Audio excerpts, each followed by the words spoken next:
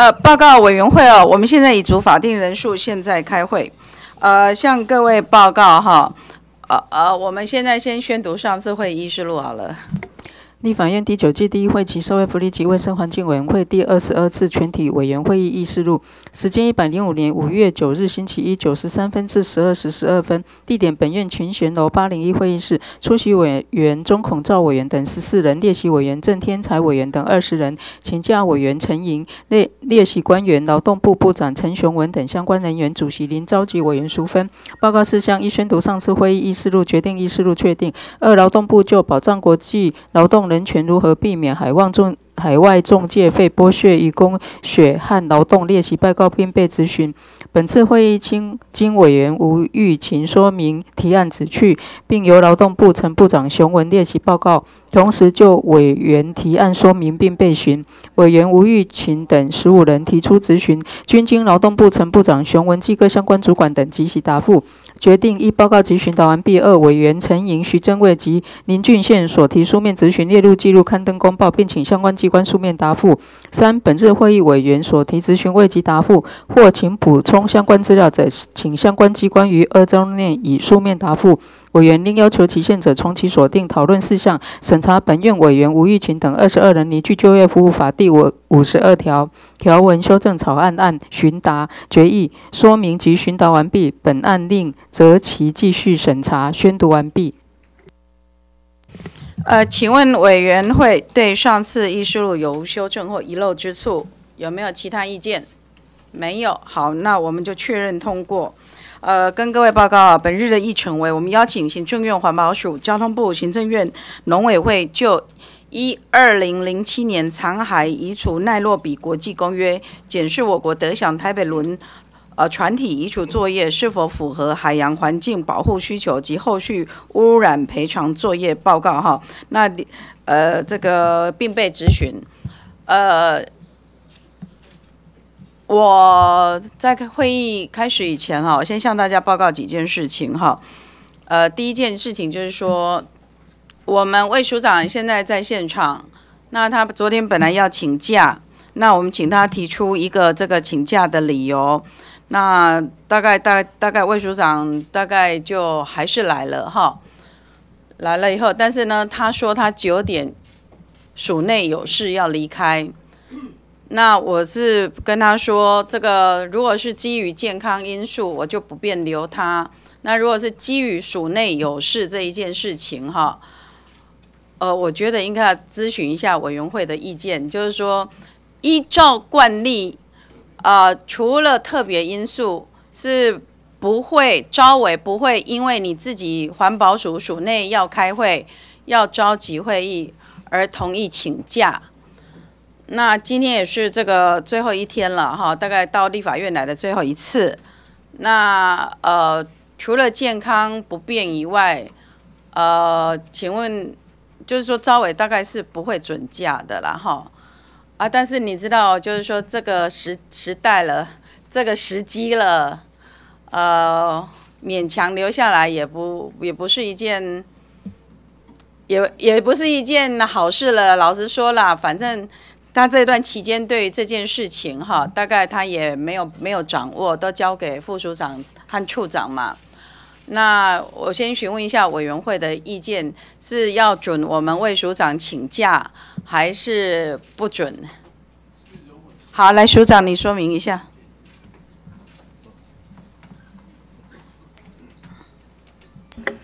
啊，林朝伟、各位委员、现场各位。呃，同仁、女士、先生，大家早安。我想对于刚才招委的，因为需要各位委员的讨论，我先把背景稍微说明一下了哈。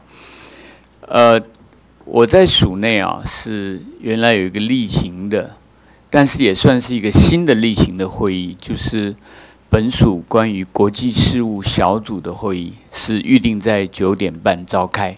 那么这个会议呢，呃，很早就排定啊，那。所以我昨天或者刚才有跟林兆伟说明这一点啊。那么关于这个会议啊，其实我们要就署内的行政程序来讲啊，必须在今天有一个呃程序上的结果啊，才能够在呃，就是五月大概二十几号啊，其实有一些国际的，就是我们同仁必须出行的会议。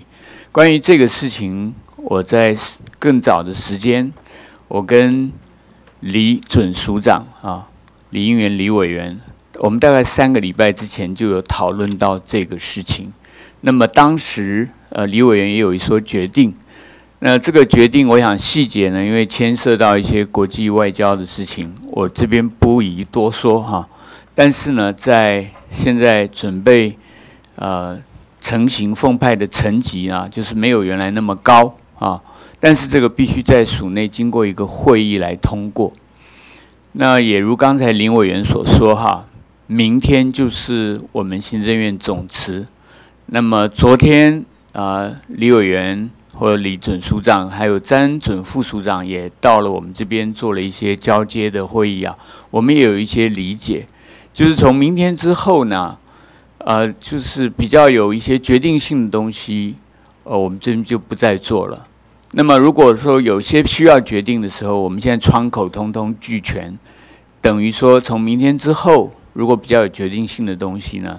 就会双方都知会，然后再来做啊，这个部分必须要做到无缝接轨，而且没有惊奇。所以这个是为什么今天我们赶在今天上午，等于说最后呃一两个小时要开这个会，因为下午呢我要陪同张院长到石门现场去看。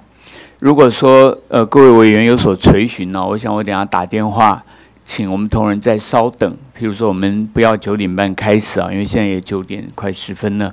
譬如说九点四十然后九点五十开始，我想是不是可以用这个方式啊？那第二呢，因为前一段三月三十一号我有这个新新冠呃症的问题啊，有开刀，所以四月这一段时间主要这个事情的处理主要靠我们副副署长，倚重他甚多，所以等下有很多事情，我想各位如果有所询问呢。我想，夫妇因为他是第一手接触，啊，不管政策面或实这个实作面都会非常清楚。这也是我在想，可能可以请假而不影响各位问政和我们事情继续延续的一个原因。以上报告，请各位委员考虑，谢谢。好，那向各位委员报告哈，刚才署长把他今天呃不能到立法院来接受呃这个询答的呃原因哦，向大家说明啊，但是就是说我向呃必须要尊重各位委员，因为他昨天就要请假，但是因为不是基于健康因素，所以我也没有准假。那这件事情哈啊呃还是交给我们委员会呃大家来决定。呃，一方面当然是明天那个就要总辞了。如果他真的呃没有意愿到立法院来，或者是这段期间他生病，对于这一项今天所排的专案报告，他事实上也没有能力来询答来来答询呃向各位这个提问的问题，也没办法回应的话，啊也是副署长在处理的话，这也是一个呃你留他下来他也不知道了。老实说，因为他病假嘛，哈。那另外就是说，他明天要交接了，那有一些政策性的或者是制度面的检讨，可能他也没办法回应。啊，另外就是说，呃呃，今天的报告是不是环保署是占大部分的这个责任？哈，未来船体的移除需不需要由环保署来主责？这当然也是一个问题。那向各位报告哈，昨天行政院的这个专案小组会议就就达成一个裁示。他们的才是是说，未来这个呃，抱歉，我看一下那才是是怎么讲哈。来，环保呃，行政院做了一个才是啊，就说呃，在不修法的状况下哈，因为船难呢啊而导致的这个海洋污染事件哈，未来。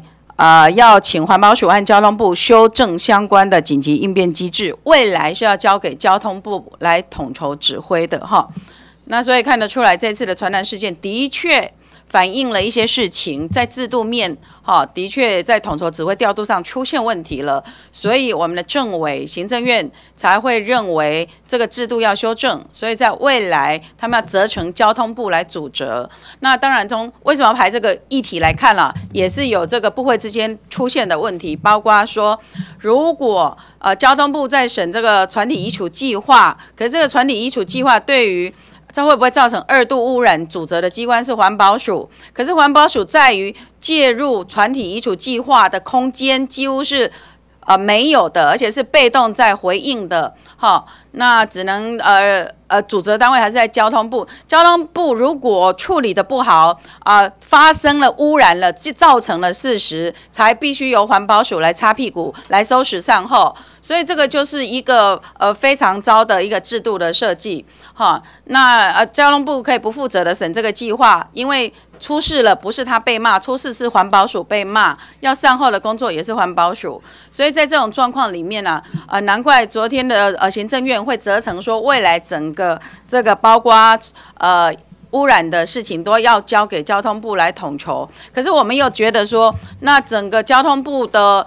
呃，这个能力，他有办法对于污染这件事情统筹去应变吗？啊，所以这个其实我们也是蛮担心的。所以，我们对于交通部在审查这个船东的这个残骸船体移除的时候呢，到底有没有定出我们国家呃的这个指导、行政指导出来给厂商遵循？哦，那从我们看他们的开会的会议记录里面是没有的，所以我们蛮担心，你没有国家把环境、把这个污染、避免二次污染的这个原则放到最上位去，那你就可以直接审那个船东的移除计划啊，这样子适当吗？那？这样子一来一往的审查过程啊，旷日费时。我而台风季节又要到了，吼，所以这个风险是很大的。那所以我们今天才要特别安排。那也因为这样子呢，行政院的昨天新闻稿里面又有第二次的回应。新闻稿里面他讲说啊，这个未来不排除要由政府优先来介入，再向保险公司或者再向这个船东这个收钱，吼。那这个就是。那政府到底有没有足够的法律工具啊，去应变这个优先介入的？我们知道政府直接优先介入是一个有效率的，呃，不管是救灾的，或者是污染处理的，或是污染防治、避免二度污染的，这个都政府直接效介入是最有效率的。那我们的采购法许可吗？好，我们今天也有邀请公共工程会来，好，那这样子呃状况里面。呃，处理完了再跟船船东这个呃收钱哈，那这个依法有据吗？哈，那有没有足够的这个制度来支撑？那如果没有的话，我们是不是要修法？我们是要呃对于这个相关的制度配套应该都要出来，哦，所以我们今天才会讲说这个一二零零七年国际公约奈诺比国际公约里面去检视现在我们正在要。讨论的这个船体移除作业啊，到底是不是这个符合我们国家保护生态、保护环境的需要？所以特别安排了这一个专案报告。那我们呢？呃呃，现在要来依序请环保署啊，不，抱歉，我应该要先处理我们署长请假的事情。请问各位委员，对署长请假要回他们署内去，老照惯例啦，是不管他以前啊，老实说。不管你署内有什么样的业务，那我们在上个礼拜就告诉你要开会了，你的业务都可以提前去开哦，或者提早去开，而不用拖到说呃要委员会当天，你都上个礼拜四就知道了。为什么会到现在？照以前了，我们是不会准假的，老实说啊。但是因为今天啦，明天都要总辞了，再留下来，还有再留下来，他也请假这段期间他也不知道。那所以请问各位委员。呃，要要准我们魏魏魏署长的假吗？如果大家没有意见，我们就准他假。那如果大家有意见的话，请发言这样子。有意见吗？没有。好，那就让他报告完哈，那我们就准他离开。哦，好吧，那我们现在就来呃准了我们的环保署委员呃署长哈，他报告完以后同意他离开。那我们接下来就请环保署、交通部、农委会来报告，报告完以后我们进行询答。那呃，抱歉，我先处理一个程序问题。我们今天的询答时间哈，呃，我们委员会哈，大概每个人十加二分钟。那其他委员会呃，我们就呃酌减大概十分钟这样子。那我们十点半截止发言登记，如果有书面执行呃，请于散会前提呃提出预起不受理。啊，十二十二点开始我们处理临时提案哈。现在我们先请我们的环保署魏署长报告。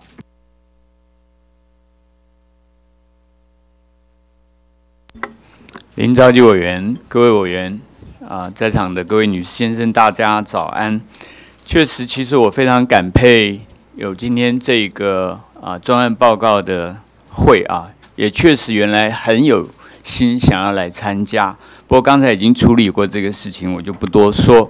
我觉得刚才招委的前言呢，也说得很清楚。呃，整个这个德祥台北轮的事件，三月十号发生到昨天的话呢，其实是满两个月了啊。那么在这个时候来做一些后续的检讨，我想是所有国人所关心。同时呢，我们也不敢保证未来不会再有类似的船难发生。所以，我们今天呢，惩前恣后啊。这个前车之鉴，来看看政府怎么样在各个方面来应应。我想这个是今天我们这个专案报告很重要的啊。那这里面当然刚才如同林昭伟谈到，大概有几个重点。第一个就是关于这样的海洋油污事件，到底主责机关和其他的机关如何配合的一个问题。第二呢是公权力何时介入，如何介入。那么谈到公权力呢，就谈到我们国家的海洋海事能力的量能和我们怎么建制。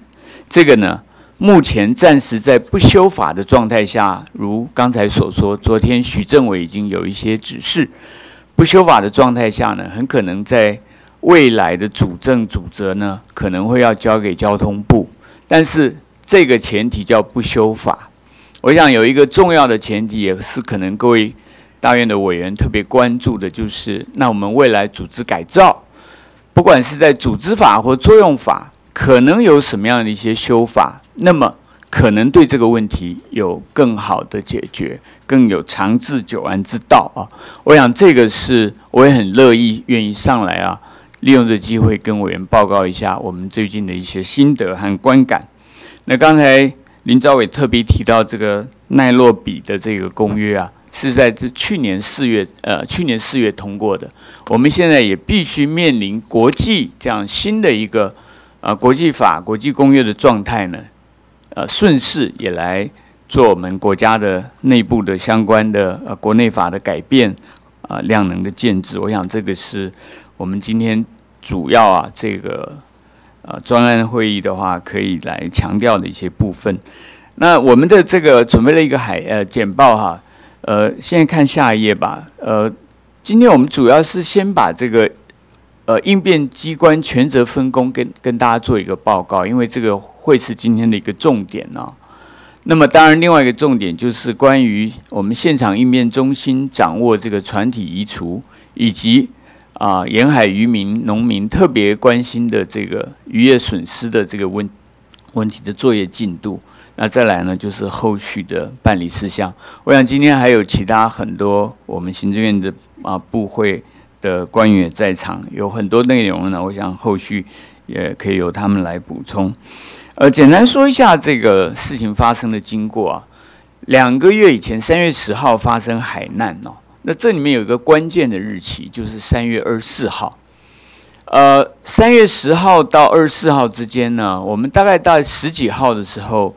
船东还有相关的单位都到场了，不过因为大概总共只有五天呐，就是十号到二十四号之间只有五天是可以作业的时间，所以作业时间不足。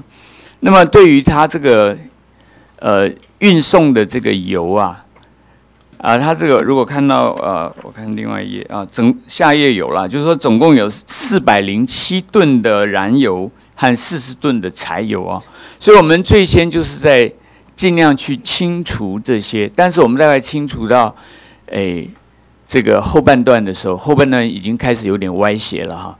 就风浪的原因是我们没有办法继续作业，而因为风浪太大，开始船身就有这个呃裂痕，裂三十公分。这个是三月十一号我们派人上船去看就知道的事情。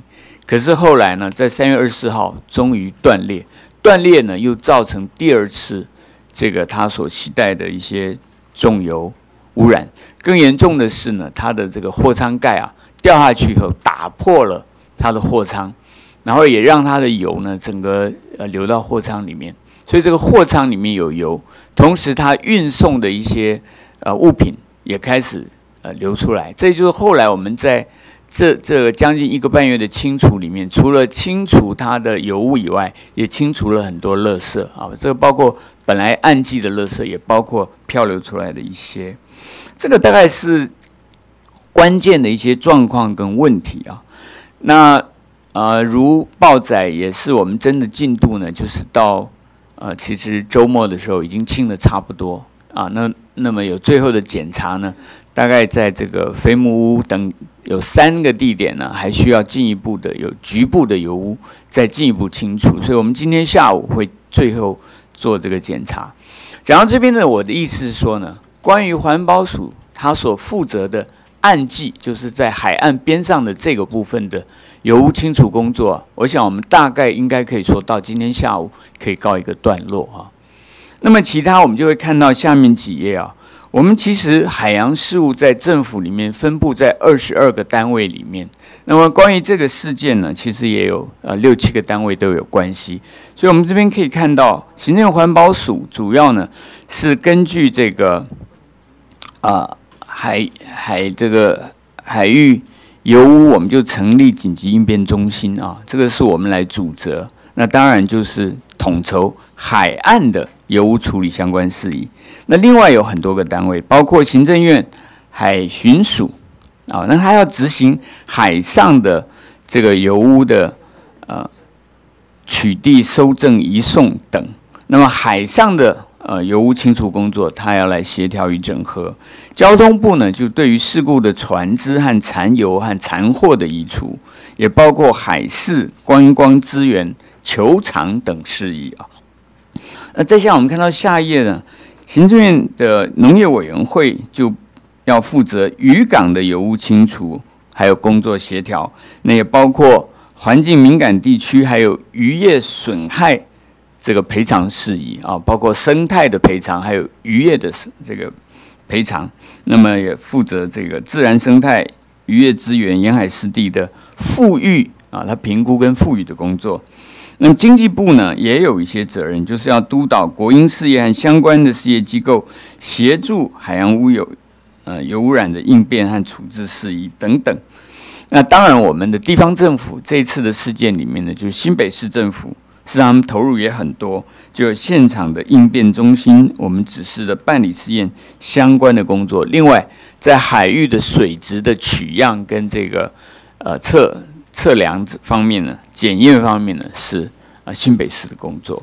所以由上述来看呢，其实它分布在中央的许多部会，也跟地方的政府有关。那再来这一大项呢，就是今天我想也很大家很关心的一个事情，就是船体移除和渔业损失赔偿啊。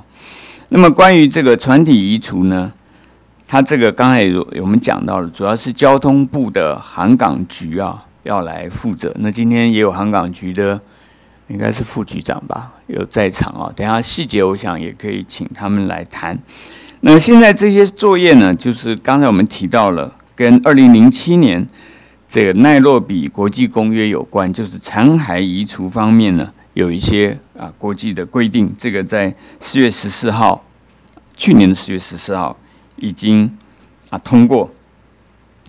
这个公约很重要的一个精神呢，就是说各会员国意识到，这个残骸如果不予移除的话，会造成航行或者海洋环境的一些危险。这也就是我们现在必须按照奈洛比国际公约，马上在啊台风季来之前，我们希望能够对于这个德向台北呢有一个积极的处置啊。那这个部分我的理解呢是，这个公司已经提出计划给交通部啊，正在审核。我们希望两个月之内能够完成。啊，再占用一两分钟的时间。其实现在当然主要的重点在于这个船只，它是从中拦腰断成两半啊。前半部啊，大概是会用扶扬的方式，可是后半部因为它已经卡住，而且倾倾斜，那这里面还有一些货舱，里面还有一些货柜要移除，它的重心也许会转移，它的浮力状态也许会变化，所以今天我们说一定是用扶扬还是用脱离啊，呃或呃或者说就地来拆卸啊，我认为还必须看进一步的这个呃后续的作业，对于船体的安全啊和这个避免二次油污的可能性要做完评估才能做。这部分我相信等一下啊交通部航港局会有更进一步的说明。那当然了，另外一个民众很重视的就是渔业损失求偿啊，这个部分我们是由农委会现在有单一窗口来做。那我想这个因为。我们这边也有农委会的渔业署等等同仁也在场，各位委员，等一下如果还有更进一步的这个咨询呢，还有他们后面可能也有说明。那我占了多一点时间，不好意思，我想我的报告呢就先到这边。那么也谢谢委员这么两年来还有这个新的会期对环保署的呃这个指教敦促啊，谢谢大家。好，谢谢我们的署长哈，那就呃。哦，OK，呃，我们现在依需要来请交通部哈和农委会来报告。那向各位报告，我们今天交通部主责主责的部门是这个航港局哦。但航港局局长为什么出国？他出国什么时候回来？呃，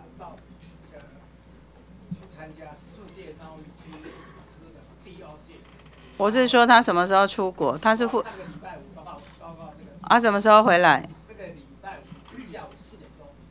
哦哈，世界贸易是交通部航港局的主要核心业务吗？业务执掌到世界贸易这个领域去了。好，来，请你代替你们的这个呃航港局，好，航港局，那那我。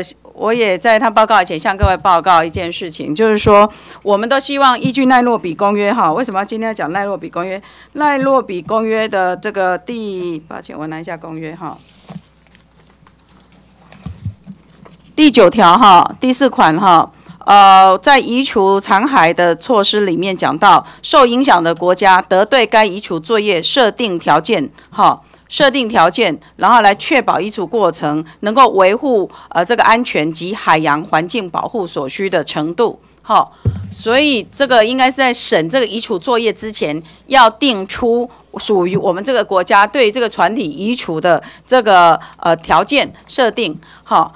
那呃，因为这个条件没有设定出来的话，那船东可能会以最便宜形式的方式啊来移除这个船只。而在四月十六号第一次的这个船体移除计划，果然船东就是提出这个就地解体的方式要来移除船只。四月十六他提的计划就是要就地解体。后来呢，呃，航港局才补一个，他们希望专家。呃，开了会以后，希望两段接采扶扬，哈，那除除了不可行，那可行不可行还是船东，我我我必须要再向大家报告一件啊比较关键的事情，从呃船东的角度，他就是说保险公司付多少我就赔多少，从保险公司的角度，他的那个 PNI 就是想说能够虽然保到二十亿的美金，但是能够少付，越付的越少越好。这个是他的 PNI 的立场。那站在政府的角度，政府当然是环境是没有代价的，是无价的。所以这件事情必须优先于不要造成二次污染。可是政府不要造成二次污染，不是宣誓用的，它必须落实到你对于移除计划的行政指导和行政准则，就是所谓受影响的国家必须采取适当的这个呃作业规定。好，那这样子的话，才能够确保确保这个呃我们的。所谓的不要造成二次污染，这个东西不是只有宣示作用。那而且我们都知道，台湾的进进入这个所谓的台风季节要来了。那再加上这个奈洛比公约里面哦，奈洛比公约的第六条开始了，第七条、第八条、第九条都有讲到说要定出合理的期限进行移除。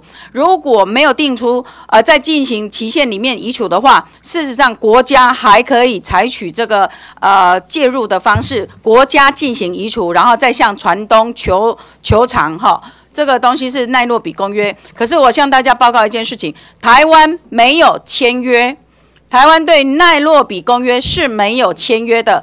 那即便没有签约，里面的法条可用之处，依照国际海事的这个规范，也应该要把相关的修法配套放进来我们的国内相关法规去修法。可是我们也没有把奈洛比公约的对我国有利的，今天发生的德祥台北是台湾籍的台湾的公司的，如果哪一天发生的是外籍公司的，恐怕我们国内法规。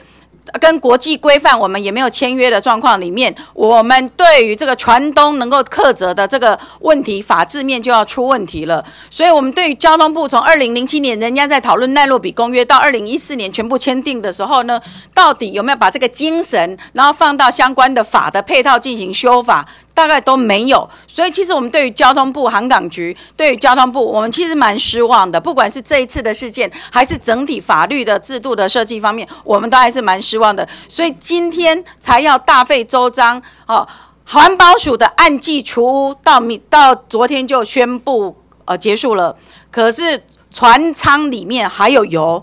那解体或者是这个移除的作业，油还会不会跑出来？这件事情甚严重的。台风来了，我们到底要赌？我们要赌赌看吗？看说他这个移除计划移除之前呐，我们都不会遇到台风，就靠着上天的眷顾吗？我们绝对不能容许只靠上帝上天的眷顾和垂怜来祈祷说，哎，移除计划不要发生漏油。我们希望秉持的是。政府确切的督导这个移除的责任，而且尽速的，而不是让船东和 P N I 保险它便宜形式、省钱的方式，尽量要节省经费的状况里面。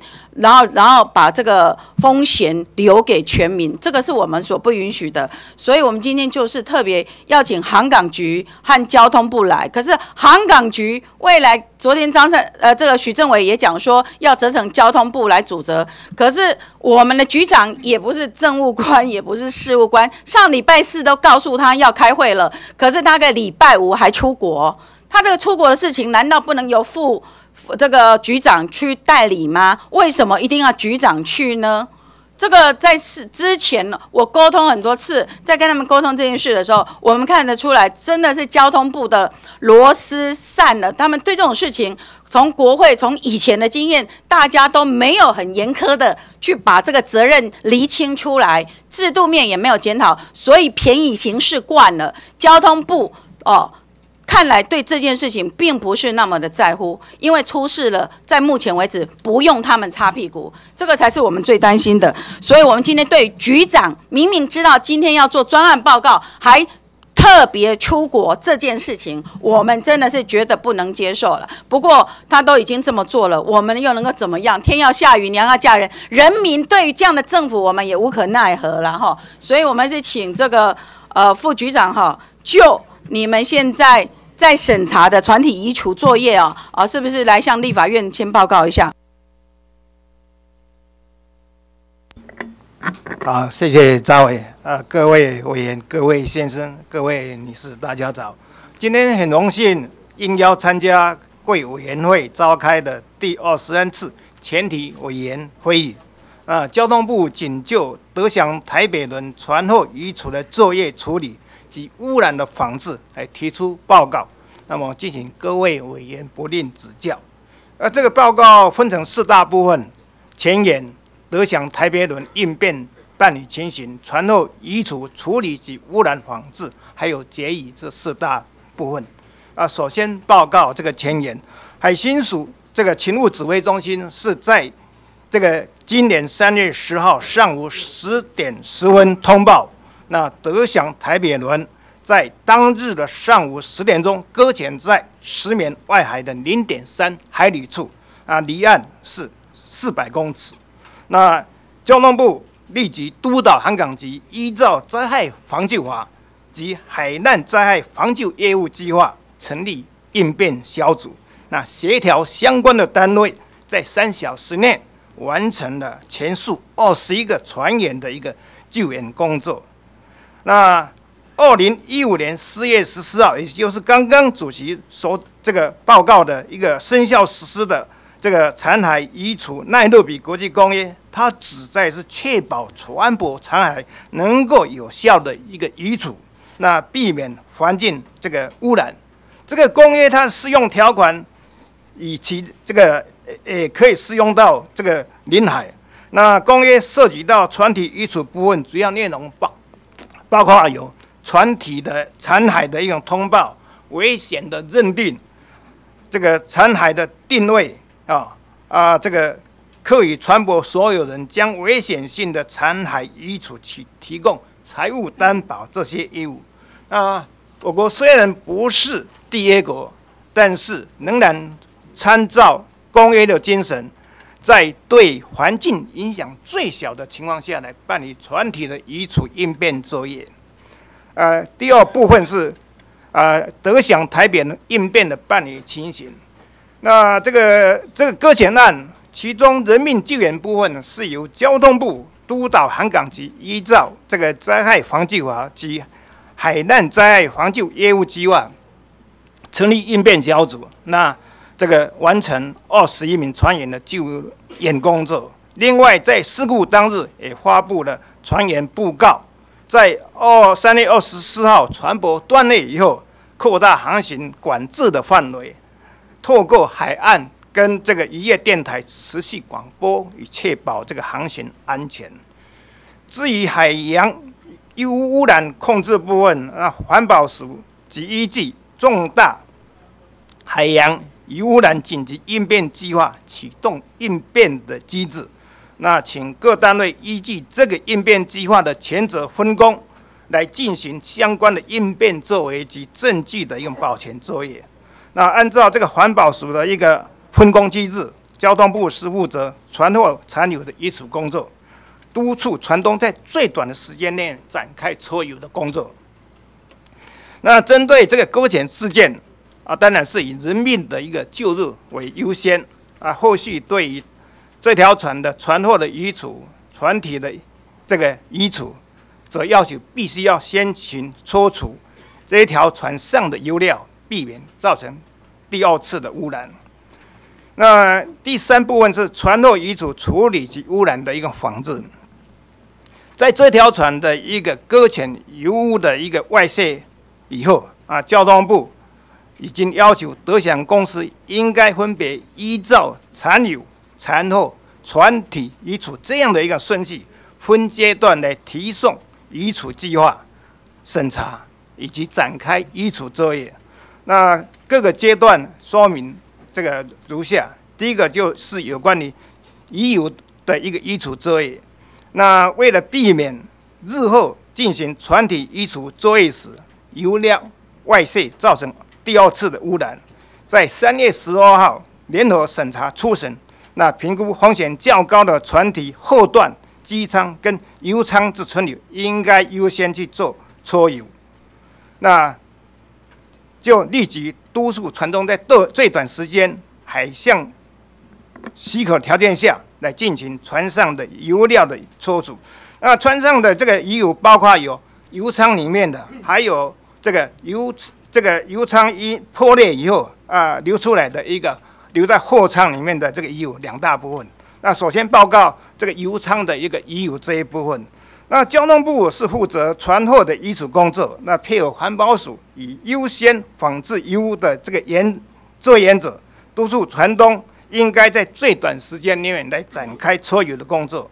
但是三月十号事情发生以后，到三月二十四号船体断裂前，啊，刚刚这个署长也有这个报告过，因为气象受到这个海象气象影响，只有几天可以进行抽油的工作。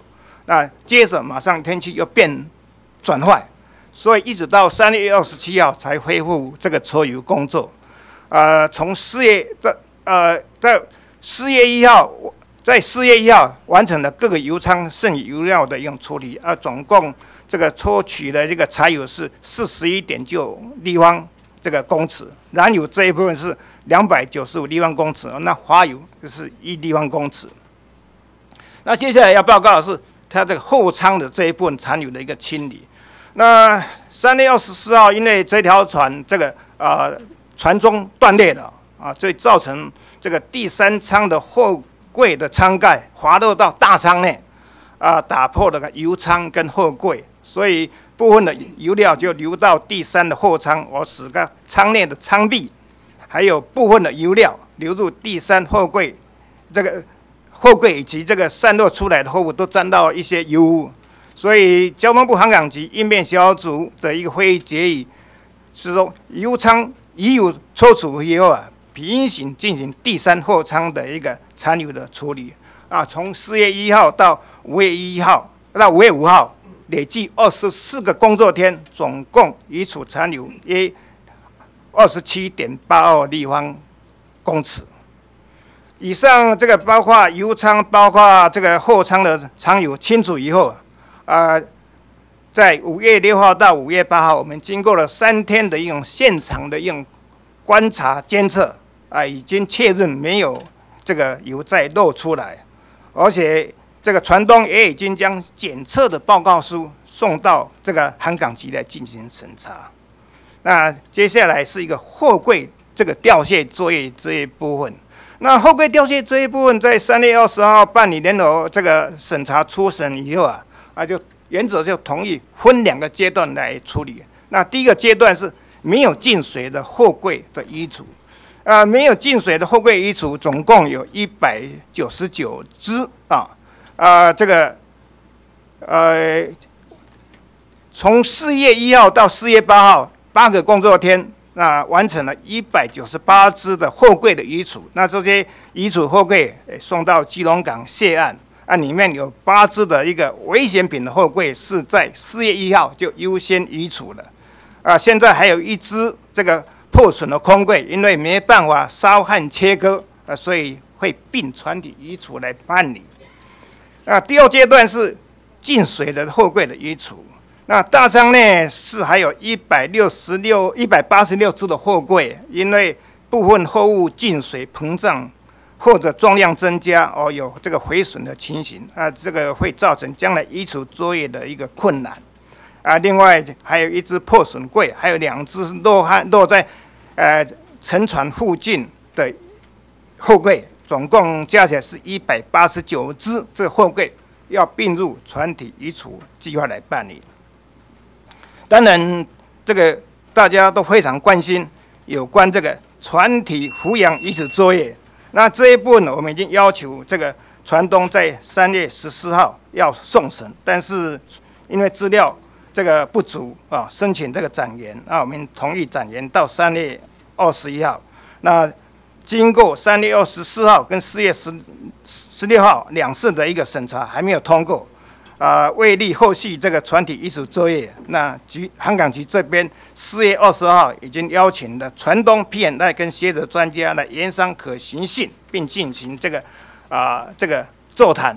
那德祥公司在移除已经要请，已经请德祥公司在船体移除的时候要。以环境生态为重，避免二次的一个啊污染啊，并优先评估以抚养的方式来移除的这个可行性。那四月二十六号，这个德享公司提出的船体移除计划啊，在这个四月二十七号再次联合审查以后，那原则同意大仓货柜移除及船体前段移除作业，可以十一个工作天来完成啊，全部的船体则预计在八十天。工作天来完成，啊，结以这部分。总而言之，这里是我们的一个国土，啊，这里是我们的家园。那交通部一定会在这个各位委员以及全体民众的关心与指导之下，来做好这个得享台台北人后续的一个散落处理工作。啊，以上这个报告进行指教。好，谢谢你今天提供给立法院的资料，甚至跟我们当天到呃这个现场去考察的资料，其实都有一种这光是资料比对上都也不是那么的精准。除了抽油那两百九十五点一吨以外，其他的资料数字都不是很多的起来。请你回没回去没关系。呃呃，我们接下来请农委会报告以前，抱歉哦，我先讲再讲一个呃题外话，就是说。呃，本案如果不坚持抚养，现在讲说避免二次呃污染呐，这个都是空话。那你也没定出行政指导，那那他们已经找一个好的 PNI，已经标出去一个好的公司，可是他给给付给新加坡一个那么好的公司的钱是很少的。那这个钱都不够做两次抚两段都抚养的经费的预算，你叫他一定要抚养，他怎么扶得起来？所以我们在讲说，我们政府如果不坚持立场，我们在今天在这里屈就于 PNI，然后 PNI 的要求，呃，照 PNI 的游戏规则去做的话，我们如果同意。这个第二段到时候就说技术不可行，其实不是，搞不好不是技术可不可行，搞不好是钱，他到底这个保险公司给付给这个呃给这个呃遗储公司的钱到底够不够？如果我们是绑在这个他给的钱就这样子多多的状况，然后去决定怎么遗储的方式的话，我们下一次再有其他级的国籍的或者其他的货轮再搁浅的话，我们这个模式就会沿用下去。所以，我们今天这是一个。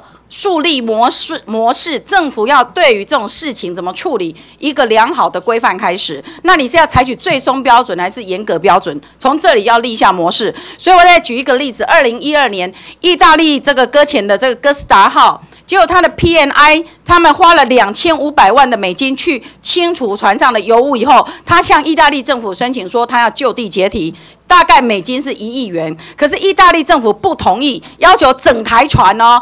全整体抚养，以避免造成二次污染。结果他们只好 PNI 重新再开国际标，只有美国打捞公司最后是花十五亿美金。而今天我向大家报告，这一条船的保险规模是二十亿美金的 PNI，所以这个他们都说钱没问题，可是他就是不给，哈，他不给。那我们政府到底要对他们怎么样？交通部在讲说啊，你们会审查，好好审查，没有过。可是你们从来。都是允许他有留后路，就是一直允许他说啊，如果不行的话，我们就同意你就地解体；不行的话，我们就怎么样？我觉得从那个他们航港局专家审查会议里面，专家也不断的质疑这个 PNI 和这个船东诚意没有，数字没有，都说不行，可是数字在哪里，他们都不知道，没看到。从那个审查会议也是这样子，所以我们今天非常痛心啊，所以才要在立法院再这么严格。这到底是要开一个未来处理这个船难搁浅的好的先例，还是要开一个恶例的开始？好，那我们下一个当然就会涉涉到这个赔偿，赔偿当然也有。不是只有渔民的这个东西受损，事实上包括观光资源有没有受损啊？包括这个生态资源有没有受损？事实上环保署也应该要来补充报告这一部分了。不过我想啊，他们大概都便宜行事，所以我们先请啊农啊这委会来报告一下这个农业损损害的部分哦，谢谢。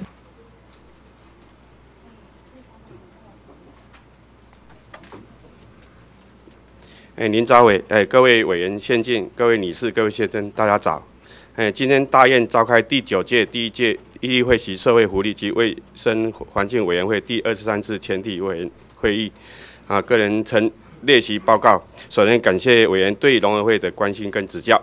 以下仅就德江台北轮搁浅污染对渔业相关损失求偿的部分，啊，说明本会的处理情形，敬请各位委员不吝指教。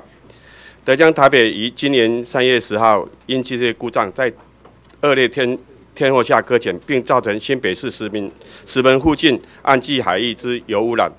由于本次事件属于岸际会议港区所发生的第二级油污染事件，啊，依据行政核定的重大海洋污染紧急应变计划，由环保署成立油污染现场应变中心，本会配合进驻及处理渔业及生态相关。适宜的球场，而针对本会的办理情形，分三部分来说明。第一部分，疏解民众对渔产品遭受油污染的疑虑。这部分，啊，我们透过渔业电台持续广播及安检海巡署安检站宣导，告知渔民应避开油污染海域作业。第二部分，渔业署每日派员在北海岸啊油污染附近渔港，总共有八个渔港资金进港渔船。遗货物外观及气味检测，啊，到五月十号止，总共检测了两千八百零四超次，两百八十七遗种遗后，均未发现遗体有油污及油臭味。那本会水产试验所办理采集进港遗传遗后物，总共三十四超次，四十九种遗后进行光能检测，结果外外观均无油污，亦无任何油异味。检以上两个检测结果，哈，业主经对外化情况说明，啊，消除民众对油污染的疑虑，请民众放心。第二部分，协助受损渔民球场啊，渔业署已经有指定我们陈康单位啊担担当啊整个球球场的窗口啊，那我们办理情形，第一，渔业署与新北市政府区议会等单位成立专案小组，定期召开会议讨论球场相关议议案。目前已召开五次会议，就移民受损部分分两部分协助球场。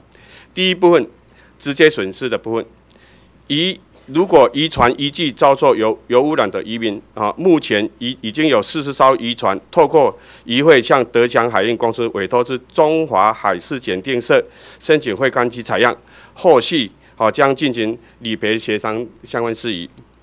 第二部分间接损失的部分。由于移民无法作业等间接损失不容易举证，因此收需收集相关资资料，并经科学方式予以评估其损失程度，作为向德江海运公司求偿之佐证。啊，金山区议会已委任学者办理调查评估工作，预定在今年九月三十号完成。第第二部分，那渔业署已经洽请新北市政府定于。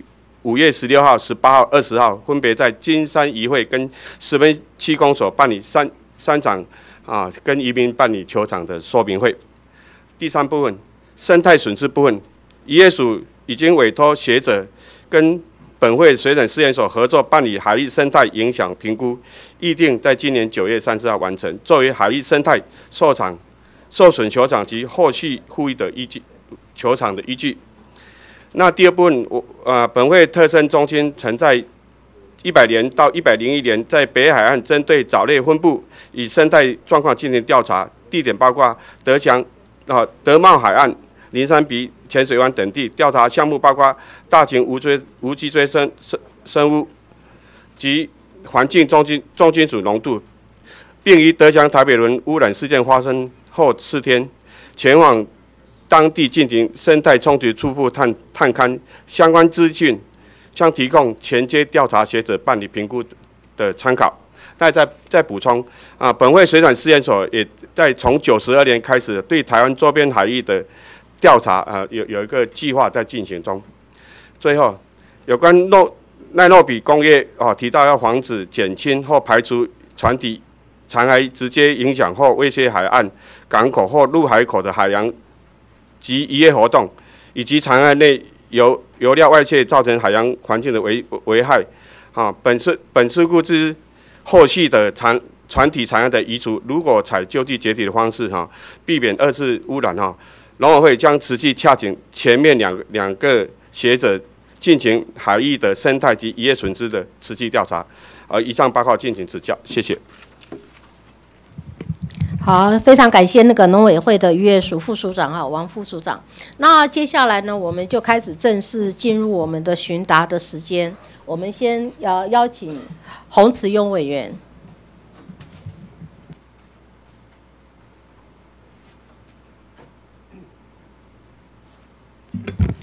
哎，主席，我们先请环保署。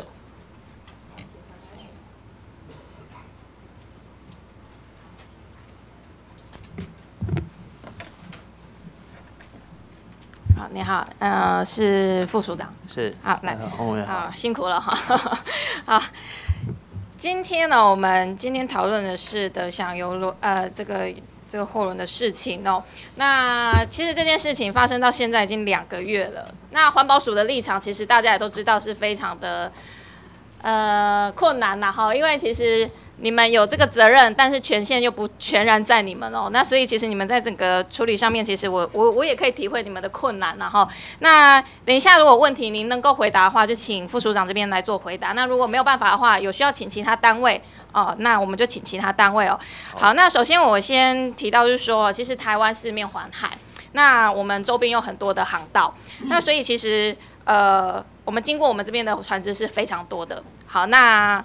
也发生过不少的这个，就是船只去搁浅然后漏油的这个案例哦。那副署长，你这边哦，就您的印象，您过去哦最深刻的一个案例是哪一个？我想大概就是阿玛斯号啊，那还有十年前那个 Morning Sun 在石门的一个是一一个呃呃油污染事件这样。嗯，好。那呃副组长提到这阿玛斯号哦，其实我也是认为这是一个蛮指标性的一个案例了哦，因为其实我们大家都知道说，两千年的时候，我们的海洋污染防治法刚施行通过哈，通过施行。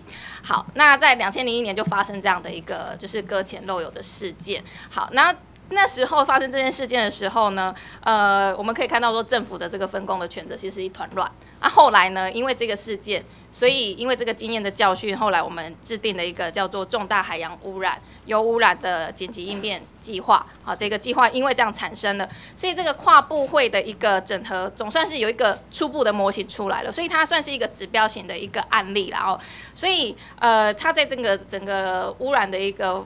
处理哦，上面算是一个里程碑。我我这样的一个认知应该没有错了哈。没有错。好，那从两千年哦的这个海洋污染防治法到我今年二零一六年，已经经过了十五年多的时间了哦，十也就像是十六年了哦。那在这十几年来哦，副处长，你认为说我们在整个就是海洋污染防治上面哦的一个防治跟处理，是不是有显著的进步？事实上，哈，这个呃，像这次的德祥轮事件，哈，那也让我们看到它是第一宗啊，是搁浅而且断裂啊的事件。那也让我们也觉得哈，十几年来哈，呃，我们一直在 run 这个呃海务法这一个情况，确实也到了要检讨调整的时候啊。那相关的一些制度的做法。呃，行政院也带着我们一起检讨，检讨报告昨天也出来了，这样。好，所以呃十几年来，现在才是一个要开始检讨，然后要调整的一个时机啦，哈。但是我我认为啦，哈，其实这十几年来，我觉得这进步真的很有限。好，就从预防到后面的处理，我觉得在这一次的一个状况，我们去检讨，其实都不是非常的效果效果都不是非常好。就从我们预防来说，其实这。十几年来发生了大概二十件的这个就是沿岸的这个海污染的问题哦。那这二十件里面，其实有十件是因为天候的问题去产生的。那天候这件事情，其实某种程度上面它是可以去预防的，因为我们可以做气候的预测哦。但是为什么呃，就是天候不好的时候，我们没有一些比较积极的一个预防措施，那导致说这十几年来还发生了二十件，这样平均其实一年哦，可能也平均来讲是超过一件。哦，这种重大的一个污染的一个状况哦，所以其实我觉得在预防上面其实也没有做好。那到后面的处理，其实等一下我们就来看说我们现在处理的状况嘛。好，这但是我我我首先要讲的是这个处理的状况也不好，就是也跟十几年前的这个这个效率来讲也没有变得比较好。哦好，那我就要来讲说我们现在的处理状况。现在的这个有就是海洋的污染的处理的话，大概会分成三个步骤嘛。第一个就是污染的清除。那第二个是船体的一个，就是移移走，对。那第三个部分就是环境的复原跟球场，好，大概分为这三个部分啊。那这三个部分哦，副组长，你认为说这些呃阶段大概平均要花多少的时间是合理的？诶，依照每一个船的状况哈，其实呃污染的情况的情节的轻重其实是不一样的哈。那不过，如果说就以这次德香轮的这个污染来讲啊，那我想它这个呃海面跟岸际的污染啊，大概两个月就清理了差不多了啊。那至于说那个后面呃货柜或船体的移除哈，那他们估计哈，如果正式签约到正式哈，可能要差不多六个月啊左右哈。呃，这样的一个时间，他们呃交通部估计这样的。那最后一个阶段呢，就是呃环境的一个复原跟球场，大概需要花多少时间？那复原跟球场哈，这个也因为呃因为涉及到这个收证、举证哈，以及诉讼哈，那它的时间呢，也呃有时候会拖到一年以上这样。一年以上。所以，如果这样子，我们产生一个这样的一个搁浅，然后它实际有一些比较严重的一个漏油的情况的话，大概。总总体大概至少要一年八个月，以你刚刚最保守的估计，要一年八个月的时间才有办法把这件事情解决掉哦。那我们就先看一下，就是我们刚刚讲的一开始的这个亲友的这个时间哦。从阿马斯号，我们刚刚讲的，哦，两千零一年的时候，阿马斯号它的一个第一阶段的这个亲友也花了大概两个月左右时间。然后晨曦号，哦，这也是一个很重大的一个案件，他也花了三个月的时间，然后到现在我们的这个德祥台北，哦，他也花了两个月的时间，哦，到昨天，哦，到今天下午，好，也花了两个月的时间，所以其实看到这种重大的这个污染的一个油污的清除的时间哦，来看，呃，可能当然有一些有一些不一样的因素了哈，但是以以时间来看的话，其实。至少都平均到两个到三个月左右的时间哦，所以其实它对于整个生态的影响其实是蛮大的。好，那再来我就要讲到说，呃，刚刚讲我们船只的移除这一件事情哦，也是现在要做的事情。那这个移除的计划还没有通过哦，还还没有通过一个状态哦。我想请问一下副署长，以你这个统筹协调的一个角色哦，你认为哦最慢应该在什么时候应该要把这个这个残骸？移除完毕。当然，呃，这个详细等一下可能请航港局来说明哈。不过就是说我我们出席联席会议的时候，我们都有强烈的建议跟主张啊，在台风季节来临之前，要能够完成移除这样。所以现在已经是五月中了哈。那如果六月底七月初就算是，他有两个月，希望两个月，不到两个月的时间然后。那我们请一下航港局副局长。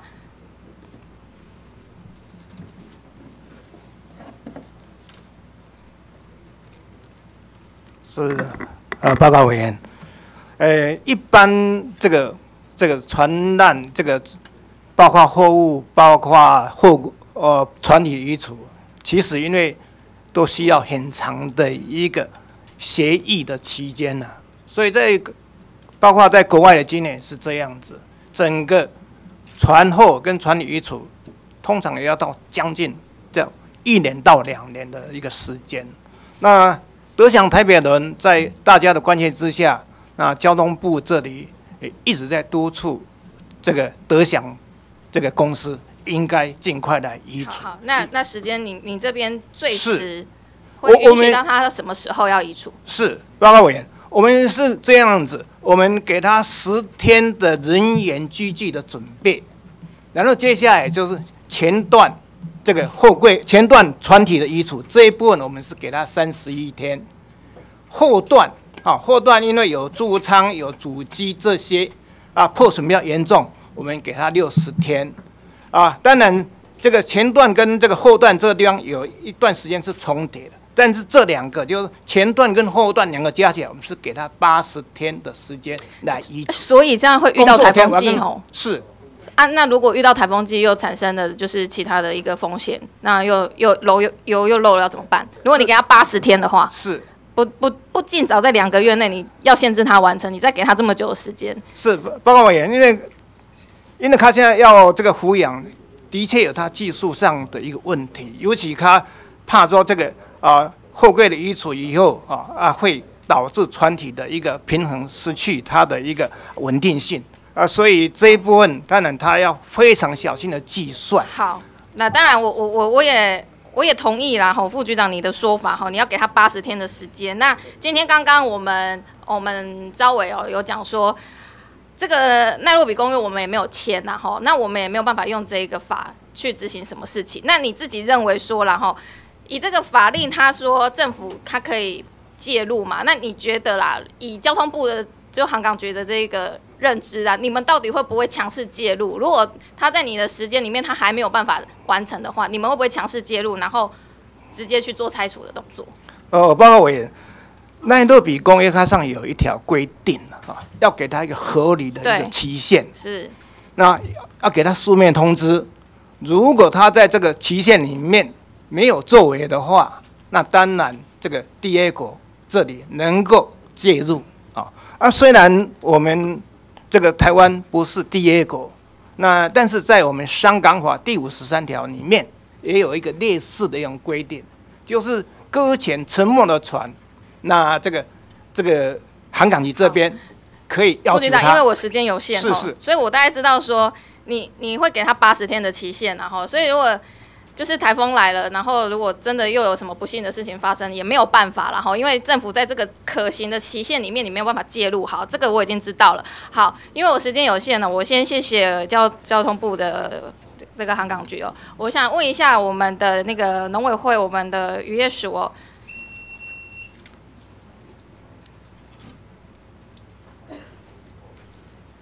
委员好。好，谢谢啊。刚刚我看到你们的报告哦，那其实从三月二十五号开始哦，成立这个渔业损失的这个收证小组到现在哦，呃，其实我们看资料是五月份要开始进行座谈跟说明会。针对于就是直接损害的部分，那间接损害的话，其实这个渔获减量的部分，其实九月份报告才会出来，好，应该是这样子，没错。那生态的复原跟观光的损失，也要等到九月份才会评估报告。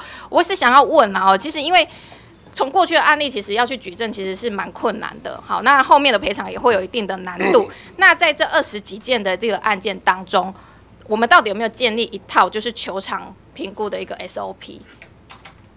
那分两部分了哈，就是移民损失的部分，刚刚有报告过，直接损失，直接损失有证据嘛，可以可以直接来认定。那移民的间接损失的部分，啊，过去是没有，那这一次哈，我们特别呃协协调议会委托学者来做评估，然后再做后续的球场的的处理。啊，公布人的部分也是比类似，也是委托学者来做调查评估，对整个生态的部分来做评估以后在球场。那那刚刚委员所提到的观光的部分，不不是农委会这边主政以上报告。好，所以现在的 SOP 就是先取得取得评估以后损失的状况的证据跟论述以后，再跟诶传东来做。那那针对这一次的这个这个德享台北哦，你们对于整个球场哦，对渔民的一个到时候的补偿，你们有什么样的把握？还是要看最后呃调查结果出来的证据状况。好，这这个这个回答其实我还蛮不满意的。然后好，最后因为我时间已经到了，其实我还是要跟所有单位讲。然后虽然因为现在没有一个主责的单位，所以这个分工上面其实我觉得还是非常的零散哦。但是呃。我认为啦，呃，这种横向的联系，哦，平常就要做了，不要到真的有事情发生的时候，才临时的这个任务编组，吼，在那边人仰马翻，然后处理的效率其实都没有办法有一个很好的一个状况哦。所以这个我的态度是，我觉得在这个预防跟后后续的处理，都应该要有一个常设的一个专责单位来进行的。那如果说，呃，依照今天刚刚赵伟讲的哈，就是我们行政院这边，如果说以后这个组织单位要给交通部的话，哦，如果法我们法令不调整的情况下哦，我请未来交通部真的要加一把劲了哈，因为以这几次的这个处理状况来讲，都不是非常好。好，谢谢。好，我们谢谢洪慈庸委员，接下来我们请刘建国委员。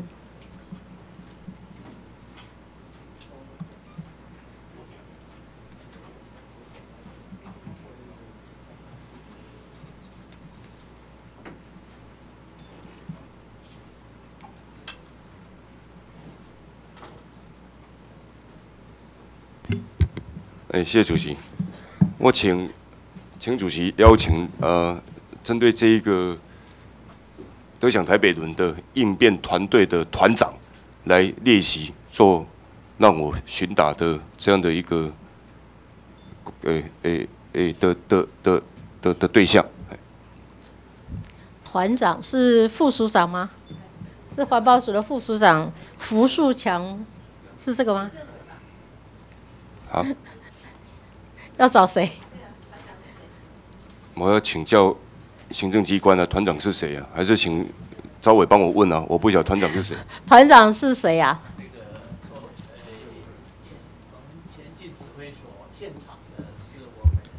前进指挥所现场的负责人是副署长，环保署副署长的胡树祥副署长啊。那这样子可以吗？所以你就是这个应变团队的团长。在现场就是嘛，对，啊等就是嘛，不然还有还有现场跟。如果是那个呃德祥台北轮搁浅案因变接专案小组的，是许政务委员俊义担任召集人。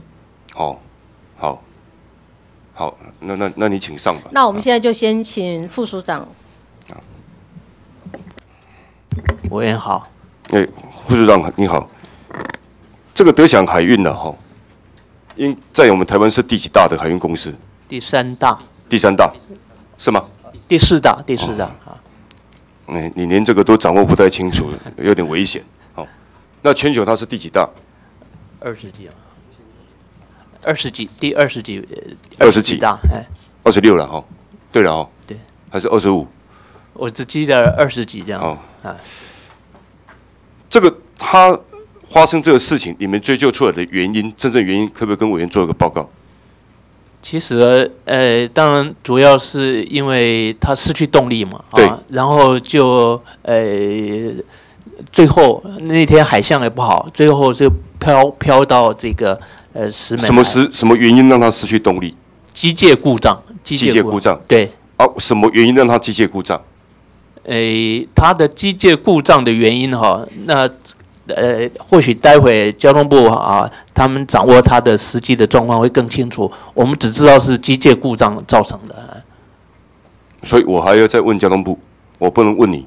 诶，我报告委员，我我只知道是机械故障这样的。不，对不起了哈，因为会长你在你在前进指挥所嘛，不对？不对对担任这个应变团队的团长嘛，哈。是那应该相关的各分工、各确诊分工的机关，他们在处理什么样的一个情况之下，都一定会有个进进度的会诊汇报嘛。对，那那这个事情基本上应该会会在整个汇报里面让你知道嘛，对对吗？对。啊，所以我就直接问你就好，我干嘛问交通部？哦，那诶，呃，我我们是掌握一些应该应变措施的一些执行进度啦。是没有错啦哎，但是但是最基本上，因为追究相关的这这个这个这个情况的原因过程里面，应该应该护团队的团长应该会知道才对嘛，对不对？哎呀、但但是呃，我记得在应变会议里面，然后我我曾经问过，他们说这个海事的调查还在进行当中，实际的他们这样这样回。那那你就回答我说还还在调查当中嘛，是是齁所以我就不需要再问交通部嘛，好应该是这样嘛，哈，好。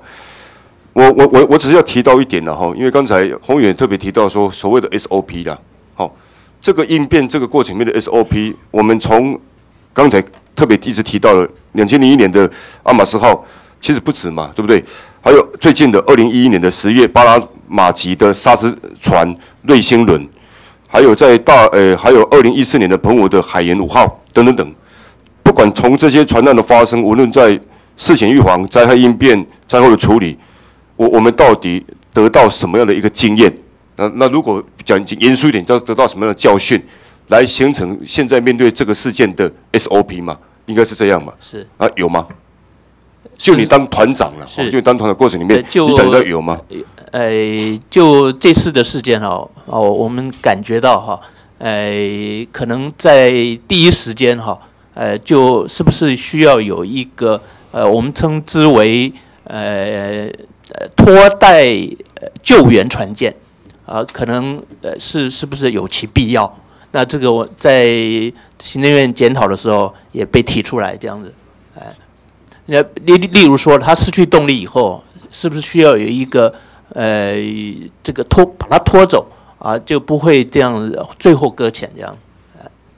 所以我们都依这个，还依照现今发生的这一个台北呃呃德享台北轮的事件，还在讨论当中嘛，对不对？是是所以以前的传单事件并没有让我们借以做呃相关呃这些事件的一些参考或是一些依据，形成应该我们去做的应应的作为嘛？还是没有嘛？还是不足够？其实就是是传染事件发生的次数还不够，所以很难让我们来当做这样的一个参考的依据。其实每次都有一些检讨，但是这次因为是第一件，因因为是这个货柜轮它搁浅并且断裂，所以我们累我我们的感受、我们的体会会更更深刻一点，这样。它是货柜轮断裂，对但两千零一年，呃，二零一一年的巴拿马沙那个是刹车船，对不对？对好，但是它也断裂，它的断裂跟货柜轮的断裂，当然不一样的船体的断裂是不一样的情况。我我我这个我能理解嘛？是但是用它的断裂的的状况，不能来作为货柜轮断裂的相关的一些呃参考依据，然后形成我们应该做的应应的一些 SOP 的作为，不行。诶，所以我们还必须要再等到一台货柜轮断裂之后，再做后续。改天再发生一个货柜轮断裂之后，才可以形成这样的一个依据。其实我相信哈，每次的一个检讨都存在了哈。那不过就我呃，就是督导这个业务开始的话，那我接触的一个海难事件啊，呃，油污事件啊，那我我认为这次的事情啊，可以检讨的范畴更具体、更更深入这样的。好，这个这个事件到底在你们认定是中度还是高度的？是第二级，第二级，第二级。第二级。呃，因为它的这个溢油在一百吨跟七百吨之间，它四百多吨这样子，溢油就是油哈、对，溢呃这呃可能溢散到海面或飘到岸际，可能的一个溢溢油呃这个这个吨数。是就是从吨数去计算嘛，对不对对？对对去认定。对所以已经你们的认定是已经超过一百吨了嘛？对，第二级。第二级了嘛，对不对？对那一百吨是等于就是你们给我们的报告，一下是吨，一下是立方米嘛，等于是一百一百立方米以上嘛，是不是这样？可以这么讲差不多，差不多。好啊那那我请教一下哈，到目前为止到今天五一一嘛，哈五一，你们从船体抽出来的，不管是重油，不管是润滑油，不管是啊它使用的机油，到底环保署掌握的数据，从船体抽出是多少吨，还是多少立方米？立从暗记清楚的是多少立诶立方米，还是多少吨？可不可以再说明一下，说明清楚一点？好的，是的。那个以重油来讲哈，重油来讲，大家都比较关心重油，它的总数是四百一十一个立方米，啊，四百一十一个立方米。那在三月间呢、我们抽油啊，就抽了两百九十五个立方米，啊，然后到了呃四月份的时候，我们在第三货仓了。呃，又抽油又人工机械，一共抽了二十七点八二立方米啊。那大概啊，这飘到岸际的哈，呃，然后我们把它清除了，大概有六十点三个立方米。然后在这个海面呃扩散蒸发沉降的有二十四点八个立方米啊，所以这那现现在只剩下那个舱壁还粘在舱壁的哈，大概有零点二六个立方米，所以这个刚刚的数字加总起来就等于四百一十一个立方米。诶，这个这个副组长，你就答复我，你的表应该跟我的表一模一样嘛？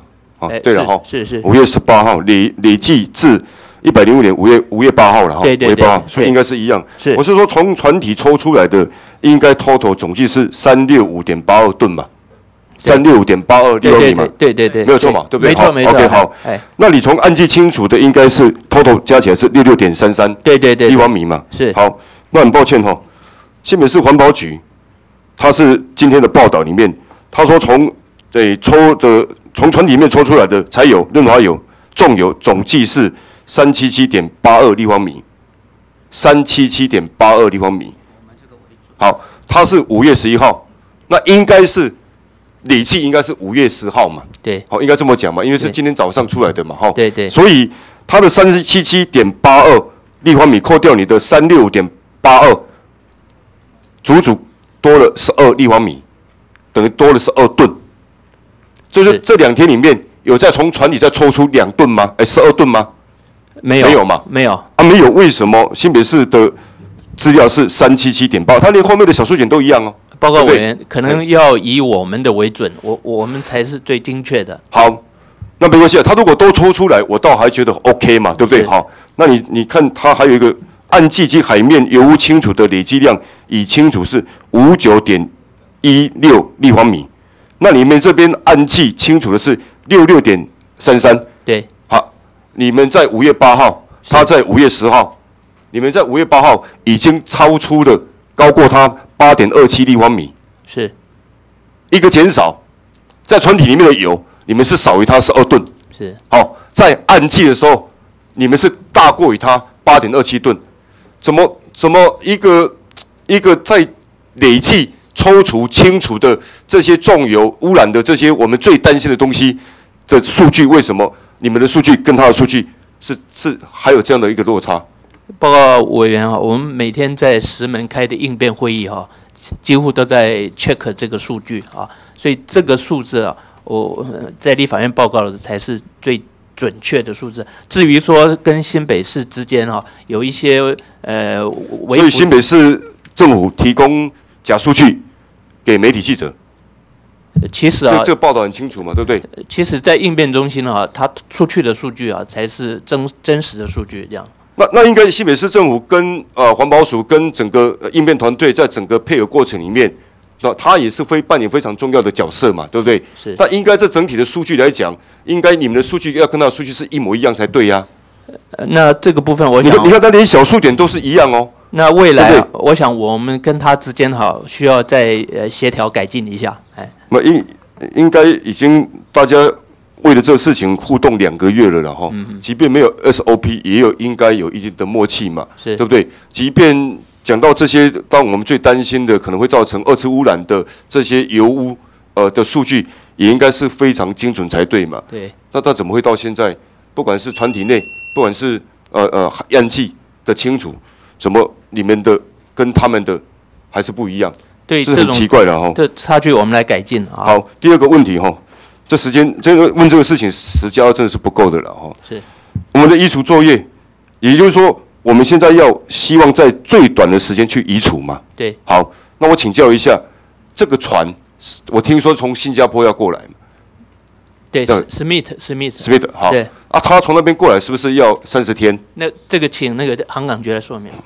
好，OK，好，嗯啊，是三十天，对，三十天。是好，那现在开始算了吗？啊，还没有，因为还没有这个，现在目前 TNI 跟史密特还在谈，在伦敦谈，还没有谈达成，所以，所以要到等到整个达达成，是要多久时间？哦，这个我们我们没办法掌，没办法掌握，因为哦他双方面条件到目前还没有这个对嘛看懂。？啊，所以他们如果一直没有没有办法谈，所以我们就一直等嘛，对不对？说等一天，等一个月，等两个月，等半年都有可能嘛。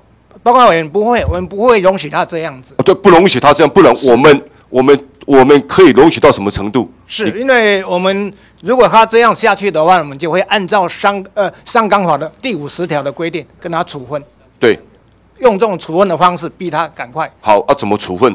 我们按照上纲法的规定，他是可以处分这个十万到五十万。当然一天这，呃，万是我们每通知他一次，他没有按照我们通知的期限去完成的话，就会跟他处分。就是十万到十五万呃，十万到五十万。哦，十万到五十万嘛，对不对是？是那我们第一次通知完之后，他还是一样没有办法签约完成，那我们要隔多久才可以在第做第二次通知？我们马上就会再通知他。也就是说，第一天通知你如果没有履行是这样的一个合约，是赶快赶快来做处理，那我们明天就赶快可以再做处罚就对了。是那到时候你们会这么做吗？是会，好，OK，好。好那这艘船从如果他签订完之后，这艘船从那个地方到我们呃这个作业的地方要多久时间？呃，报告委员其实分两部分的，一个是货柜的处理，货柜的处理这一部分是利用在地的资源，OK，那那一条它是要吊，因为它的吊杆能量是一千吨，所以要吊船体，所以它是货需道。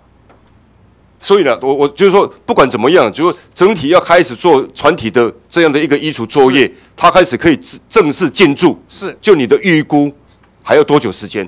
这样好不好？呃，因为前面还有一个船上的货柜要先移除掉 OK 移除掉以后，它才能够接着来，所以我们给它货柜的移除的时间是三十天。对，啊三十天。是三十天，然后他就上来。当然，在这之前，他潜水夫、技术人员都要先到船体水下的一个探看，一定要先了解了解这个条船的稳定程度、它的破损程度，啊，才会。所以我听你这么讲，以最快的速度可以开始进行作业，基本上可能要超过两个月以上了啦，呃，真的，包括委员，现在最主要就是他现在约还没有谈定。对嘛？对嘛？对嘛？而且我我是讲说要超过两个月以上，我这样讲不为过吧？因为你哦如果说假设说约谈定的话，对，他在三十天以内就会到好，这条船。约啊，但是你就没有办法跟我讲说约何时可以定嘛，对不对那我们假设嘛，最快说明天约就定了嘛，是对不对？他传到我们台北来是就三十天，那我们就算三十一天嘛，是这是最快嘛。是是，那啊，也有可能是超过一个月以上嘛。呃，应该不会，因为他这个估计的应该蛮蛮客观的，因为他在那边他也要唔是啦，你你你你听我讲意思，你约都无签嘛，你嘛无多搞保证约当时签嘛，对不对？是是是啊，所以我即摆甲你讲，约约签准个来超过一个月以上时间，有可能超过两个月以上时间，才开会当正式开始移除作业嘛。是我多甲你讲问题嘛是是是是，我讲国语听无，我讲台语你有听有啊。好，啊，哪咧食？哪咧食？你甲想，主席，个我我替你问煞好啦，好无？搁一分钟就好啦吼。你请坐坐好无？你看我压力足重的吼，嘿。你你甲想哦，你甲想，你无法度把嘛，有可能超过两个月以上嘛。好，啊，互你两个月以上签约，甲存来开始跳入作业，迄个时间拄啊台湾丰台时间嘛，这应该有算有对嘛？好，啊，真歹势呢。你的报告内底有对吧？丰台相关计划一百四十七亿啦，即本九九九啊，这全全东下的嘛，对毋对？好，一百四十七亿，几乎没有了。啊，几乎没有的时阵对啊，啊，即马。我的团长请你来搞答复嘛吼，恁的报告内底吼，真歹势，交通部丰台计划无半句啊。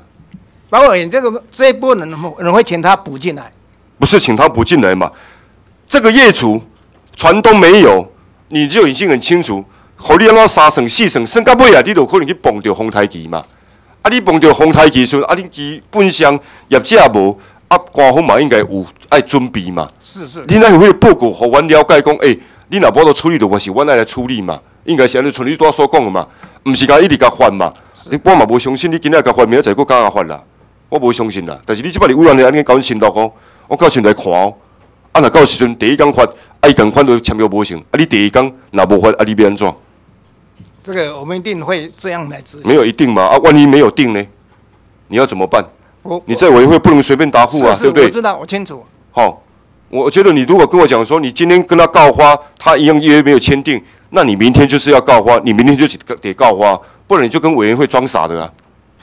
因为有一个程序的，因为当然是要有个程序啊。是是，我不会让你违背程序嘛。是是。不过是你在委员会答询委员的这样的一个承诺，你就必须要去履行啊。是，了解。啊，也不是说你第二天划的时候，你第三天就哎，我跟委员讲说，第一天划，第二天再划，第三天我没有打，所以第三天我就不划哦，没有这回事哦。是是，好不？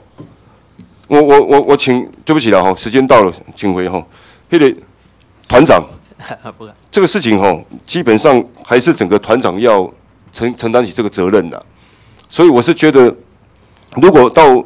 因为因为时间有限的哈，如果整个我们这移除作业里面，它其实它里面还有一个货柜哈，是六千三百公斤的第八类腐蚀性物质，对，哦，还有剩下一些残余的重油，嗯，那这些数据，哦，跟我们到现在的的 total 都还是不不不一样，然后我们要做的相关的这些医学作业，都还让我们觉得未确定，然后呃，台风又将至，我我真的很担心呢，是，我真的很担心。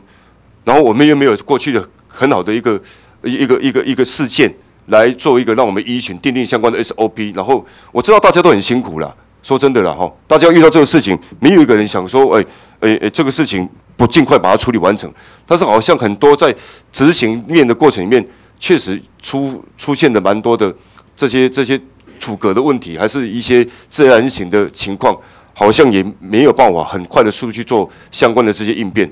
所以，我我希望团长多多辛苦一些的哈。最后，包含渔业的损失，呃，我我我今天没有看到这渔业的还有农民的农渔民的损失到底是多少？应应该团长也有掌握吧？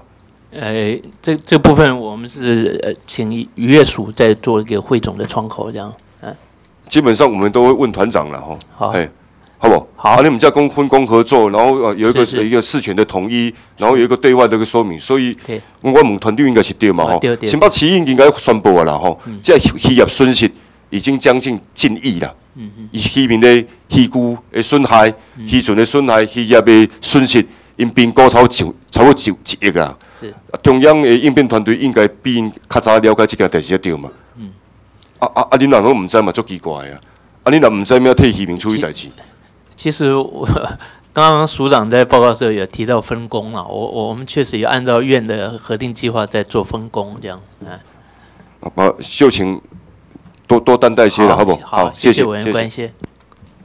好，谢谢刘委员啊，刚刚团长啊，刚刚刘委员就提的包括遗损的一个书面的报告啊，也可以提一个书面资料给我们刘委员，让他也知道说团长这边啊，针对遗损的损失的部分。啊，不管是生态的损失，或者啊自强自求的一个球场，那这一部分的书面资料也请给我们刘委员。好，好，接下来我们就请陈曼丽、陈委员。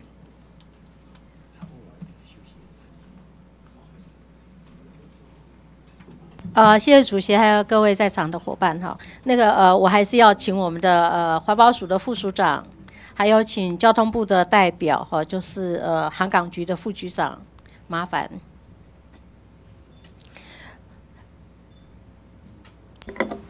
刚刚那个刘建国给我们的那个环保署的副署长一个一个新的头衔哈，是团长哈。那我其实也想请问一下团长，就是说台湾如果发生这样子的一个呃海上的一个事故的时候，我们就要从国外调来一些的资源哈，来帮我们协助。那刚刚也提到，就是说从新加坡到这边来也要三十天。那我不知道，就是说我们台湾没有能力处理这一块吗？都要仰赖国际上的团队来帮我们吗？诶，事事实上是这样的一个状况啊，因为我们并没有建制自己的一些呃，比方说脱离设备啦，或或者是呃储物设备，我们要，但是我们那按照法律里面，不管是商港法或海务法，我们可以征调民间的资源。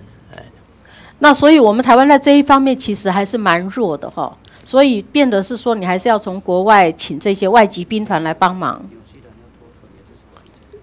然后刚刚在做报告的时候也是说，哎，他好像就说他要三十天打合约，然后还要很多的其他的这个，不是，好像还要八十天打合约，然后在三十天的这个航程，就等于又拖了一百一十天去了。报告委员哈，其实呃不仅只是台湾如此哈，你以纽西兰为例哈。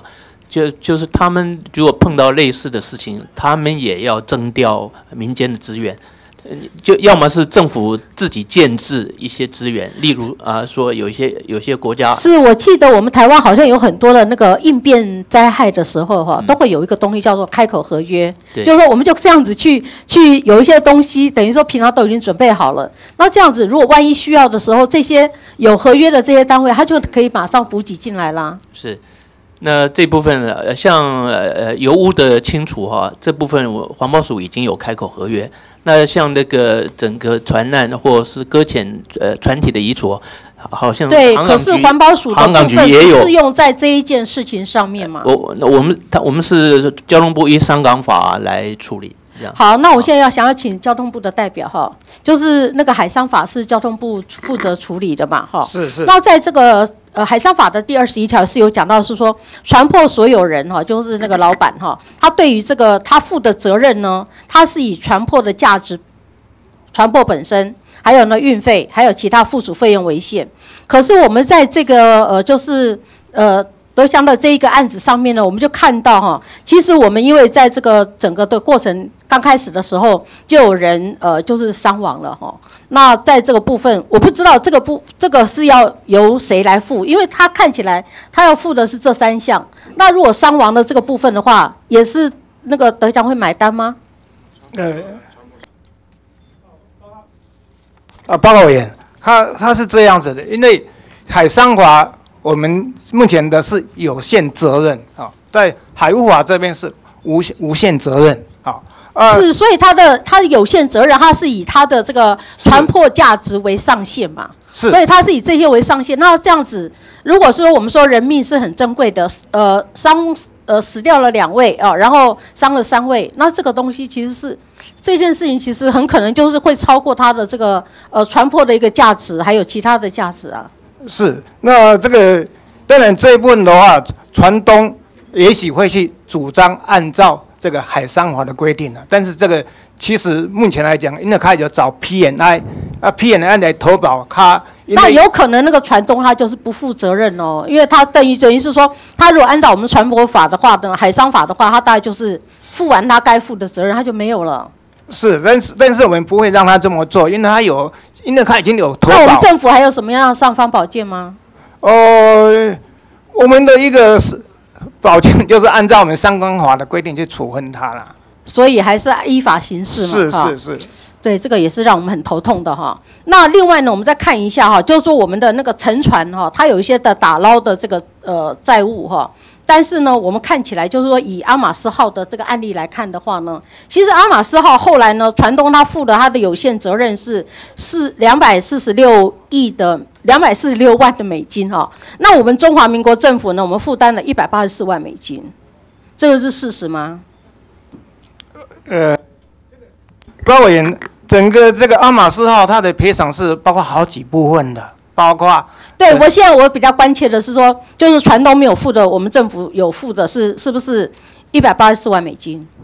呃，这一部分呢我不是很清楚，因为当初这个主政的不在这个啊、交通部这边。好，那这个是我告诉你，我查到的资料是这样子哈。所以呢，船东他负有限责任，是剩下来都是我们我们中华民国政府负担了。而中华民国政府负担，也就表示说是我们老百姓的纳税钱哈来负担这件事情哈。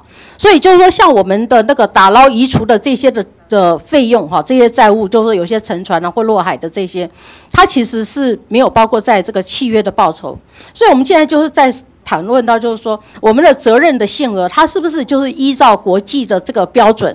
可是呢，它这个部分呢，法律如果已经排除了团中的这个企业责任、契约的责任的话，其实就台湾来帮忙做这个善后的工作。那我们这样子的一个残骸移除的费用是谁来做这个支付啊？船员这个赔偿责任是如果按照海商法呢？是赔偿责任的话，当然在规定就是船东来负责，但船东如果他这个有保险，就由这个保险公司来负责这个处理。可是刚刚我们前面也讨论到了哈，保险公司都希望少赔一点嘛，对不对哈？是是所以呢，他可能在这件事情上面，如果说我们的政府没有强而有力的要求的话，很可能他就闪过了他应该要要赔偿的这样的一个金额。呃，包委员一般来讲，PNI 啊，因为它是一个国际性的一个保险的一个组织啊啊，这一部分因为它的财力方面也够，而且它有这个共同，总共它整个世界上有好，我还是希望哈，我们再看下一张，这一张哈，就这一张前面那张，就是我们会看到哈，我们的这个有限责任呢，它是不是能够负足以负这样子的一些的赔偿？那以我们来看的话呢，当然就是说大家都会闪责任了哈，尤其是有一些的比较大的公司、大的行号保险公司，他们都会闪他们的责任。所以这个部分的话，我想我们的政府哈，在这件事情的控管上更要注意。要不然的话呢，可能这个责任到时候又变成是呃台湾人来买单哦，我觉得这个是非常不可取的这样的一个做法哈。呃，那另外呢，就是说我想要问一下，就是说我们在团东啊，它是不是有残骸移除的一个义务？因为以我来看呢，就十五年前的阿马斯号的这个案例哈，我们看到在垦丁那边呢，呃，我们政府已经花了一百八十四万美金哈，那但是呢，我们还看到现场到目前还有九成以上的残骸。我想这个其实呃，应该也要问一下那个我们的环保署，是不是现状是这个样子？因为这个是有人已经到海底去拍了这样子的一些的呃海下的一个情形的现象。报告委员，我可不可以请当时处理这个阿玛斯号的哦、你只要告诉我，因为我时间有限哈，所以只要告诉我说留下九成以上的残骸，对不对这个是不是事实？是不是九成啊？几几成现在不清楚啊、那但是确实有残骸在那边。呃，我我收集到是是是残骸哈，是九成。那就是说，我们的法令的法源的依据啊，它是不是有点不足啊？就像刚刚我们在说的，它必须要排除对环境的一些的污染哈，那包括在海洋下面的污染。可是呢，我们就看到是说这个法令上面确实是不足，所以我们变成十五年前的事情，我们对海底的生态的伤害，可能到现在为止都在都在持续发生中。我想这个也呃呃，就是刚呃，为什么行政院在检讨这个事情的时候，认为残害这个部分哈，呃，跟交通部的权责有关，所以可能未来会由交通部来主政。好，那我们再看下一个哈，海洋污染防治法是环保署的法吧？是是环保署的法。我们再看到这二十六条有讲到说哈，船舶应该要设置防止污染的设备，而且呢不得污染海洋。所以这个是于法有据啦，这是我们环保署管的啊，不得污染海洋啊。是。可是我们就看到，就是说，我们向这个呃环保署哈，就是向他询问的有关于这个，就是说，我们有没有去检查这个船舶的防治污染设备有没有？呃，我们平常有做好一些训练的工作了哈。只是训练。对，然那有没有有没有应变有没有去检？查？那检查的话，哈，那个我们是呃，请。呃，我这边跟委员更要说明一下哈，那个海务法第二十六条其实它是没有法则，没有错哈。那它是针对那个船舶要设置防止污染的设备，那它这个呢，其实它是 follow 那个呃船舶的这个主管机关，就是交通部的相关的规定。好，那我现在问一下交通部，交通部有没有做这个呃防止污染设备的一个检查？是这个在我们有一个船舶设备规则，有没有检查？有没有检查？是是，当然要检查。有检查，所以他们的设备到底能不能应付？就是说，它如果发生了一些的污染的情形，它可以做一些的，它可以做一些的防治的这样子的工作呢？甚至它也可以不污染我们的海洋。报告委员，它是这样子，它是处理它船上产生的污油水或者是一些废弃物的一个，它泄露出来，它本身就是这个其他。好，所以这样子，我们有标准吗？就是我们有有一些的他们的船的一些的排放的标准，或者是说我们有没有一些的罚则在这个事情上面呢？是因为现在像那压舱水这一部分呢，最近也要开始执行。所以就是说，我们的环保署也没有做，然后我们的交通部也没有做，所以这个事情事实上是是通通都失控的一个状况啊，会不会是这个样子？方委员，这个因为船舶检查一定会检查所以我觉得每一次的事故事故，其实是在检视我们台湾的做法到底完备不完备。那每一次都会想是说，好像好像我们已经做了一些的准备，因为有前车之鉴嘛，阿玛斯号。可是到现在我们还是看到说，我们碰到的事情，但是我们担心的事情到现在还是哈。那接下来我们看一下，就是说我们会看到就是呃我们的这个分工哈，应变的分工。我们从环保署提供的资料哈，第二页的这个资料有讲到是说，呃，各个单位的应变项目他们的分工。可是我只看到交通部跟农委会他们有要准备这个球场的事宜，其他的环保署、海巡署，还有就是说经济部、呃呃新北市政府，他们都没有他们的应变项目要去做他们的这个呃。就是球场的这件事情，所以我比较担心哈，本溪比较担心的就是说，我们对于一些的球场的事情，事实上是没有在做的啦，哈，就是很松散。那我们在这边也看到，就是说我们的呃农委会和交通部有负责要去损失球场，那但是对于人身安全、人身的部分，还有财产损失，还有油污，还有预防的这个部分清除，还有就残骸移除，还有行政的费用，还有环境生态的损害。完全都是问号，都没有这样的一些东西。所以这个是我们现在看到的一个现象啊。所以我们为什么不把所有的应该要求偿的，我们所有的主管官署，他其实都有负责责任，要不然到时候我们怎么去向船东，怎么去向保险公司提出我们的一个赔偿的要求呢？呃，其实就环保署的部分呢、清除油污染就是表列的哈，那一些所有的你都没有列。球场啊，啊所以这个部分我们我们已经损害球场责令在今啊呃这个月十五号以前哈、会整相关的资讯，公部门的一律来向传传东球场。好，我希望你们呢应变项目里面，每一个单位里面都必须要有一个球场的一个这样子的一个项目在里面，好不好？好提醒他们不要就把这个忘记了哈。接下来我想要谈一个很很很严峻的哈，是台湾人自己经常看到的，就是保利龙的这个部分。我们保利龙的东西呢，在我们的台湾的各个的海滩。全部都是这样的一些的东西，所以呢，这些东西很巨型哈，不是我们一般用的保利龙的这个碗啊、筷子、汤匙这样子的东西。那这些东西呢，其实都是养殖养殖业他们使用的保利龙。可是我们看到新闻媒体，它是不断的在报道，不断的在报道，从二零一零年到现在，我们随便抓都有好多。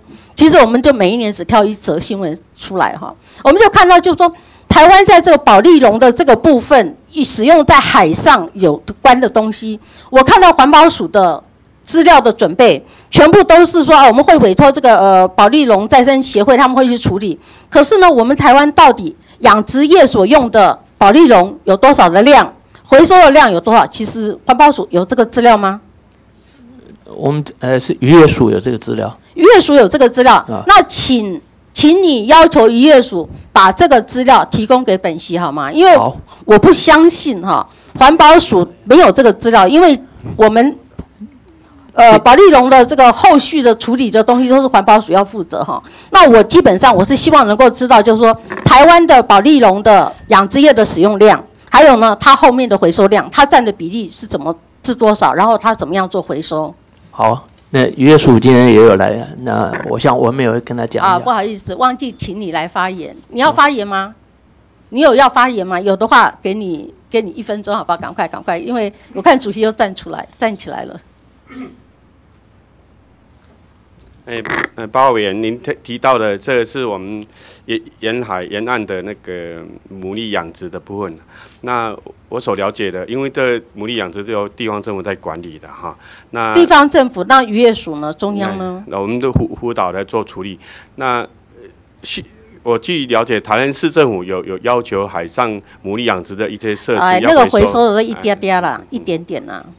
所以我不相信哈，所以请你把相关的资料提供给我，我要的是全国资料，好吗？谢谢。啊，谢谢。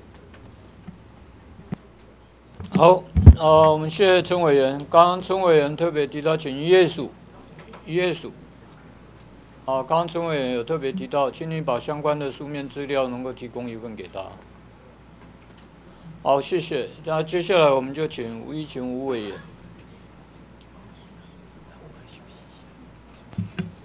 呃，主席，我请那个航管航港局呃副局长林副局长。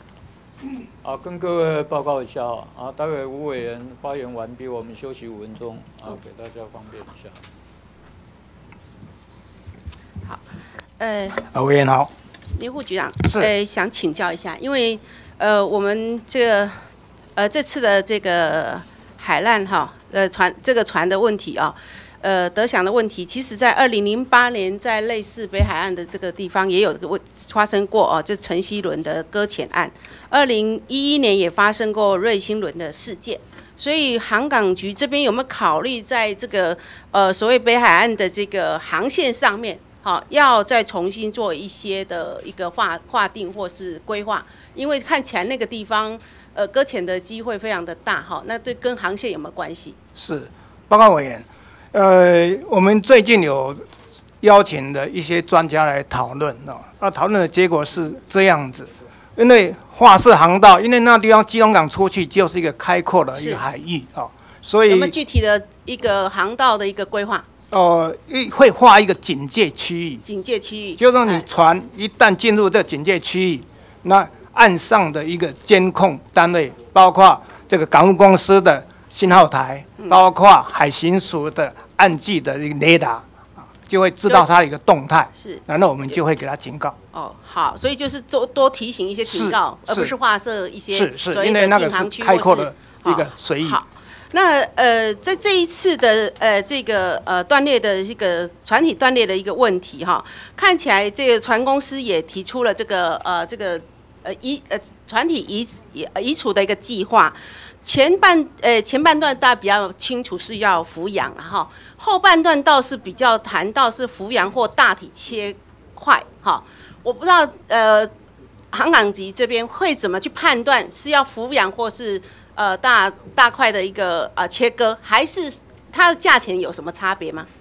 呃，报告员，因为后段这一部分呢，因为破损的比较严重，又有这个主机在那边比较重，那我们原则上还是要求他用抚养的方式，原则嘛，一定要是。哈原则。是，嗯，但是因为如果说真的有困难，啊因为抚养不起来的话，啊刚就是他又会担心的是。大块切割会造成第二次的是是是。呃这个环境污染啊，是。嘿。那个是一个备案，是那价钱差多少？能不能哦让我知道一下？我们不清楚它价钱会差多少，因为它是去它有那个 PNI 跟史密特去谈，所以这个价钱那这个地方就是我们担心的事啊。好，如果是船公司或者保险公司为了省钱，他可能采用比较省钱的方式。好，那 OK，能不能回你能回答吗？那个跟文报告哈，那个它的整个移除座位前段是用抚养没错后面是用切割的哈。它切割的可能跟哎，刚刚不是说切割是另外一个大备案吗？块大块大块切割不是那备案吗？那我跟委员报告的就是说，它这个切割不是一般的切割，嘿它是在高雄港有一个呃四十二号帆的那个那个那个客船呢、它是用整个链条嗯，穿过这个船体整个链条用这样子切切的，它对海洋环境的影响会比较小。它穿过这个船体，然后用这样子切割了大块切割出来，然后再把这个这个这个用一千吨的那我的那我是不是也要问环保署，到底这个环境的这个污染的评估是你们这边评估还是环保署不是？他跟委员报告，嘿他是这个链条穿过船体之后，他是用这样子搓的，是我知道，把这个这个船体，因为这个很专业哈，所以我们不太确定到底能够会不会对环境、海洋产生污染。这它是个它是不你们判，它是不用电，不哎不用那个不用那个，它是用机器这样子这样子切的，所以应该对环境的影响相对很小很有相关的。民间或是专家学者评估过这个对环境的评影响是小的吗？对对，因为它是一个链条在那边做动而已啊，好像在锯而已啊。是是好，那我们还是想要知道，到底抚养比较贵还是切割比较贵？哈，这个价格还是请提供一下，好不好？如果有确定的一个这个经费的评估，是我们我们来，而且最重要的评估还是在对环境冲击最小的一个情况哈。好，那刚刚提到，好像我们刚刚其实大家都非常担心，为什么这个今天的议题会一直被重视，就是因为我们台湾台风的季节又快来了哈。照刚刚呃航港局的讲法，或是我们呃 负责这个负这个总招哈，在在负责这个指挥的指挥呃在在谈哦。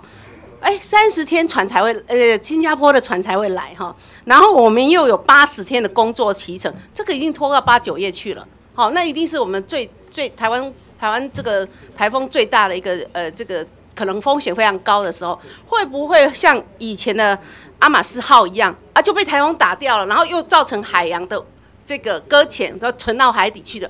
我不知道我们要跟台我们要跟台风赌这个吗？呃，有没有什么防防台或是是什么样的一个更积极的作为？这个包伟，我们这地方会请这个船公司要求这个打捞公司要有一个固定加强的一个设施出来，就是不要让它乱飘就是。是是是，会这样处理。好，那另外有一个部分，我对于海航港局就一直有一些的疑虑啊，因为从海洋污染防治法的三十二条哈，还有商港法的五十三条，其实当这个商商就是说我们发生海难或者这意外事故搁浅，呃，有必要的时候，航港局哈得进行采取应变的措施或处理的措施哈。那其他这个呃应变的措施所产生的费用是由航这个船舶的所有人来负担呐哈。那可是我看到我们呃航港局的一些相关的税帖啊，一直提到一个概念，就是说你们是间接强制介入哈。那还要还需要是因义务人不履行义务且啊、完成一定的行政程序之后才介入呃代为履行哦。这个态度让我在解读这个呃海。就是说，海洋污染防治法跟呃香港法的这些条文，我觉得好像你们相有点相关的一个相当的一个被动，还有就是不作为的感觉哈。所以呢，我本席就特别去请教了哦，我们立法院的法制局，因为立法院法制局也在立法上面是非常的专业，所以我特别请教他们，他们认为说这个你们的解释可能有错误哈。所以主席呃那个主席不好意思，我要请那个我们立法院的法制局哈洪组长，我今天特别有请他来哈。对于这样的一个法令的解释，哈，是不是可以帮我们做一些说明？哈，那个呃，立法局的，哈，立法院的立法局的呃洪组长，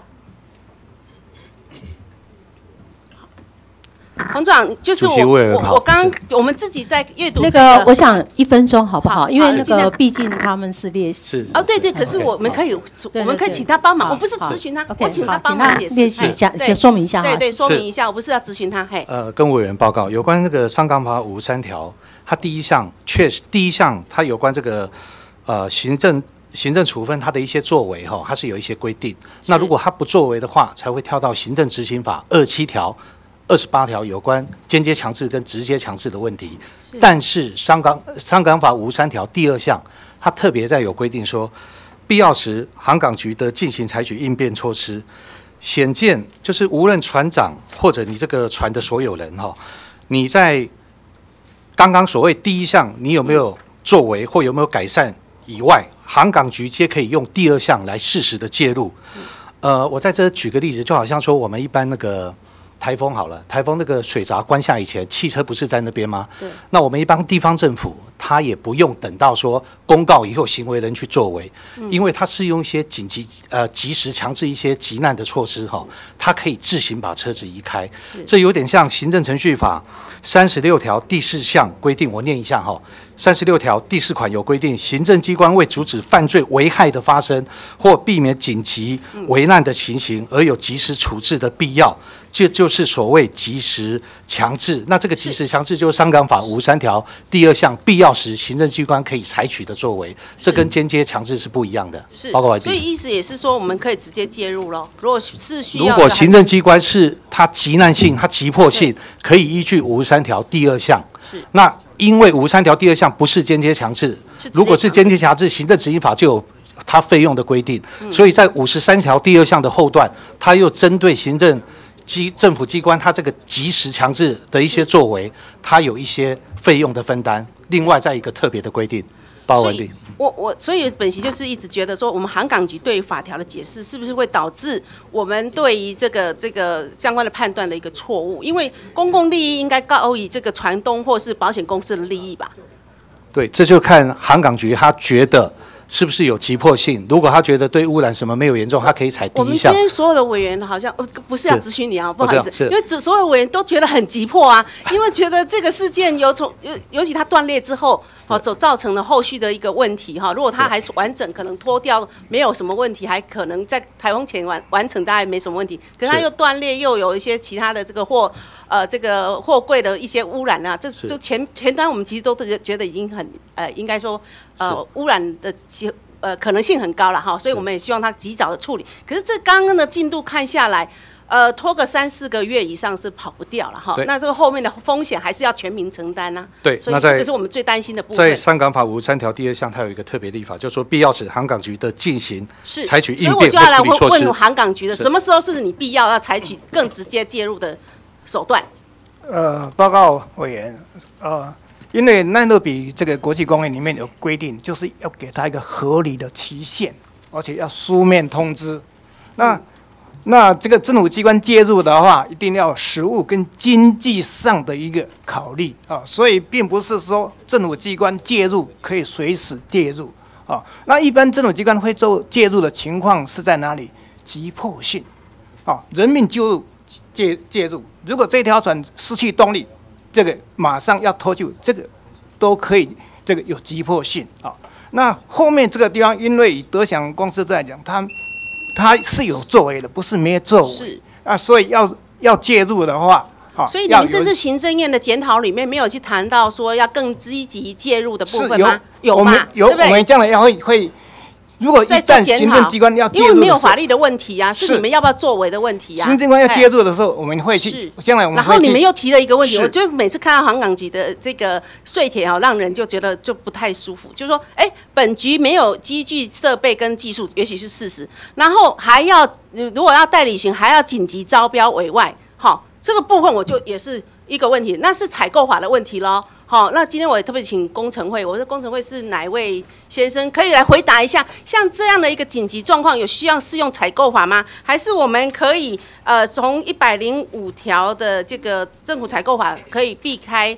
呃，就紧急的情况下，可以有什么样紧急的措施？还是就像开口契约一样，可以先有一个呃契约的一个内涵，然后再来做做这个，只要发生事件的时候再来呃请他们来执行。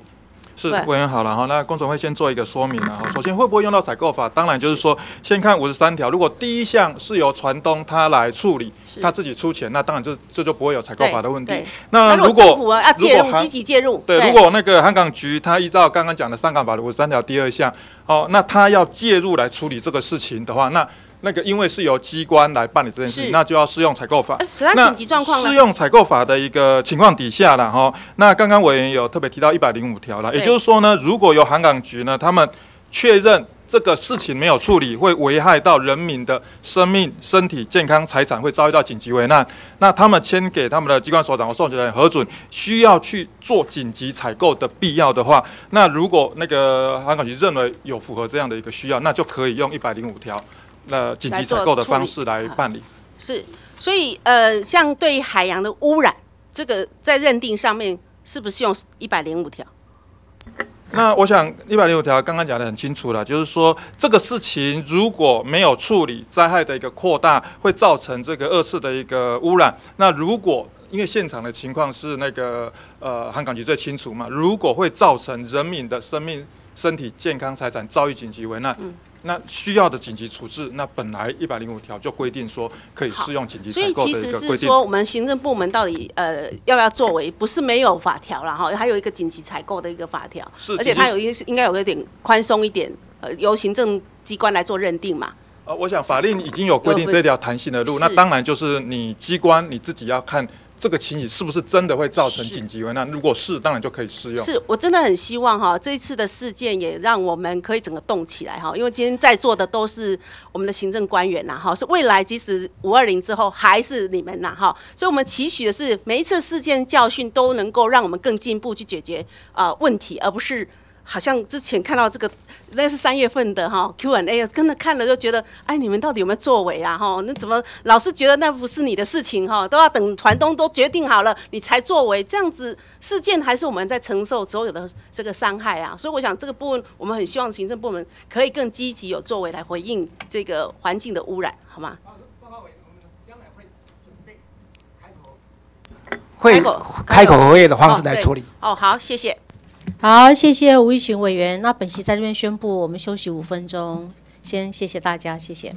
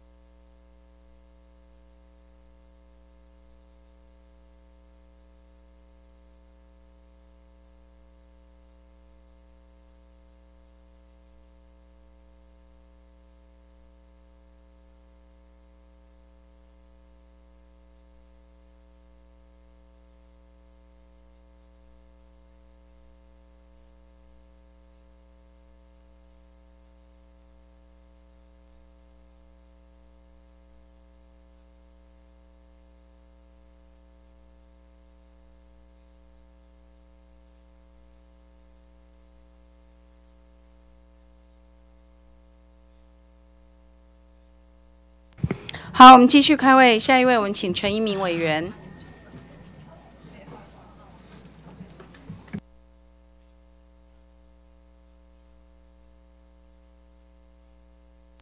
好，谢谢主席。我们可以是不是可以请一下环保署的副副署长？啊，副署长。好，谢谢。副署长早。哎，委员好。啊，你好。好，请放下一张。我想今天呢，就是我们主要是针对德祥的这个呃事件哈，这个移除作业这些做讨论。不过，因为这也是。嗯，最后一次的那个咨询嘛，哈，所以我想也做一些总结了哈。那很可惜，就是我们的魏国燕魏魏署长今天没办法留下来哈。那其实有两张是要麻烦，就要是要跟他分享哈。不过也麻烦你带回去，把这个 message 告告诉一下我们的魏魏署长哈。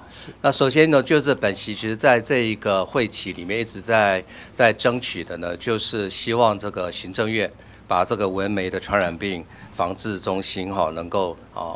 设在这个呃高雄嘛哈，那其实也是在呃几个礼拜前，我们也叫终于了哈，在高雄市呢。好，跟台南市呢也分别都设立了这个中心哈。那我们也谢谢魏署长的这个支持了哈。那这个同时呢，也在同一天呢，高雄市他们的这个登革热的研究中心也设在设在也也设立起来。我想这是很重要的一个一个部分了哈。那当然希望说将来呢，我们这个环保署哈也还够能够针对这个文媒的这个疫情哈，能够再给予高雄市更多的协助了哈。那下一章，那其实本席在之前的一次的咨询也。跟魏魏署长有有有交换过意见的，就是我问过说关于这个海水倒灌来来来扑灭这个蚊蚊啊蚊虫的这个的呃果效哈，那他是跟我讲说其实他是不赞成的了哈。那当然我们也有找到一些那个证据哈，在在去年的十一月十九号，高雄市我们在前镇区在这个。在他做这个呃海水倒灌的一个礼拜之后去采样，也是看到说，其实在这个水沟里面还是清水哈，还是可以发现有这个决绝这个蚊子的幼虫的这个存在了哈。那本席后来这个资料也提供给高雄市市议会的委员哈，我们国民党籍的委员来做咨询，所以现在呢，高雄市也已经开始不再做这个海水的倒灌海水的这个重重重灌的这个这个呃下水道的这样子的状况了哈。下一张。好，那我们回来看一下这个德祥的这个台北货轮的这个搁浅了。好，那这个是在三月十号嘛？好，今年三月十号事情。那请看下一张。不过在八年前呢，其实到也是在也是在附近，对不对？也是在北海岸好，附近也另另外一个好 Morning Sun 哈，就是晨星号、晨曦号也是一样，也是搁浅了，而且当时是一百吨的燃料重油呢外泄。长达三公里的这个海岸线全遭污染哈，而且相关单位是出动员了一万一千人次哈，花了两个半月的时间清理完毕，而且当地的居民称为这个北海岸的浩劫了哈。好，下一张。那当然，另外一个其实在今天大家也都有提到的，就是在二零零一年的阿马斯的这个油污染的事件，这个也是在在是在南南部哈垦丁的呃。这个龙坑的海域哈，也是耗时四个月哈才清理完毕。那为什么我讲这些呢？请看下一章。因为根据啊这个资料显示呢，其实过去十三年啊，我国这个周边海域发生海难的这个呃的状况，你看很多哈，都发生在啊北海岸、东海岸，然后还有呢就是在我们的黑水沟哈，就是台湾海峡流域，然后就是在南部的垦丁的地方哈。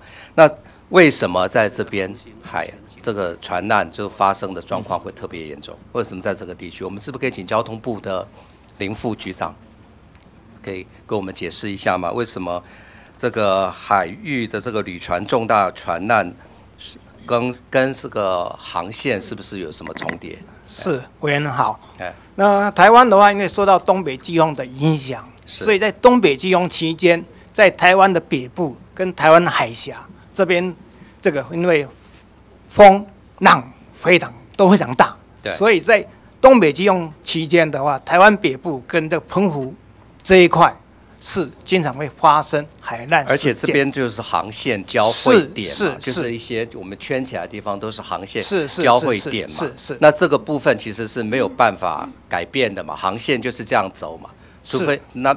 有什么可以预防的方法吗？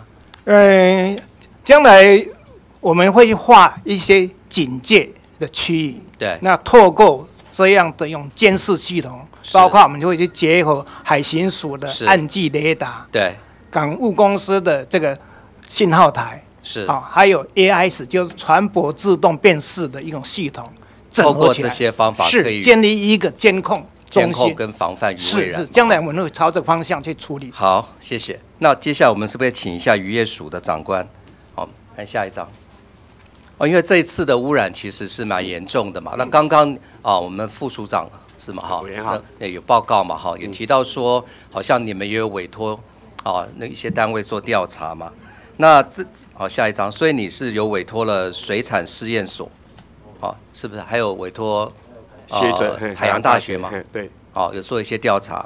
那调查完是可以依这个以以这个为依据来求偿吗？是。那可是问题是，如果你没有一个 baseline，也就是说你没有个基础的一个 一个生物的那个就是海洋生物的一个状况，或者渔渔获的这些状况，你怎么去求偿？你这个你你的前一次的报告，你说是在一百年到一百零一年，针对北海岸，你还是早礁的分布来做生态的调查，还是特征中心做的嘛？对，对不对？那那你要求偿，你总是必须要有一个基础点，你没有基础点，你只有现在已经被污染的点，那你怎么去求偿？我我再跟委员报告一下，就是说我们水产试验所哈，对，从九十二年开始也有台针对台湾周边海域的有一个调查计划在做对，是比较大范围的在做。对，嘿，大可是你的水产试验所呢是根据的是水产嘛，等于渔获嘛，对不对？你不是对生物啊，海海域的海洋生物你有在做吗？哎，对你水产海洋生物有在做吗？有有 routine 在做吗？也就是有常规性的在做吗？你你刚刚呃今天早上的报告是说是一百年、一百零一年，这个东西是五年前的事情了。报告委员，哎呃，水产试验所从民国九四二年开始，定期呃每年四四季，在全台湾各个定点做水质，然后还有浮游生物，还有直至鱼项的调查。对，所以还是会做，是是会做，所以可以可以跟这个这一次的这个委托调查可以做比对之后，可以作为这个球场的依据。是可以当做背景资料，看看到底我们哪一些那个直至鱼等等所以你们是到九月三十号才会完成，那这样子来得及吗？哦，不是九月三十号是另外那是委托另外的是吗？委托对啊，那你们两边的这个资料可以，就是你采样的点那些都是有，你没有把这个资料提供给你委托的那个单位去了解？所以可以有重复的采样，所以才能够做球场嘛？报告委员可以吗？九月底之前的计划，我们目前是跟海大在做进行合作调查，所以我们也了解他们的资料的情况，那我们这边也会提供给他们做谢谢谢谢。好，那像这样子的状况，如果有成立一个呃，我们所谓的这个海洋四法，如果是将来的我们海洋研究院或研究中心，如果一旦成立，是不是就会比较容易运作？例如说，国科国科技部不是也现在有个洋海洋中心嘛？那将来其实如果海洋四法哦实施了之后，不是会有个海洋研究院吗？是。那海洋研究院是不是就是针对这个我们的海洋生物这个海域这边来做来做这个调查？嗯，报告委员哈，对。呃，据我了解，有一个海洋委员会嘛，对，啊啊，那海洋委员会如果未来组组织法是有有个海啊有您讲的那个对。那个单位，对，那呃我们了解哈，呃对于海域的调查哈，台湾周边海域调查，除了农委会水事所还有的相关研究有在做资源啊那些等等的调查，对其他部会哈，呃也会有不同目的的做调查啦，对，啊如果有一个整合资整合一个资料库整合起来，那不那个资料会比较完整啊。那现在中山大学是不是也有一个顶尖的研究中心、海洋中心？不是也是教育部在在支持的？他们也有做这方面的调查吗？嗯，这这这这个我不清楚。现现在我们在行政院做检讨的时候哈，对未来整个海域的的调查资料的分享哈，我们有提出建议说要整合一个大数据资料库，是啊，未来未来可以做，所以会在海洋组织法里面的这个架构里面。也会也会 integrate，也会整合到那个整个的那个我们在院里面海洋司法行政院的建的组织法里面这样建议啦。好谢谢。好，下一章哈。所以我们知道说，其实这一次这个德祥货轮事件是在三月十号发生嘛，哈。那刚刚呃，我们魏国燕魏魏署长啊、他呃有分享啊一些他们的一些看法，也提到了说，目前其实呃要处理这个问题，对环保署来讲其实是有点困难的哈，因为因为其实他没有办法去整合各部各部会这么二十三个好分散在六七个部会的这些机构一起来做这件事情，所以其实本来在去年立法院已经在上个会期有通过的，好。六月十六号三读通过海洋四法嘛，哈，当时呢就是其实是我们国民党的邱文燕啊邱教授啊邱委员，以及民进党的田秋瑾田委员哈，来两这是蓝绿好共同好促成了一个海洋四法嘛。那这个四海洋四法本来应该是要在今年的七月四号就要上路了，但是呢很不幸呢就在这在这个会期呢，哦。在三月二十一号，请记得这个日子哈。三月二十一号就在德祥货轮发生船难之后的十一天，哦，民进党的五个委员哈，包括段宜康、周春米、顾立雄、尤美女，还有赖瑞龙哈，他们就提案暂缓哈，暂缓实施海洋好这个组织法好，暂缓实施了哈。那本席其实是觉得，就是说从专业的立场，好，其实我们应该。应该要促成哈海洋四法尽速的能够恢复实施哈，因为在这个海洋四法里面，它包括了这个海洋委员会的组织法、海洋保育组织法、国家海洋研究院哈，就是这个研究院的这个组织，还有海巡署的组织哈。其实唯有透过这个尽速的来实施这个海洋组织法，才能够让我们将来如果再碰到。好，类似的船难的时候，哈，这个有有污染的污染的这个事件的时候，能够有一个呃，有个呃，就是单位，它能够总齐责的来做事这件事情，而不会再发生一再的去让我们的什么，让我们的环保署呃署长哈。这个下台的状况了哈哦，其实二零零一年那个时候林君玉林署长也是因为这个这个阿玛斯号的下台嘛好，那其实这次我们魏署长也是真的是哦为了这东西其实是呃也是心脏病都发作了哈，所以其实为什么这个法哈为什么要去暂缓哈下一章哈，所以其实在这个嗯四月六号的这个有一个读者投书哈，就谢英士。好，董事长哈，他是环境品质文教基金会的董事长。他读者投书里面他说什么？他说，环保署只有政策和督导的能力，没有执行的能力。只要要有海洋委员会才有能量。结果海洋司法暂缓实施，立委现在又跑回来怪环保署处理能力不足，岂不是鬼打墙哈？啊我们要问的就是，国家重要的政策每遭政党轮替的时候就要中断，如何奢谈进步？哈，海洋油污的问题要换几个环保署长才能够解决？所以在海洋司法通过、海洋委员会正式上路之前，海洋事务仍然分散，所以有赖环保署居中协调。哈，所以本席其实在这一次的这个，我们这次就是今天呢，其实有一个提案的哈，啊，也是觉得就是说这一次的这个德祥的台北。号的这个货轮的污染事件，凸显了海洋委员会，而且要执行这个法定的业务，刻不容缓哈。所以也是我要帮国人以及我们的环保署请命了哈，是不是可以请我们的招招委去跟你们同党的哈这个段宜康委员哈协调一下哈，基于本委会委员会的专业的立场哈，应该要尽速的哈，让我们的这个海洋组织法好能够尽速的开始实施哈，然后以。落实这个海洋台湾的这个愿景，好，谢谢。好，谢谢。下一位，我们是不是请这个中孔赵委员，呃，向各位报告哈？那待会儿到呃本席咨询结束，我们就处理临时提案。好，那我们先请中孔赵委员。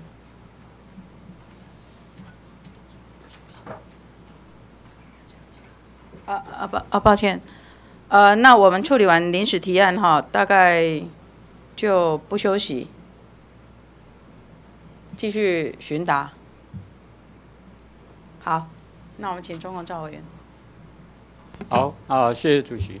好，请团长。啊，请副署，你是说副署长吗？副署长啊、是我们现在呃前镇指挥所的团长哈。委员好。啊，是吧？还有一位的各位政府部门的同仁啊，大家早安，大家好。啊，我们今天的题目从二零零七年的残骸的一个奈洛比的一个国际公约，我们来检视我们这一次我们德祥台北轮的发生船难的时候的，包括后续的相关是否符合我们现在的海洋环境的保护的需求，跟后续的污染啊赔偿的一个作业。哦，我们也看了各部门提供的相关的一些的书面资料。啊，当然啊，各各部门有各部门的一个执掌，所以刚刚我们陈移民陈委员也特别提到，海洋司法会不会因为政党轮替之后啊，就重启炉灶？我想这各有说辞啊，各有他的解释啊，我想这些都可以做后续的一个讨论了哈。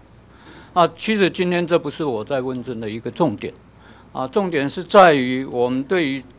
奈洛比的一个国际公约来对啊，从它的公约来对总共十五条，啊，它它从第五条到第十条来对，包括我们的通报、认定，还有残骸的定位，包括我们残骸的标示，包括我们移除的措施，还有我们所有人传播所有人的一个责任。那这个公约啊，刚刚副署长也特别提到，这个公约，因为毕竟我们。没有加入这个国际公约，所以相对的，我们没有办法啊去做该公约的相关的一些的政策的一个作为。但是，我们政府还是可以做该应尽的责任跟义务。是的，所以我们该公约的精神各种规范，其实可以做我们行政机关的参考依据了哈，也作为我们日后精进我们发生船乱的时候，或者这些残骸。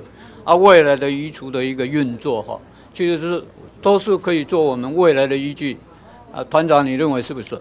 是的，没错。所以，我我我们才会特别强调哈，就是要呃掌握它的精神，就是呃对生态环境损害最小，呃那尽速处理啊移除的作业，这样两个原则这样。所以刚刚好多委员都提到啊，包括团长也特别提到，不管是交通交通部的。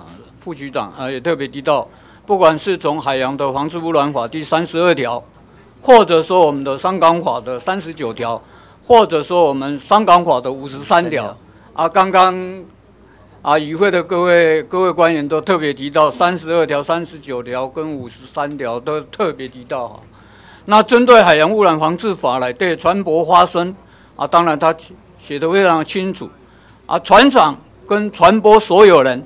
应采取措施以防止或者排除或者减轻污染，并及通知当地的航政主管机关或者港口的管理机关及地方主管机关了。是，所以因为传染的发生在新北市，啊，所以当地的地方主管机关当然就是新北市政府。那前项事项来的主管机关呢，它不是因，它是德哈。而得采取必要的应变措施，也换句话说，刚刚啊，我们政府官员特别提到，啊，也就是因为在紧急的处理过程当中，啊，可能我们有一些的必要措施，啊，可能依据《香港法》五十三条，啊，可能我们只能够用得啊，但是没有在，除非说牵扯到啊，人人。生命的安全啊，问题的时候，我们才会做一些的紧急的应变措施，啊，不然的话，我们都是依据船东或者船舶的所有人啊，他他该处理的一个过程啊。我想发生的一个海难的事件啊，都不是大家所希望期待啊，也不愿意所见到的哈。但是一个船舶的搁浅，其实这是是一个很有意思的东西啊。这个意思，我的意思是说，传播的一个搁浅，搞不好传东会赚钱。署长，你认为呢？其实，呃，这个不是呃呃我们署里面或者是政府最呃乐见的一个部分。我们比较关心哈，呃，就是我们所有的已经受到污染呃都能够及时来清除，然后还还可以防止我我的意思是说，如果如果是因为是传统认为是搁浅之后他可以赚钱的话，他是不是可以把时间拖得久一点？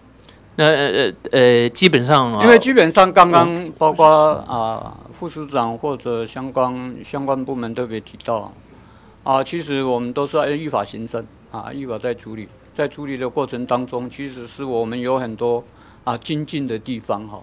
也就是说，如果我们现在的法规是用在被动的情况之下去做处理的话，啊，基本上我们得进行采取的应变的措施，这个。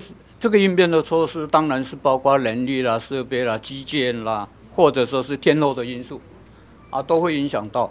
是，所以我们虽然有相关的法法规来的，不管刚刚提到的三十二、三十九或五十三条，其实我们都是被动。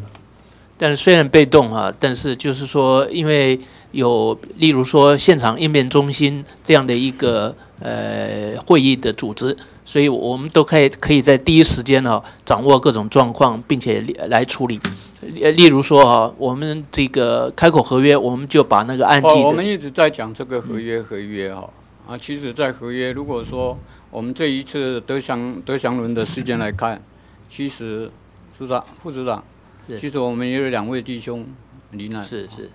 啊，我们在整个行政单位都认为海象不佳啊，并没有延误。啊，其实，在处理的过程当中，啊，其实我们一直在提到，不管从两千年的阿马迪斯，啊，到现在我们的 SOP 还是建立在重大的海洋紧急应应变的计划当中。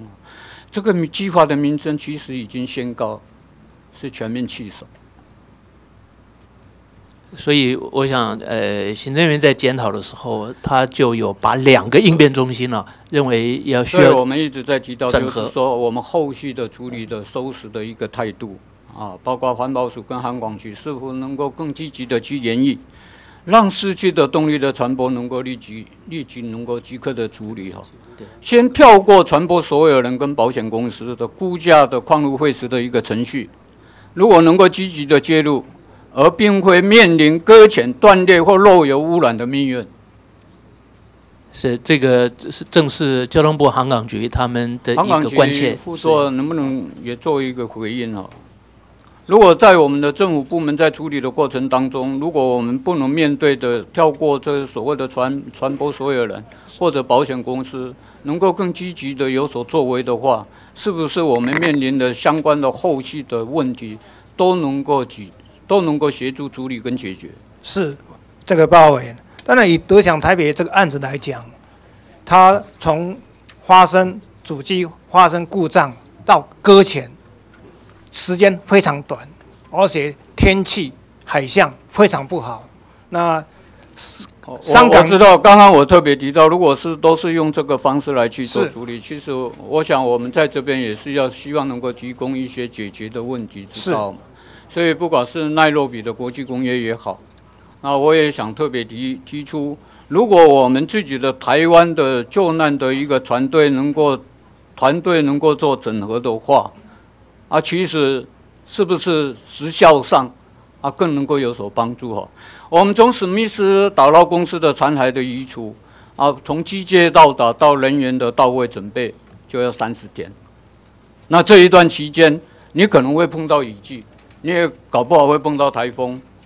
那如果说我们台湾啊，我们国家如果有所谓的救护的这些的一个团队能够整合，我想我们在这方面如果能够加强的话，最起码我们对于残骸的移除的能量，是否要由管务局来引领一个台湾相关的团队来组成一个台湾队？让我们借由技术的交流跟机械的互动的一个互相的互通，我想其实对我们未来的能量救援的能量是可以提升哦。啊，我不知道啊，包括环保署或者我们交通部航管局也好，啊，对于我们未来的台湾船难啊救援团队能够组成一个团台湾队哦，是不是比依靠依靠国外的团队会来的快速？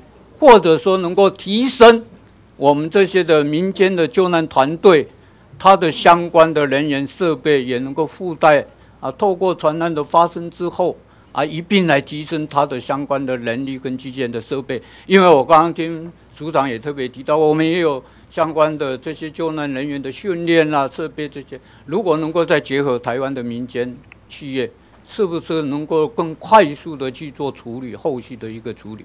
是报告委员，分成两个层面来讲，一个是公部门的，我记得在几年前，这个海星石这边也有提出一个计划，去建造一艘三千总吨三千的这样的永救难船，但是因为基于整个一个效益的评估，我我知道哈，因为刚刚你也有回答很多的委员，其实我们除了组织这个台湾队，我想署长也好，交通部也也好，应该不会去反对嘛。是是。那另外一个就是对于航道的一个监控，我刚刚特别提到，啊，我们面对问题就是要有解决问题，我们要有解决问题的能力，我们才能够做后续的善后。万一以后如果再碰到这种搁浅也好，或者海难事件也好，我们才能够在时效上能够积极到处理，也不会因此而让人民的丧失哦。我我想包括我们的航道的一个监控，包括航道规划能够做一个思考。这一部分的话，我一直认为说，一条船从失去动力到搁浅期间，可能有好几个小时，甚至几个小十几个小时。其实这段期间，我们海岸线上的一个雷达，包括 AI、AI，包括我们有没有办法对这种不在港界附近的突然降速的突然降速的船只，因为它已经发生发生问题了。它原来预计它的结束时速是要多少？它突然发生啊降速，做出警报啊警觉的反应。其实我们也要特别啊，请我们交通部啊运输研究所下属的一个单位嘛，我们不是有一个叫广湾技术中心吗？它其实它也有一套 AIS 的系统跟监控啊。那这个监控的系统啊，我不知道啊，现在从我图上里面的啊，其实看了，其实我们台湾海峡，你看那个船只密密麻麻，那代表着说台湾这个海峡领域来对啊，它的船只的经济是非常活络的哈。台湾目前每天大概就有一千五百艘在附附近。那如果交通部对于这套系统日后有没有扩大计划？譬如说结合海底的纹路啊啊，及时的主动监监控的发出警告，我不知道交通部是不是有做做一些的一个规划？呃，报告委员，我们现在有这样一个规划，我们这个呃会现在正在规划一个整个一个 AI 式的一个一个系统啊呃，那也会跟这个海巡的一个暗记的雷达这边做一个整合啊，来做我我想这一部分可能交通部、航管局也好，应该做重新去做一个思考，对于我们一个航道的一个监控跟航道的一个规划，应该重新去做一个全面性的一个思考，包括我们具有现有的设备是不是足以支应，是不是能够及早，而不是只有被动式的，应该是主动又积极，而不是被动式的由船东发生发生事故之后来通报。其实我们相关的设备，那就应该要提前主动的发出一些的警报，那这样能够让船难的一个发生，啊也能够及时啊应应跟防范于未然。我想这是我们对于在整个的海难的过程当中，我们从两千年发生到现在已经经过了十五年，到底我们学到了什么？我们在整个过程当中，我们的设备改善了什么？所以我刚刚特别提到，我们既然发现问题，就要源于问题，我们就要解决问题。我想面对的未来，不管是谁执政都一样。啊，我们就是碰到问题解决问题。啊，相关的相关的，刚刚我提出了，其实这些对于我们是有帮助的哈。刚刚我也听过团团长也特别提到，啊，其实我们也有检查，我们也有船舶的检查，但是我们因为人力的不足，我们可能是被动式的。因为在检查过程当中，我们也有所谓的特别检查也好、定期检查也好，或者临时检查。其实航舶如果没有依据啊检查的一个合格，并将设备的完整的一个完妥啊，是不得航行。我我想这一部分在我们的检查法来对船舶检查特别特别列举都非常的清楚。那我不知道我们在做检查的过程当中，我们的执行到底能力有多？呃，报告委员，这个检查我们分成两部分，一个是港口国的检查，一个是船期国的检查。那这个这个港口国的检查，我们现在有设定一个目标，每年一定要达到这个目标。哦，我我现在就是说，其实我们也知道哈，德祥台北轮其实基本上它是制造国是中国，它这条船是在中国。这几年其实我们也查过相关的资料，其实它也发生过几次的事故。我相信是是，航港局应该也非常的清楚哈。如果说连，就我知道，因为我来自高雄，啊，我也跟台船也有互动过，啊，台船在制造新的船运的时候，他们在试航期间都会发生失去动力的状况的一个可能性哈，更何况这些旧船。所以我要提的就是交通部对于这些的船舶的检查机制运作的情况，能量啊，是否应该要加强？包括啊，传播的一个污染的一个机制哈，我我想这些都是面对的未来的一个生态，因为刚刚其实因为时间上的不够，啊，因为主席已经站起来了，啊我，因为因为下午还有其他事，我我没办法第二次发言，所以我特别准许主席是不是再给我两分钟的时间，我做一个结论了哈，可以吧？可以，那你是希望我坐下来？对。啊，其实我们对于对于这些的传播的一个检查，包括后续，包括压，因为署长刚刚特别提到压舱水的问题啊，啊，其实压舱水扮演的角色也非常重要，从我们的卸货到装满，啊，其实压压舱水，啊，不管啊，我们团长刚刚特别特别提到，因为没有太委员没有再特别在要求你做一个压舱水的。部分了哈，其实压舱水其实对于我们整个的船船只，不管在卸货或者在卸空加满压舱水，尤其是卸空的时候，或者说装货的时候，我们要排出压舱水，甚至在装满载的时候，我们要排空压舱水。其实这个压舱水的排泄，就会会有一些外来的生物，也会破坏我们的一些的生态。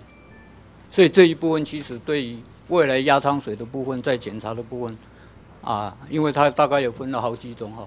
我就我知道，大概大大家喜欢的是在海外排放啊，因为这样比较不会影响到啊近海近海的渔业或者生态的一个维护嘛啊。所以对于包括传播的污染的一个防治的一机制，包括压舱水啊，包括我们的船舶外壳的一个防锈的一个涂料，其实扮演的角色都非常重要。所以我想从一个海难的一个过程当中，啊，我们发现了这些的问题，我们也提供了一些相关的一个解决原因之道。我们希望能够从从发生的一个灾难中学习到教训哈。所以我想台湾海域面临的台湾是一个亚太地区的一个交通的要道。其实大家一直在讲南海，南海，其实台湾本来就是第一个岛链的中心嘛。所以刚刚我的图图图像也显示。我们的船舶一一天在我们台湾海峡大概有一千五百艘，啊，有这么多艘的船舶。就既然台湾是一个海洋立国，那么我们对于相关的法规的设计或者救难的设施的到位，这么多年来，我们事故发生，其实我们变成了一个海洋海洋污染的事件，包括海洋生态的破坏的不可逆的时代已经太多了，啊，尤其这一次。不管是环保署或者我们交通部的航管局，其实为了环保署要成为环境资源部诶，那交通部可能会变成交通建设部诶，相关未来的不管经费跟人力的编制，可能都会比现有的范围更大。那么我们的行政单位主管机关的互相横向的联系，更应该大刀阔斧来做改革。不管在法规的规定，或者主管机关。主动的介入的救护，包括我提到的，啊，我们是不是有一个台湾队？这个台湾的救难团队的一个整合，航道监控的一个规划，传播的检查跟传播的污染机制等议题，都应该开始好好的来演绎。啊，我在这边也特别啊，拜托我们相关的部会，啊，未来在这演绎的时间大概可以提成有多久？两个月的时间能不能提出来？呃，包委员，因为我我们来研究看看啊，呃，这个我这个研究总不能看看啊，如果看看的话，我们还是维持维持几年前，我们应该有一个期限吧。我刚刚提提出来这这些的一些必要的一个啊改进的措施，是不是有？我我刚刚其实给你们两个月的时间来做研议，是这个包委员可不可以给我们这个半年的时间？因为这个是蛮大的半年太久了，你问主席看看半年他会不会接受？老实说，代呼职责很久了。如果你们现在做不到，换新人也要努力去做到。半年太久了。好了，三个月，是是是是，好不好？那我希望三个月之后能够把相关的资料给我们卫管委员会。好，谢谢主席给我这个时间，谢谢。好，谢谢。那你要祈祷三个月内不会再有其他事故发生。然后你那个修法还要修多久？演绎出来、配套出来，然后变成法律，然后大家多久？那这期间会不会再有船难？今天是得奖台北是台湾籍的，如果遇到一艘外国籍的，那这个纠纷恐怕就会更大。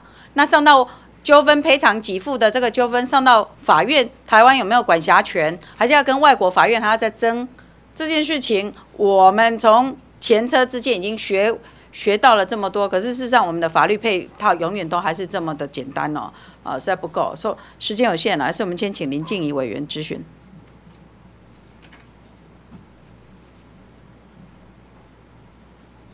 好，谢谢主席哦。我们麻烦呃环保署副署长跟渔业署的副署长哈。来，两位副署长。哎，委员好，副署长午安。是，呃，我想我这边比较关注的还是这个呃环境保护的问题了哈。所以请问一下副署长，我们环保署全名叫什么？行政院环境保护署。所以呃，就我的认知是环境保护署，所以。呃，不论是发生了一些环境案件的事前预防或事后的环境保护，应该环保署都有职责所在。对我们按照我们组织条例的权责，我我我们都做这样的一个保护工作。对，就是说不论是事前或事后，其实环保署都是主要当责嘛。那署长，您的认知里面，环境保护的这个作为里面，包不包含生态保护？诶，因目前的执掌啊，是是分散在其他相关部会的。是，所以呃，环保署这边没有主主要执掌的生态保护的案件吗？的的业务吗？呃，在公害的处理，在公害的范畴，我们有呃有摄入。所以您的这个公害的范畴，就是譬如说，我们发生了什么空气污染啊这一类的事情，是环保署的业务。对，其他的环境污染都不是环保署业务。对，生态的都不是我们。这真的是，所以这边我我我知道这个是一些未来呃各个部会会出现，会接下来会有一些组织改造啦。对，那既然叫做环境保护署，生态保护是不是应该未来应该也是在这个部分的执掌？那其实，在主改里面啊，就以呃海洋委员会来讲啊，它未来的执掌会有呃生态保育署。生态保育署。对，生态保育署、海洋保育署、海洋保育署，对，是。所以未来如果说是海洋的生态，就是海洋保育署。对。如果是呃树林的生态，就是呃呃环境资源部连林务局过来的时候，就变成是环环环境资源部的执掌这样。所以我现在对于我们环保署没有办法做生态保护，我不能怪你，是因为执掌的问题，是不是？是是这样。那呃，所以就我的了解，我当然很感谢我们四月十三号委员会，呃，我们的主席有带我们到北海呃那边去做这个相关的议题。所以那个时候听到简报，其实我也后来得到的讯息就是说，这一件事情发生之后的生态调查的，还有生态富裕的责任，目前是归在渔业署。是是，那。好了，如果说因为目前权责划分的问题，我就不把这个生态保育的责任放到你们身上。但是我我真的希望，这边我要答，我要做这样的要求，就是未来在重新划分、组织改造的过程中，千万不要忘记这里面的生态保育的职责要写清楚，哪个部会哪个部会有权责去处理它，好，划分清楚这样子，好。那所以其实呃，接下来我就要就叫渔业署哦，因为比较大的问题就是我们上次提到的，当然呃也是一样，我们在上次的嗯太呃会刊之后，渔业署有给我们一些讯息，我们也看到今天的报告，渔业署也说呃船东就在渔民损失的部分，其实你们已经开始。协助个别渔民借由渔会去做补偿的协助，是不是这样子？就是官司的部分。嗯，谢谢委员哈。是。嗯，个别渔民的损失的部分有分两部分的，刚刚报告过，有直接损失，对，啊，有证据的，马上就可以。对。现在有四十件提出来。对，我看你的资料是安内。啊，第二部分是间接损失的部分哈，那也协调呃为呃。议会哈，经常议会来委托学者来做整个评估，看怎么样的损失状态。是，我想就是我们上次所提到的，不要让我们的渔民自己孤孤单单去面对这些呃诉诉讼的案件。好，国家应该要帮忙他们。但是第二个损失其实是在国家的损失，就是说我们希望船东他也要负责赔偿国家的损失。所谓国家的损失，我们比较在意的就是生态伤害的部分。那生态伤害的部分，呃。今天的资料我看到渔业署这边，你们提供给我们的是说，哦因为上次我们在上会刊的时候，我有问渔业署说啊，应该喜不垂甲来帮你们评估我们的生态冲击了哈。那我看到你们今天的报告说，你们有在案发第四天前往当地进行生态冲击之初步探勘，请问这个部这个部分第四天做的探勘的是呃你们所说的特生中心还是渔业署？诶诶，报告一下。那个事件发生以后，我们就委托学者来做生态调查嘛。当时得归刚？诶，嘛，第二天就开。第二天就委托学者，哪个哪个部哪个单位的学者？诶，海洋大学。海洋大学好。啊是啊，所以这部分他会做持续的后续的调查哈。好，那那刚刚我我我们在今天的书面资料有补充说，我们的特征中心针对案记的的部分哈。也有这样这样的调查啊，这资料会提供给海洋大学做做分析啊。另外又又补充说明一下，说我们水产试验所在从九十二年开始有台湾周边海域的调查计划，好，就是其实我们呃农业农委会是针对呃渔业啊利用的这部分的渔业利用啊渔业利用，所以是经济渔业经济的那那我们。水师所有针对浮游动物跟纸质鱼的这这部分的的监测调查。浮，你说，所以你说浮游动物的部分是水师所？对。好，继请继续。那那所以这些资料哈都会会诊到我们委托的学者，因为我们委托学者会跟我们水师所合作来办理这个整整个呃生态生态损失的状况跟后续复议的。的的的球场，所以就要厘清这个意思，就是讲，咱今麦的生态冲击是渔业署的负责，对吧？好，然后渔业署这边，你们去冲，你们去评估说，是不是油污案件发生之后，我们的环境受到了影响跟冲击？你们，你刚刚讲的是第二天就有，呃，海洋大学的专家去。那他接下来在这段时间所看的资料，他比对的是尼古拉多尔贡的特生中心一零一到一零二年的早教为分布，以及这个呃九十二年的那些资料，是这样子吗？诶，这样子啦。嗯。诶，他会这段期间会去做做采样这样这样子的的调查嘛？对。那会收集其他针对这个海域的相关研究计划，好研制研研究的结果来做。做会诊整整理整个计划报告出来。我我其实一直都觉得说哈，台湾不是没有资源，也不是没有专家。好，让迪克做这些专家在做就后为研研究。所以其实站在我的立场，比较想要知道的事情是说。这些专家你现在所提到的，因为丁拜万盟暂时你们还不晓得嘛，好，那这次还不错，你们至少知道你们手头上有哪些资料嘛，哈，那所以你金巴利万那意思雷公，你知道手头上有哪些专家？因为我做研究，这些东西是这件代志发生了，另在等于垂家的人工，哎，厉害，我资料他就要比对不？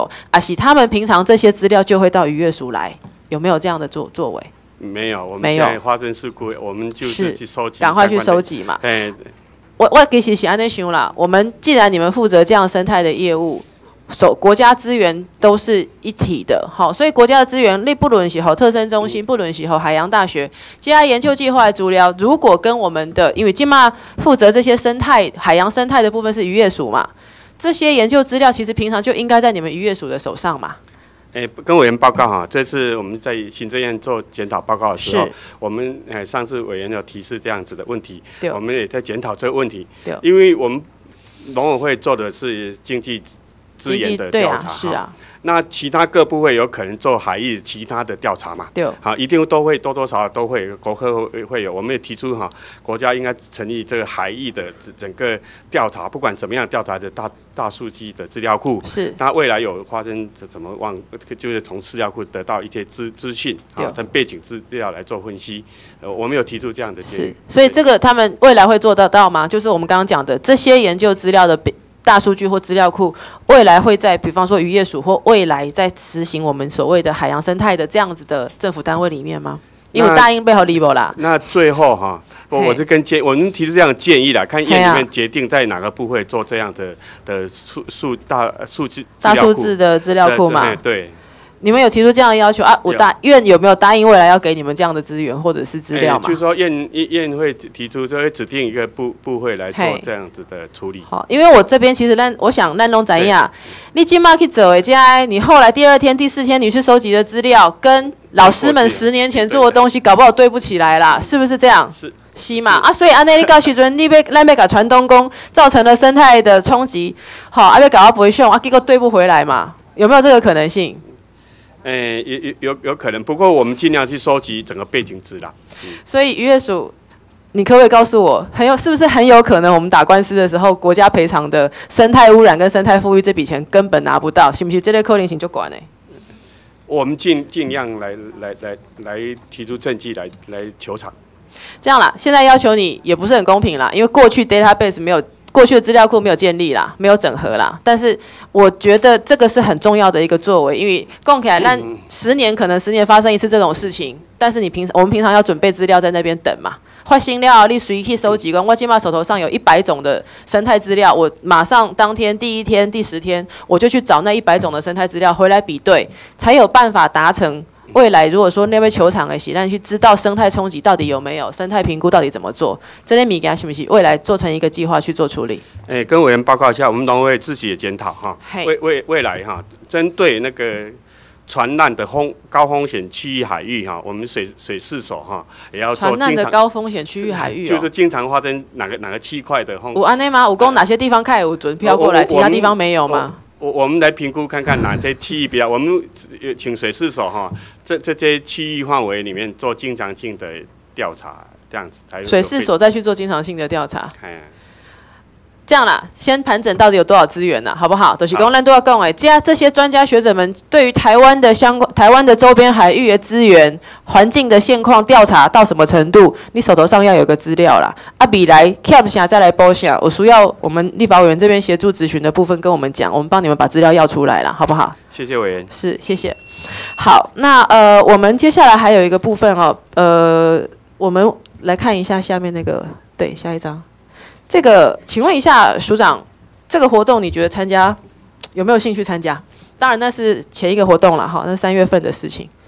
你对这类活动，你敢看一起这个自强活动啊，是这个教育诶活动？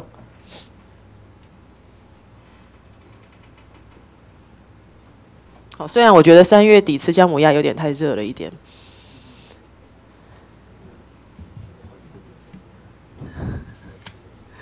那个是不是环境教育的活动？所以署长，您的意思是环境教育活动都是这样这样办的、啊？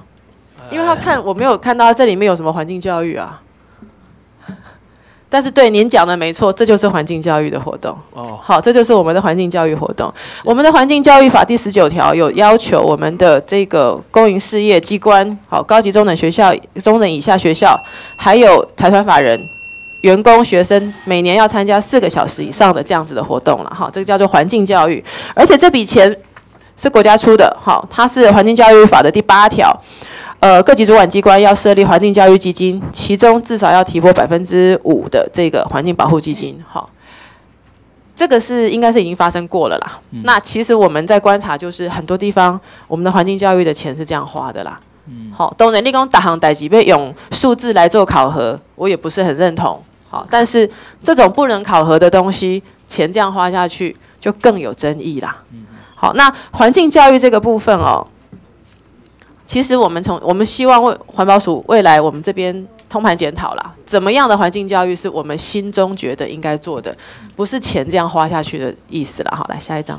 好，我们后来又上次在审基环境教育呃环境教育基金的时候，我们审的时候就把这个部分拿出来看哦，这个也是贵部门哈，呃环境教育的一个叫做终身环境教育终身计划啦。好，但是看起来很像直销啦。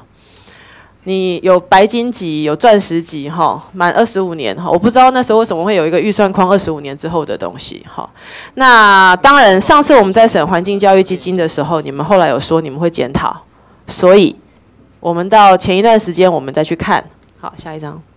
好，这是前几天我们的助理再上去查，有效护照还有三十七万人。好，但是你们的网站在我们查询过后就一片空白了。好，上面写的是说配合立法院决议了。哈，诶，另外一份报告写说，因为我咨询的关系，所以你们把这个环境计这个推广计划关掉了。哈，当然上次在基金的时候已经谈过。这个案子它牵涉到违反预算法，好，也第三十九条的规定，也没有办法实际的去达成我们环境教育的效益。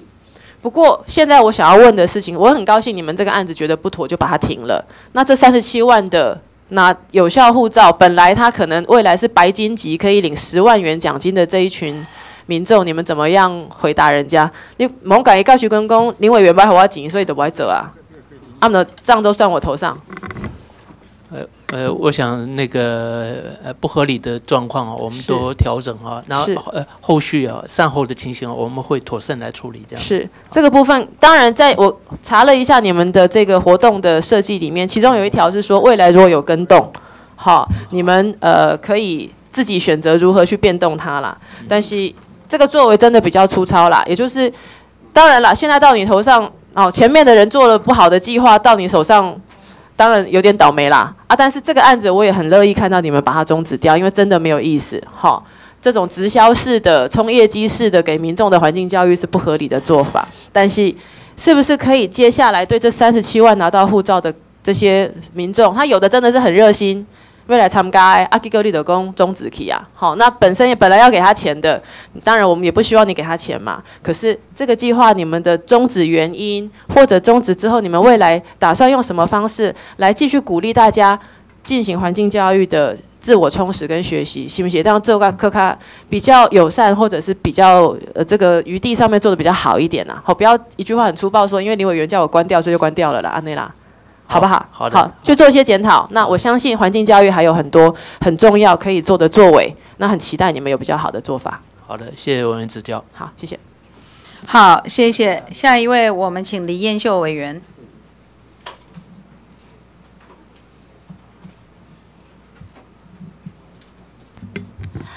呃，请环保署的副副署长，渔业署的王副署长。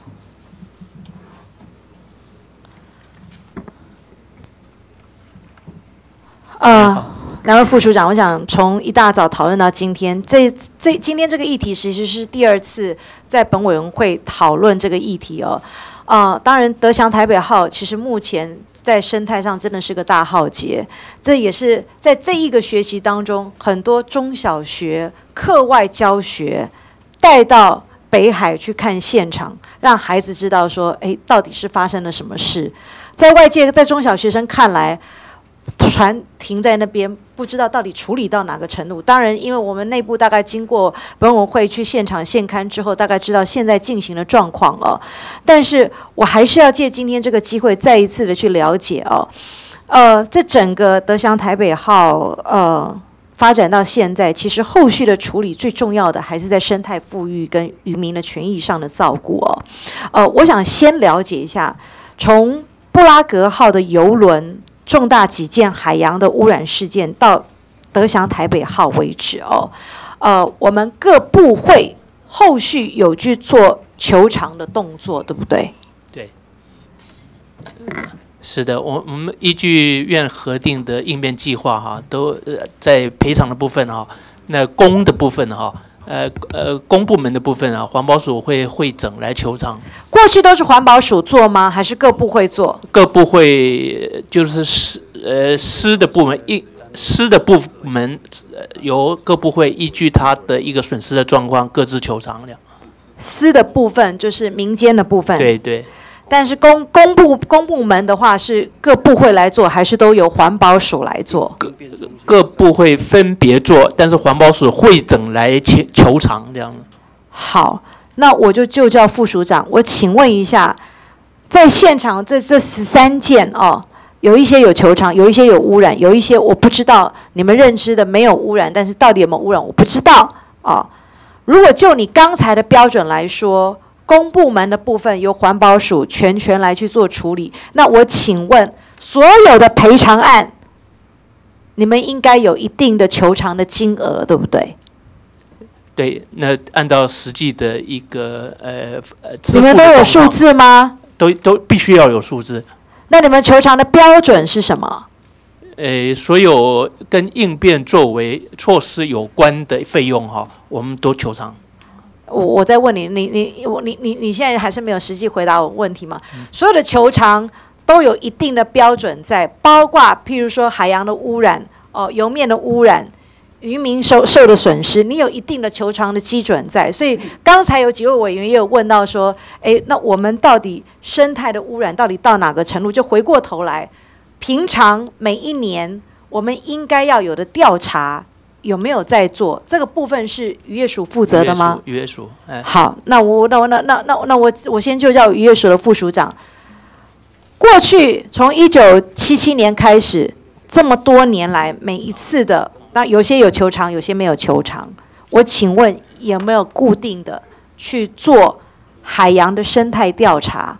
你没有的话，你怎么去打这个官司？就好像一个房子被隔壁建商盖了 零损一样。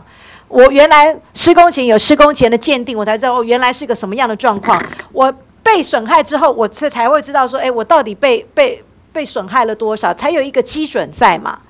那我先请教副署长，你过去这么多年，这不是第一次我们的海洋被重大污染，不是第一次。过去有没有例行性的？每隔一段时间都有做调查，不然我们在打国际，我们在打国国国国际的法院，这跟跟人家在打官司的时候，你拿什么来去做基准？凭什么人家认为我们的委外，我不知道是多久做的，它是正确的？跟委员报告一下啊，那个我们的水事所从九十二年开始，哈。要执行一个台湾周边海域调查计划。水事所，多久做一次？每每年做。每年做一次。周边做到哪一个部分？我副署那个副署长，你你你当然这样回答我，因为在这一块我或许不是专家，我也不是专业，但是你们水事所所做的研究报告。的资料足以去因应在每一次重大污染当中，你有足够的证据跟资料 去协助我们把官司打到更好吗？我就我私底下所知道，这十三件当中有一些我们有得到我们应该有的求偿，但是有一些跟我们的目标、我们求偿的数字、和解的金额，其实有很大的一段落差，对不对？我们对不对？是不是有几件我我我们求偿的金额，我们认定我们求偿金额到最后和解的数字跟我们有一段很大的落差，对不对？没有错嘛。所以回过头来，这不是第一次，副署长。如果你们行政院有颁布你们每一个单位的权责，那也就是说，你过去水事所所做的每一年生态的基础报告。是不足以因应我们去打国际官司，这也就是为什么长期每一次有重大污染事件的时候，我们求偿的金额跟我们应得我我们和解的金额有一段这么大的落差。跟跟委员报告哈，这这次的事件我们检讨的结果就是说，哎，除了我们水师所呃一个海海域的沿沿岸海域的监测计啊调查计划以外哈。那我们未来会请水事所针对高海浪的高风险海域哦，这做这经常。你觉得海浪高风险海域它就足够了吗？嗯，因因为全面性调查对呃这个经费很高，好，那第二部分呢，因为各部会哈针对各海海域有不不同目的的调查啦，那我们有建议说啊，在一个单位里面呢、成一个数据库资料哈哈调查的资料汇整起来以后，那我们以未来可以应用来来来结合来做。副署长，那我先请问你哦，呃，海域的保护是您的业务吗？诶，我们是针对渔渔业经济利用的渔渔做好，那的那你们的现那你们平时的你们平时的责任工作分配是什么？我们海巡署是负责海面油污的部分，那渔业署是负责产业你们渔业产业的类别跟收获量，那环保署是负责沿岸的污染。那我刚回过头来问说，那平时你们的权责分配包括于包括就是说，呃，平常如果没有污染的时候，你们的权责分配到底怎么去做一些界定？跟有你刚才讲的跟现在重大污染的时候，其实是有落差的哦。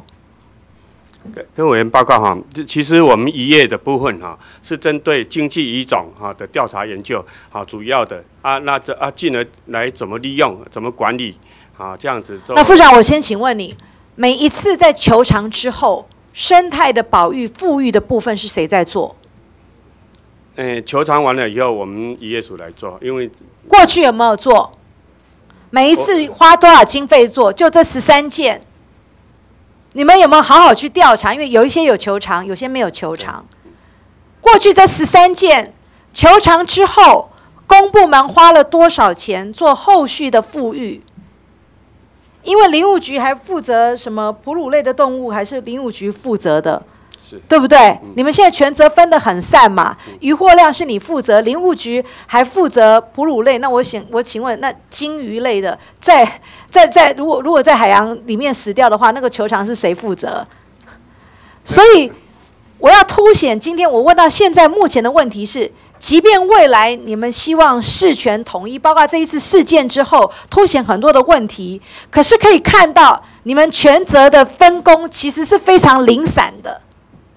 所以，不管是公部门的球场也好，或你们协助私部门为了民间的球场也好，是一个单位非常散的。所以我现在回过头来问你们说：好，先撇掉这一次台北德祥号这一件，过去十二件重大油污污染事件，后面的富裕计划是谁在做？有没有人在做？是环保署做的吗？环保署是负责污染的部分嘛？那你负责什么？那谁谁做富裕计划呢？诶嗯诶，副长，你可不可以有没有？是不是你负责的？不是。哎是应该是我们负责的。那过去这十二件，台北德祥号除外，因为我们一定会要求你们要做。过去这十二件有没有人做？我我我们一般都花多少预算做？不要跟我讲一般，花多少预算做？每一次求偿之后，即便球场的金额是不足以你们做富裕的。但是，难道富裕计划不重要吗？如果不投资在富裕计划上，后面渔民的收获量，包括你们的经济层面，那可能影响损失就更大。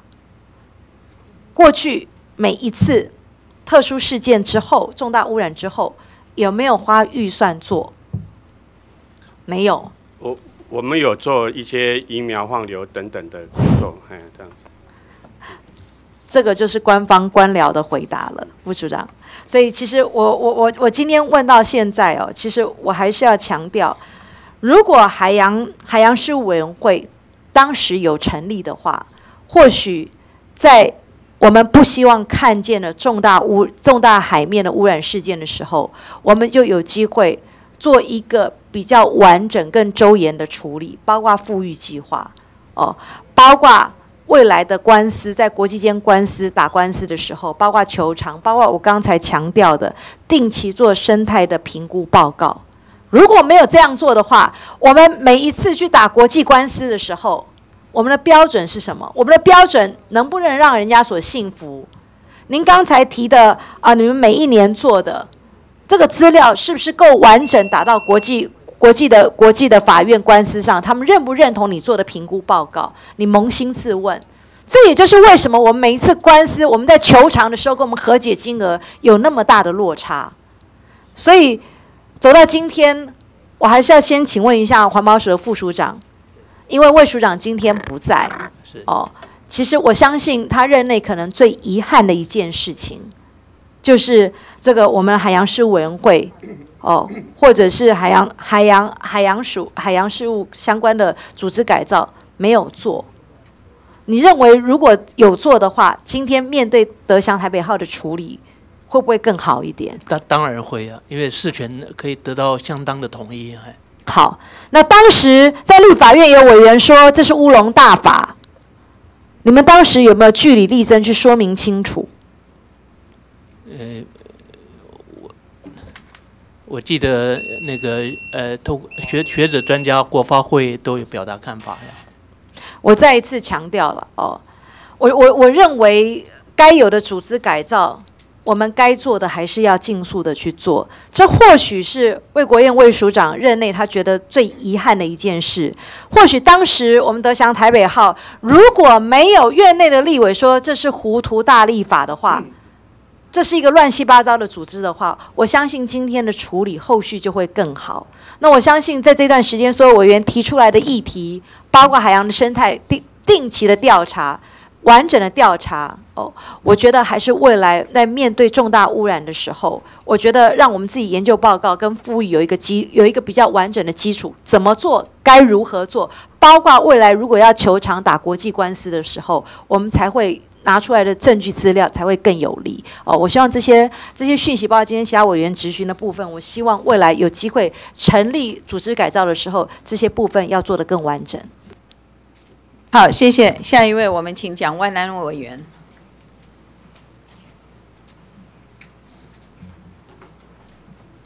哎，是不是这样子？我更动一下程序好了。咨询到黄秀芳委员结束，我们就直接处理临时提案，反正不休息嘛，哈。好。谢谢主席啊，各位同仁，是不是可以请我们环保署副署长？请副副委员好，副署长好。呃，我想首先啊，针对德强台北号，目前在呃新北市北呃石门的附近啊，对于海上的油污染以及岸基的油污染，目前清除是否都已完全？清除完毕，告一段落了。不管是岸基的一个呃污染的清除，或者是船上这个呃残油的遗土，都告一段落了。好，那接下来当然也就是我们今天委员会探讨，就是接下来马上我们船体移除的部分哦。当然这可能相关我们交通部啊，这个航港局要呃负责哦。那我想也请教副组长对您的了解哦。呃，目前我们船体移除，当然相关报道也知道说是要有呃浮游的方浮扬的方式哈，浮扬，然后拖往他处拆解，啊，不会是在地拆解啊。所以目前估算大概要多久可以这个浮扬的方式把它拖移到这个地方，然后做拆除？包文，这个是是我们正在审查航港局哈，是不是可以请？是不是可以麻烦请我们航港局？呃，委员好，啊，跟委员报告啊，啊，因为这个讲船体这一部分不讲这个货柜这一部分了。船体移除这一波呢，因为要这个从新加坡动员，所以他第一个这个船机要上来，他要使用一艘一千吨吊杆的这个平台船上来，所以。准备要十天，再加上上来，总共要一个月，这一条船才会到石棉这边。所以新加坡那个一千吨一起要十天到，要三十天才能够到。三十天，三十天才能到位。是，那接下来他就会去钓前段，前段的话，我们给他的工作天是三十一个工作天，三十一个工作天。后段这一部分，我们给他是六十个工作天，但是两个重点有重叠，所以。总共是给他八十个工作天要移除完毕。好，八十个工作天，从就算这个星期开始算，也马上到七八月份啊。是是，要到。所以也就是台湾的台风季节啊。是是。所以当然我知道前面我也提到，关于台风季节马上到，这个我们航港局或者相关单位有没有估算到届时这个海象？会完全的这个不同啊，而且怎么样确保船体在移除的时候能够稳固啊，避免造成二次污染？我想这个是最重要的。所以有没有做相关的这个规划？考量到说台风季节来的时候，这个时程会不会拉长，或者要怎么样避免这个台风季节来的时候，然后如果倾覆造成二次污染，我们是有什么方案？是说那我们就暂停，还是说有什么样的这个呃方式来面对台风季节？呃，报告委员，因为整个一个处理哦，其实非常顺利啊，而且每天都工作天，也要到七月二十五、二十几号去的啊，所以我们的这个台风的一个季节是七月到九月份，所以一定会这个碰到这种台风季节的这个问题。那基本上我们会请这个呃船公司提出一个稳固的一个计划出来，怎么去稳固这一条船？他们提出来了吗？呃，目前还没有，目前还没有。那如果说他不提，没有不照我们的规定去提出来的话，我们航港局会介入，会介入去找厂商，啊，把这两个前段跟后半段把它稳固下来。那稳固下来，那基本上来讲，台风如果来的话，啊，它就会比较不受影响。啊，事后我们再去求偿，那基本上会做这样的处理。所以届时如果他没提出一个好的稳固的一个方案出来，航港局会主动介入。是是会介入。然后，然后呢？那那当然看，因为这个案子，他那个德祥公司这边已经委托这个由 P N I 接手去处理了，所以他最后啊，那。P.I.N 就有这个责任来做处理。那我们现在能够处理的就是说紧急的情况，我们去做介入。好，所以我想这个很显然一定会碰到台风季节啊，七到九月这部分啊，不管是这个怎么算这个时间呢？所以我想这个一定是要强力要求我们船东这边要提出一个很完整的，怎么样面对台风季节海象的这个变化，做一个完整的一个评估哦，跟这个相应的对策。好，接下来。船体移除之后，我想后续对于渔民居民他们的受有的损害啊，赔偿的部分，也就是说像船东球场啊，我想是我知道是渔业署哦这边负责啊，我想我还是要在这边哦问一下，是是不是可以请我们渔业署的呃副署长？哎，委员好，你好。所以啊，我想球场的部分哦，这个。过去其实我们也发生几次这个搁浅漏油的事件，也的确我们有不管是在国内或国外打这种诉讼，所以目前哦专责的单位我想是渔业署负责，当然你们还有跟其他相关单位一起合力成立一个小组吗？关于球场的部分，诶，跟委员报告一下哈，就是我们针对移民损失的部分啊，个人个别移民损失部分，我们有跟新北市还有。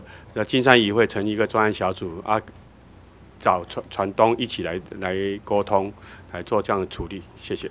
所以目前到今天为止，你们出估这个损失总共金额有多少？诶，现在可以跟你跟委员报告了哈，就是说有具体损失的哈，有提出有四十艘船提出提出来，那。在里面，在专案小组协调有有两，嗯，有两艘确确认啊，因为他们有有有的那个有有谱哈，那其他还在在确确认中啊。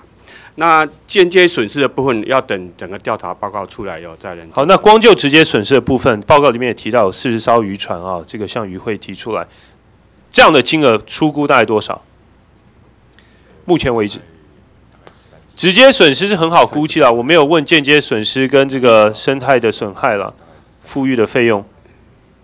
这个直接损失移民提出来的哈，我我我们同仁跟我讲是说，哎，四十艘差不多有三百多万了啊，最后决定赔赔偿还过经过经经过协调的。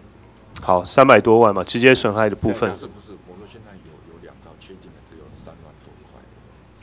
因为你们总共目前报告里面召开五次的会议了啊，是一定会有一个初步的金额嘛？那跟委员报告，呃，两艘已经确认了是船船东愿意赔偿三万多块。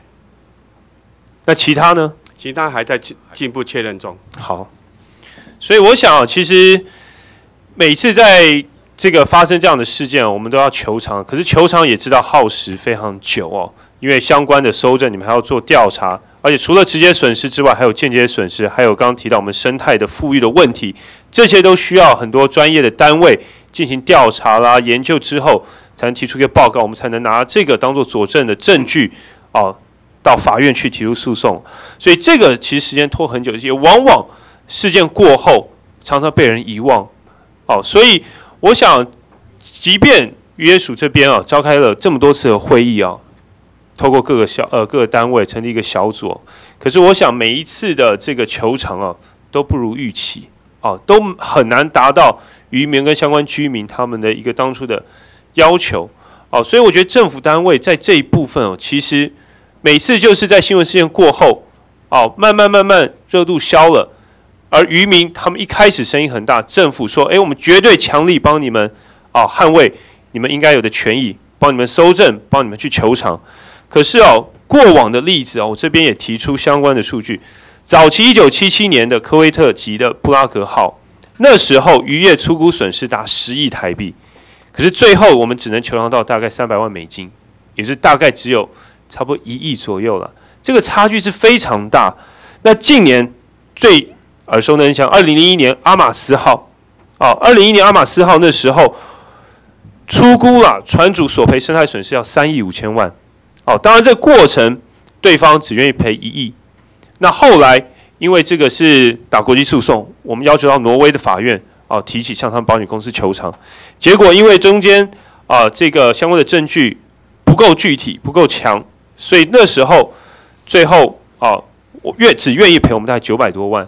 哦，那再加上诉讼费用其实不合算，决定不上诉，和解之后，和解最后的金额也只有三千四百万，跟当初的预期十呃三亿五千万，又是差了十倍左右。哦，所以我想每一次这样子的案件，我想后续啊，可能到最后我们帮助渔民或相关居民，对于他们直接损害，不管是渔船啦、渔具啦，间接损害。渔获量啦，商业的损失，到最重要，很多委员提到的，我们生态的富裕的这些费用，哦等等，届时可能一拖一两年，哦，到最后，如果到时候我们一开始，我们渔业署这边召集的小组出估，可能有一个金额，最后渔民拿到的，其实获得的不如预期。我想这一部分哦，过往已经有这样的这么多的经历，这么多的教训，我希望这一次哦。对于球场收集证据的部分，还有对于生态富裕的部分，我们一开始就应该真的好好的收集相关的证据，啊，相关的调查。最主要，因为渔民他们是比较弱势，在法庭诉讼上面，我们要举证是非常困难的。好，前面提到在法律上面所失的利益跟呃所受损害所失利益这部分，我希望我们行政部门啊，能够真的确实协助到我们这些渔民啊。帮助他们真的能求偿到他们所受到损害，这部分渔业署是不是能够承诺做到？哎，包委员，这个部分哈，因为间接损失的部分是各自认定的问题的，所以我们在请第三者哈学者哈由由议会来委托他做这样子的的调查研究评估，好，那那我们呃业署跟新北市政府会来啊依照这评估结果哈来来积极来推动来求偿事宜。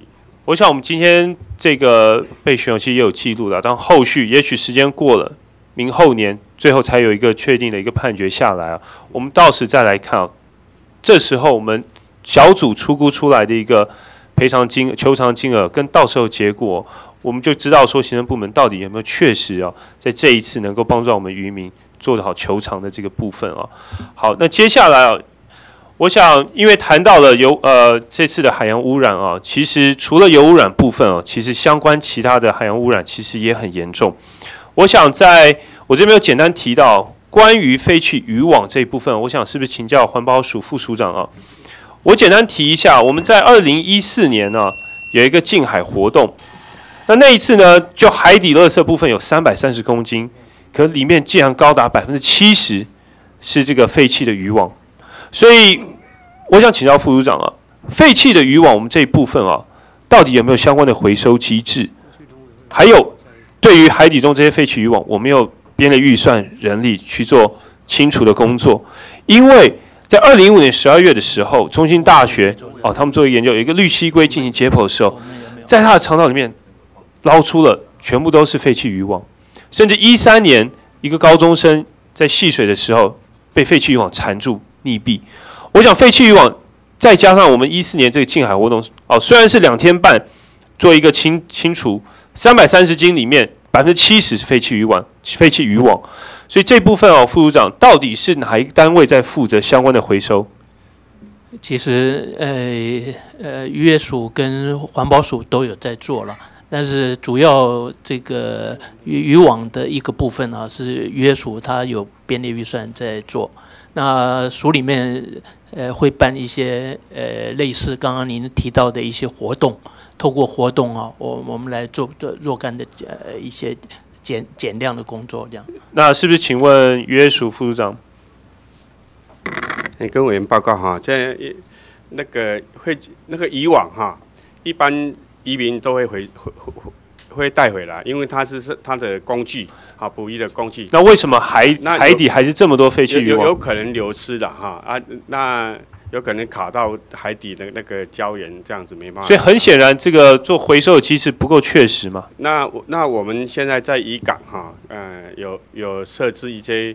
呃，以以以往季的集中中心啊的集中地点啊，让让移民带回来就放，如果破坏掉了可以可以。所以基本上只是很消极设一个地区，要求渔民把废弃渔网放置在这边。你们没有很积极的针对目前很严重的废弃渔网污这个海底这样造成生态破坏这样一个状况有积极的作为嘛？因为这不只是造成很多生物，他们刚刚我们发现绿蜥龟或造成人。缠住的这些危险，甚至对鱼类、蟹类、珊瑚礁这些生态都造成很严重的破坏。我想这一点啊，我想当然渔业署除了针对渔民他们废弃渔网要做积极的管理跟回收以外，我想目前已经造成海底的废弃渔网这一部分，我也希望说环保署这边能够做好清除的工作，因为你们的确对于海底垃圾边有预算边列人力去做清除。哦，所以我希望这边哦，不只是说对于权责划分要清楚以外，应该是要协力针对这样的问题做解决，加强哦，是不是渔业署加强我们渔民对废弃渔网的回收，要强强制力要求他们做好这个回收的动作，而不是随手这样丢弃在鱼海底里面。百分之七十哎，废弃的绳索跟渔网，这是很严重的问题。我希望渔业署正视这样问题。来跟委员报告一下哈。哎，我们渔业署哈，每年哈，针对人工移礁区，还有一些岩礁地区，就是说地方政府有公告不能使用流刺网在这边作业的区域，啊，有有给的给他们经费来做当地啊，用不小心有刺网漂流过去的做护网清除的工作，啊，那预算可能有有点限不多，那我们会积极来争争取来推动。好，真的要积极作为哦，谢谢。好，谢谢。下一位，我们请黄秀芳委员。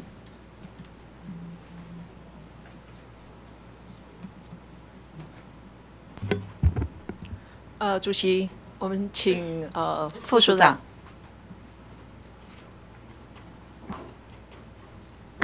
委员好。呃，副署长好。呃，从早上到现在哈，大家提到就是我们德祥台北整个呃污染整个海岸线的事情哈。那刚刚副署长也有提到，就是说整个我们环保署呃对于岸际的清理的部分，在这几天就会完成，是已经告一段落，已经告一段落，已经完成了哈。那呃，对于我们呃整个船体的移除哈，呃，我们是不是整个计划当中是不是？我我不知道是呃我们的呃环保署航港局哈是是不是有要求他们呃移除的方式是不是有很明确的要求他们呃怎么船体的移除的方式？呃，报告员，的确我们这个有要求他要用抚养的方式，那尤其是前面那那一段抚养大已经达成了一个这样的决定了，前段一定要抚养，后段的话。原因为断成两段嘛，啊，那后段这一部分，那原则上也要抚养的方式。如果他如果不行了，不行，我们会把这个专家学者，甚至邀请我们现在国内的一些有从事打捞经验的业者，请他们来担任委员，来讨论，用这种讨论的方式指引他，你可以用。抚养方式，你为什么不用抚养方式，而用拆解方式？我们会透过这样的机制，有强制性吗？你们有可以强制他？是，我因为我们这个这个这样的遗嘱计划送到香港局来审查。我们当然，如果他真正的真的最后绝大专家学者都认为说没办法抚养，当然最后会同意他用大所以这样块切子到割方式。到确定整个移除，这样你刚刚讲说确定这样要多少天？因为目前他 P N I 跟史密特目前还没有达成这个契约的合议，所以目前是还不晓得什么时候能够签这个约的啊，所以这一部分呢还没有办法做一个确定。但是每一个段落每一个段落的一个时间，给他一个工作的一个时间啊，我们已经定出来了。就是定出来时间。那整个确定他们合约开始，然后到移除这个时间点还没有确定嘛？已经确定了，确定，我们已经把它定出来了。那到几月可以完成？呃，我们是用工作天的方式来做处理啊，也就是当然当初他是用找这史密特这一家这个新加坡这一家这个公司来啊，那他有一个船机动员的问题，所以船机动员我们给他三十天，所以你刚刚讲是八十天嘛？是刚刚讲八十天可以。这个后面的整个船体前段跟后段移除是总共给他八十八十天，八十个工作天可。是如果是这样子的话，刚刚也提到，就是说在台风季来之前是没办法完全移除的。是是是，那这样子的话，你们要怎么处理？没办法在台风季之前来完成。我们我们报告员我们会要求做稳固的设施，也许用这个钢索的方式把它固定在这个现地，不让它倾斜，用这些的方式确保它这个船，那台风季节来时来的时候，它不会倾斜，不会翻覆，会做这样的一个要好，求。那我们也希望航港局这边能够确实去执行哈。是另外，另外就是说，呃，刚刚有提到就是我们呃渔民跟居民的这个赔偿的这个问题哈。那呃，我们目前有一个渔业损失收证小组，那这个收证的状况目前是情况是怎样？怎么去认定？是不是请渔渔业署啊？那他们在负责有一个专案小组啊。哎，跟委员报告哈，就是呃，我们为了移移民的呃损失球场的问题哈，渔渔业署跟新北市政府跟议会还有传通成立一个专案小组来来沟通的平台，这样子。那你们证明，就是说怎么证明他的那个呃渔获的损失，或者是他本来呃可能是在岸边采集石花菜的这些渔民，那怎么去证明？哎，跟委员报告一下，这这个是标变成间接损失的部分哈。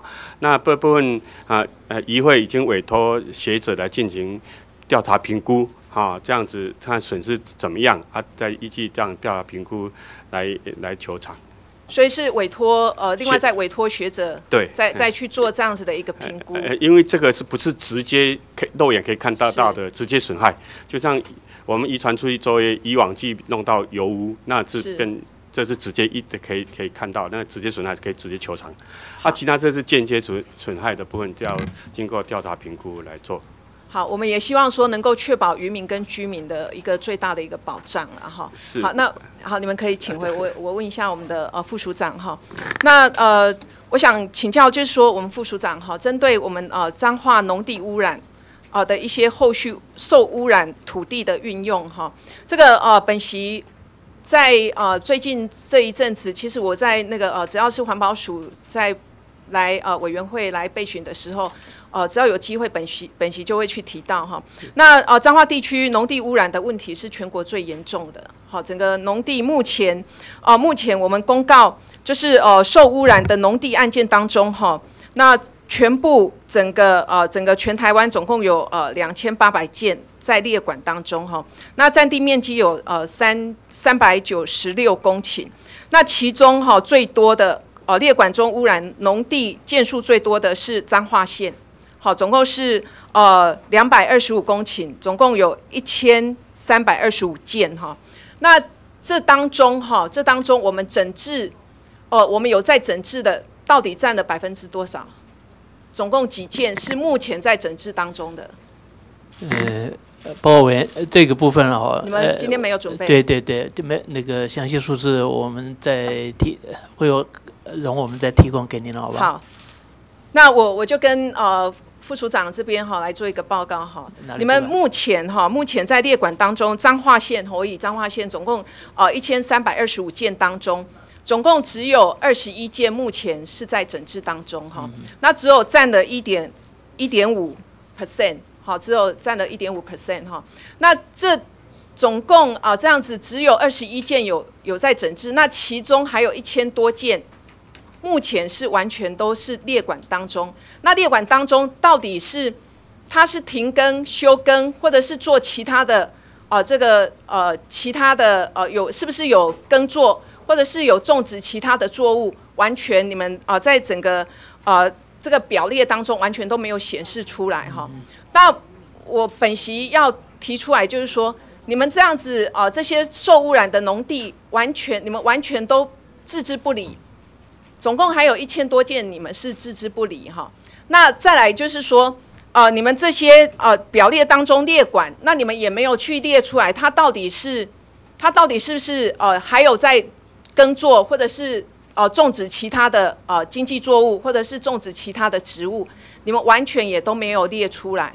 那这些受污染的农地，它是不是还有做其他的呃种植其他的东西，然后是呃你们不知道你，因为你们没有列管，然后又流流到市面上的。好，所以我是不是可以请副处长针对这个部分，你先说明一下好不好？我想这个呃，通常污染的整治，它都会先排都排优先顺序了哈。那当然，这个彰化地区啊，确实在全国来讲哈，它是一个我们优先呃最优先要处理的一个县市。那刚刚您照这样子来看的话，其实你看哦，只有一点五，只有呃一千三百多件，你们只有整治，目前在整治当中只有二十一件而已。所以这个可以看出来说，你们是特别重视吗？完全是看出来，就是说你们根本就是置之不理，然后就是任由这些农地就是在那边完全都没有做其他的处置。我我想大概不会置之不理了哈。那我们我我想回去，我一定会请他们把这个一千多件哦，他所以现在没没有进度的原因呢，详细做一个分类哈，列表来给委员做一个参考，这样。那另外，呃，你们还有针对就是农地是否受污染的一个，呃，就是从九十九年开始哈，针对全国八十万公顷的农地，哦、就是这农地附近有污染性的工业，然后具有高污染潜势农地，哦、有两万一千公顷有进行评估嘛哈。那目前你们已经完成一万两千公顷，那还有九千公顷。那这其中九千公顷有六千公顷是尚未调查，所以就是说完全都还没有调查，它到底这些农地是不是有受到污染哈？所以呃，本席是不是可以要求我们呃这个哦环保署这边哈，针对本席刚刚所讲的哦、这些受污染的农地，你们完全就是列管，那列管呃也没有做整治的这些，你们是不是要有一个期程，要有一个时程，什么时候要做完成哈？那另外就是说呃这些呃是不是有受到污染的这些农地，在那个呃工业区附近的，在呃这个有污染的工业这个工厂附近的这些农地，你们也要去做一个调查嘛？这个是你们原本就是在做调查，现在目前也在做调查。那到目前为止还有六千公顷是还没有做调查的哈。那本席是不是可以要求你们也要有一个时程？这些呃在这个工厂有污染工厂的这些农地的这个调查，你们什么时候要做完成？好的，我想今天委员呃比有比较多对于土壤的关切哈，那我们会做一个完整的报告哈，把呃所有的问题啊做一个清晰的一个交代，这样。好，那呃，本席再来就是说哈，呃，我们整个全台湾哈，整个所有列管的这个呃这个农地哈，有百分之九十五是目前是真的完全，我刚刚讲的是脏话，那百分之九十五以上是呃你们是有列管，那列管之后是完全毫无作为的哈。那本席是要求，就是说，针对这些农地污染的部分，呃，我们环保署要有更积极的一个作为哈，因为我们啊、呃、这些农民真的是还蛮辛苦的哈，因为啊、呃、他农地污染之后，这个也不是他愿意的啦哈，因为整个我觉得这个从自，呃，因为呃农地上面有工厂的关系哈，那也没有做一个呃这个好的一个一个管理，所以才会造成今天的这种状况。那像这样子的部分哈，我们呃未来环保署哈是不是呃要尽速的让这些呃受污染的农地要尽速的赶快做一个整治，让这些农民是不是可以哦农地农用再继续恢复他们哦耕作，要不然他们目前哦只是这个休耕的补助而已哈，那对他对农民来讲是一个呃蛮大的一个损失哈。那如果说你还呃置之不理，然后一放就是放了好几年，那一放放了好几年，这些重金属。还是存在农地上面，那完全都没有做整治的话，其实对我们整个国土、整个规划，对农民来讲，真的是蛮大的损失，而且真的对呃我们整个彰化县民哈，这个健康也是蛮大的危害哦。而且我觉得说，这个农地的污染不是只有彰化农民的健康哦，或者是彰化县民的健康会受到污染，然后会受到危害。其实全台湾、全台湾的人民也健康也会受到危害哈，因为。这些受污染的农地，它种出来的农作物，如果没有一个好的管控的话，其实它是流到市面上的哈。所以，请环保署哦，针对这个哦污染的这个调查，污染农地的调查，这个期程要加快。好，我们努力给委员一个交代。好，谢谢。好，谢谢。那我们现在暂时先来处理临时提案了。哦，我们是不是先处理临时提案第一案，请宣读。第一案查海洋污染防治法第二十六条，船舶应设置防止污染设备，并不得污染海洋。空气污染防治法第三十四条，欲规范交通工具排放空气污染物应符合排放标准，令环保署亦定定有交通工具空气污染污染物排放标准。然上述法令对船舶相关规范不是无法则，就是未定有排放标准。同时，环保署并未掌握船舶污染防治设备设置及及采伐资料，对此恐造成污染防治之管理漏洞。原此，环保署应于一周内针对船舶之污染防治设备污染。物排放情形及相关污染管制法规提出检讨报告，并将评估报告送交本院社会福利及卫生环境委员会。提案人委员陈曼丽，联署人委员吴玉琴、洪慈庸。宣读完毕。啊，请问各位委员有无不同意见？没有？行政部门有没有挚爱难行之处？赶快说明。报告委员是不是建议的部分呢？呃。这这个部分啊，可能还是在时间时间哈，是不是在一个月？可不可以给一个月时间？然后是不是可以交通部会同环保署这样？他这个不是海污法吗？他讲的是基于海污法的，那所以是环保署会同交通部吧？哦，好不好？是。好，那我们就修正环保署会同交通部应于一个月内。好，照修案修正案通过。继续处理临时提案第二案，林静怡委员不在，那我们就暂时先暂时哈。那第三案林静怡委员不在，第四案也暂也不在，我们是不是暂时就先处理先处理第五案？第五案有鉴于我国四面环海，海洋不仅有助于调节岛内气候，海洋资源更有助于。更有益于我国经济发展。然近年来，台湾附近海域渔船重大海难意外，不仅造成人员伤亡，更严重污染海洋生态及危害经济发展。审视当前我国经济组织架构，海洋事务散落各部会间，除无专责单位统筹相关事务外，亦缺乏各部会横向沟通联系功能。本院虽于去年通过海洋司法，但海洋委员会组织法却遭暂缓实施。造成指闻楼梯响未见人下来之窘境。本次德祥台北号货轮污染事件，更凸显设置海洋委员会，并令其执行法定业务刻不容缓。原建议政府应尽速成立海洋委员会，以整合散落各部会之海洋事务，以保护我国海洋生态与资源，真正落实海洋台湾愿景。提案人委员陈怡民。联署人委员李艳秀、蒋万安、黄玉敏宣读完毕。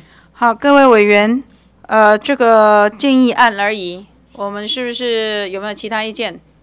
没有，那行政部门没有意见。好，我们就照案通过。不过我在这里在讲，就是说，这也不是只有行政部门的责任，该有的配套、该有的立法，这个海洋呃委员会它的执掌业务执掌哈，它的组织执掌配合之下，它该有的法规也要定出来。没有法规哈，那这个委员会诶无法执行业务。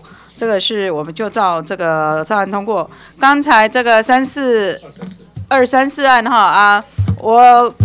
呃，本人呃，这个参加这个林静怡委员的共同提案哈，所以我们回到这个第二案来。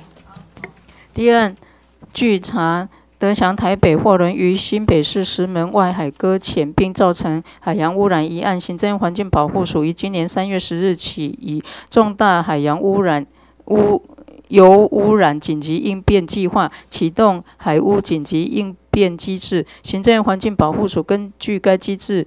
主责督导并协调相关机关监督船东执行油污染应变，为现阶段就渔业署主主责生态损失部分，仅委托海洋大学办理海域生态影响评估，且该区域生态损失之赔偿、生态复原事宜皆未能有。确切作为，其组织分工也极有待商榷检讨。针对现阶段迫切的生态富裕，更未提出计划、具体目标、执行方案时程表。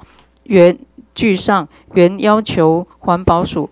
应于五月十四日前协同行政院农委会与渔业署，针对生态损失、生态富裕、生态赔偿三面向重新检讨现行职权划分与执行方针，提出一海洋生态受损财罚与赔偿标准；二该案生态富裕具体目标与相关时程规划，针对全述前述要求提出相。提出相关报告，并提交社会福利及卫生环境委员会。提案人委员林林静怡、林淑芬，联署人委员吴玉琴、陈曼丽。宣读完毕。呃，请问各位委员有无其他不同意见？呃，没有。来，副副署长。报告委员，是不是照目前呃行政院的分工哈？我我们最就是在五月十四号以前啊，有农。行政院农委会啊，协同环保署来提出来啊。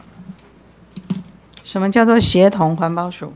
呃，就是还还是以农委会。应该是这个这样子啊，因为我们的要求是第一个海洋生态受损财阀和赔偿标准，海洋生态受损，农委会会同。啊，生态富裕。生态这个部分，呃，是在农委会，就是他们会同你们呐。对。好了，会同你们就改会同好不好？时间没问题，是不是？那个，包委员针针对提出这个两项哈，第一项海洋生态受损害财阀，受受损害是没有财阀的，要么就是哈依照海海洋污染防治法里面针对海污染者给财阀哈。你你没有搞懂委员的意思，就是因为没有财阀，才让你去研议未来对于破坏海洋生态的，要先财阀，财阀行政罚完以后，再来谈这个这个侵害的赔偿。所以这个是一个是侵害赔偿，一个是行政财阀，要你们去研议对生态造成受损，要研议财阀。没有啊，所以要去研议法源啊，就是要叫你去做啊。好，这所以这部分是要去检讨。那那那个我们会建议在啊，就跟会会同环保署在做。那赔偿标标准是很难定定的啦。好，你们去研议啊，所以重新检讨，不是要研议如何定出财法，研议如何定出赔偿标准。没有呃，所以我们建议提出这个改研议啦。演演绎这两方面的啦，对了，也是要让他演绎，否则你现在要他马上做。那那再来就是时辰的问题，就是因为五月十四号时才，是不是给我们一个月时间？好，好不好？一个月。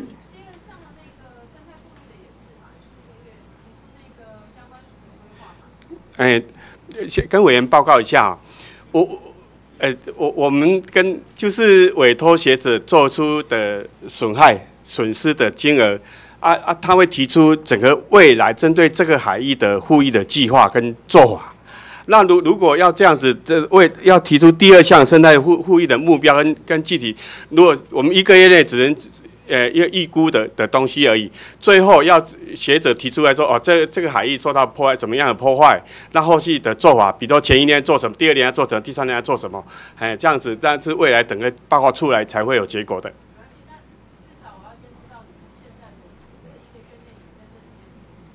好，好一个。那那那还还有万一好万一他英语一个月内，行政院农委会会同这个环保署，是就这样修正。好，好，那那延提出提出改提出研议。好啊，延议了哈，提好出改延议了。好，继续处理临时提案第三案。第三案，针对大型宗教民俗活动所造成的空气污染问题，环保署本年度首次以大甲妈祖绕境进香为个案监测，出动移动式空品监测车，并派员携带微型空污感测装置。随绕境队伍收集细悬浮微粒，及时测值，以综合监测评估活动对空品影响。瞬间高度污染的细悬浮微粒影响心血管疾病发病几率，触发心血管疾病发作，导致不同程度的心血管毒性，影响严重影响年老者、幼童、孕妇、敏感族群及心血管疾病病史患者生命安全。鉴于环保署长期来为针对瞬间型空气污染无防治作为，也无丁力减量与管制目标等，据上原要求环保署一、针对本年度大型宗教民俗活动空污监测结果，于本年度八月三十一日前提出各类各种类细悬浮微粒之空之相关空污监测报告。二、大型宗教民俗活动所造成的细悬浮微粒空气污染，没有足够的数据警戒，对民众防治作业宣导上也不够。于八月三十日前提出健康防护宣导计划，并提交社会福利及卫生环境委员会及提案委员。三、针对本年度大甲妈祖绕境进香等大型宗教民俗活动空污监测结果，应于本年度十二月三十一日前依监测所得基础数据作为背景资料，各种类瞬间瞬间细悬浮为例，瞬间悬浮粒子浓度规范释放量检讨，并定出一瞬间空污标准；二大型宗教民俗活动限地限时限量燃放鞭炮之规范与裁罚标准；四现行官方释放烟火和爆爆竹的部分没有任何的监测和规范，应于本年度十二月三十日前，一针对烟火烟火采购市面。爆竹贩售标准与标准与标示上定出规范；二、进一步定出空污标准与裁罚标准。上述拟定之计划与标准订立，皆需提交社会福利及卫生环境委员会及提案委员。提案人委员林静怡，联署人委员吴玉琴、陈曼丽。宣读完毕。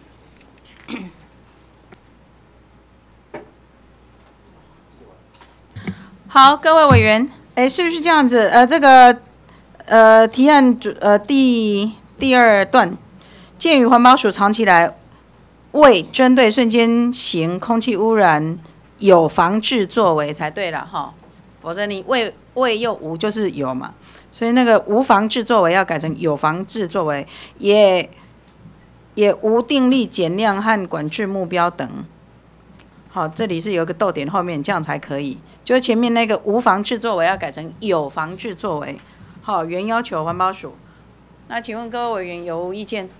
环保署，你意见怎么这么多？报告委员，呃，刚刚有跟那个提案委员的这个呃呃请请教了哈，所以是不是可以在呃挂湖山挂湖山最后一行定出定出下面哈？呃，是定出大型庙会活动指引，以规范庙会燃放爆爆竹等活动。啊，这是挂湖山的部分。那挂湖四的部分哈，呃，在第二行本应于本年度十二月三十一日前召集会议处理。呃，逗点，请内政部消防署研议针对烟火采购、四面爆竹等等，啊，加上那个请内政部消防署研议，因为那是属呃消消防署的权责，这样。这里没有消防署，他怎么出表示意见？是不是请环保署会同消防署好，我我们这个呃，去会同一下吧？否则今天没有消防署在现场。啊，我们召集会议啊，找他把他们找来。对啊，召集他们。OK，好好。那个提案委员同意的话，我们就照修正意见通过。我们继续处理临时提案第四案。第四案，据查，环保署于一百零三年三月一日起正式启动环境教育终身学习护照计划。该计划下列有有效护照奖、呼朋引伴奖、个人勤学奖、开课单位奖励事项。奖励方式计划与网络公告资讯有落差外，更将学习时数与开课绩效作为直销式对价式奖励方式。实行策略和奖助方式大有争议，影响各级机关行政与国民权益，且未见环保署着手改善。再者，执行办法以网络公告并执行对应奖对应奖金预算，却未拟具连续年度。预算呈报已严重违反预算法第三十九条之规定。据上，原要求环保署于本年度五月十八日前提出一就环境教育终身学习护照计划是否符合预算法规定之检讨报告；二、环境教育终身学习护照计划整体执行之检讨报告与改善计划。针对前前述要求，应提出相关报告。并提交社会福利及卫生环境委员会。提案人委员林静怡，联署人委员吴玉琴、陈曼丽。宣读完毕。呃，请问各位委员有无不同意见？没有，行政部门也同意。好，我们照案通过，继续处理临时提案第六案。第六案，鉴于我国渔船遭随意丢弃于海底，导致许多海洋生物及珊瑚礁死亡之案例频传，垦管处二零一四年办理近海活动。两天半累积清除海底垃圾三百三十公斤，其中有百分之七十都是废弃绳索及渔网，显见随意丢弃渔网问题非常严重。因废弃渔网不易分解，已造成海洋生面生态面临严重浩劫。为保障海洋生态环境永续发展，原提案要求环保署及农委会针对废弃渔网订定回收机制及对于台湾海洋废弃。渔网进行定期清除作业计划，于一个月内向本席及社会福利及卫生环境委员会报告。提案人委员蒋万安，联署人委员王玉敏、陈怡民。宣读完毕。请问各位委员有无意见？没有，行政部门应该也没意见吧？好，我们照案通过，继续处理临时提案第七案。第七案有鉴于我国北海岸因地形险峻导致船难事件频传，近十年已。发生四起轮船搁浅漏油污染海洋事件，对当地生态环境造成严重严重危害。原建请交通部检讨易发生船难之航线，于三个月内重新划设危险海域，并定定航线离岸适当距离，以确保船船只航行安全。提案人委员王玉敏，联署人委员陈怡民、李彦秀。宣读完毕。好，请问各位委员有意见没有？行政部门有什么意见？建议文字稍微做一点修正，因为这个“危险”这两个字在主观上也许会有认知的不同啊，所以我们建议改成“安全警戒区”。啊，法律上是安全警戒区，是不是？是是是。并订定航行离岸适当距离这一段划掉，因为这个安全警戒区就会去考虑这个问题，而且现在要去限制这个。好，我们知道了，提案委员可以同意吗？好，修正成三个月内重新划设安全警戒区，以确保船只航行安全。好，照修正意见通过，继续处理临时提案第八案。第八案有鉴于德祥台北轮船搁浅后漏油严重污染海域，使当地渔业损失超过九千四百万。然而渔民后续与船舶公司协商求偿，不但旷日费时，亦需承担无法取得赔偿之风险。原建请农委会会同相关部会于一个月内研议设立船舶污染赔偿基金之可行性，以保障油污受害者权益。提案人委员王玉敏，联署人委员陈怡民、李彦秀，宣读完毕。好，各位委员有意见，行政部门有没有意见？好，来渔业署。不过我们要成立基金，有依法有据吗？啊，研议啊。好好。哎，这个案子是研议啦，因为是海洋污染的的前责业务啦，哈，那不应该农委会来做处理啦，应该建议看环保署或其他单交通部的这样子，因为船舶污染基金呐，啊。你意思是说叫交通部来处理吗？因为他讲的是渔业这个基金要做什么？是要赔偿渔业，还是赔偿这个呃污染，还是要赔偿这个船员，还是要赔偿公部门的渔业？他讲的是说，请农委会研议设立这个渔业污染赔偿基金呐，是不是这样子？要不要改成渔业污染求偿基金、赔偿基金？但是你要他们缴这个赔偿基金，这个船东，好了，前面删掉，延议赔偿基金呢，也不知道是什么赔偿基金，也不知道从哪个法律来，你们回去研议就好了，没关系了。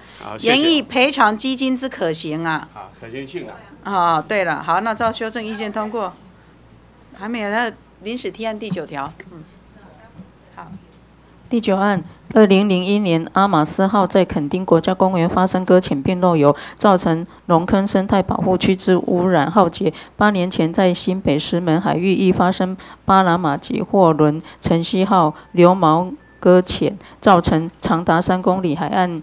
县全遭污染，今年又发生德祥台北搁浅油污事件，但因相关部门一直没有建立环境基本资料及经济产值受损资料，造成当地居民与相关业者求助无门，建请农委会、渔业署及相关政府单位落实环境生态。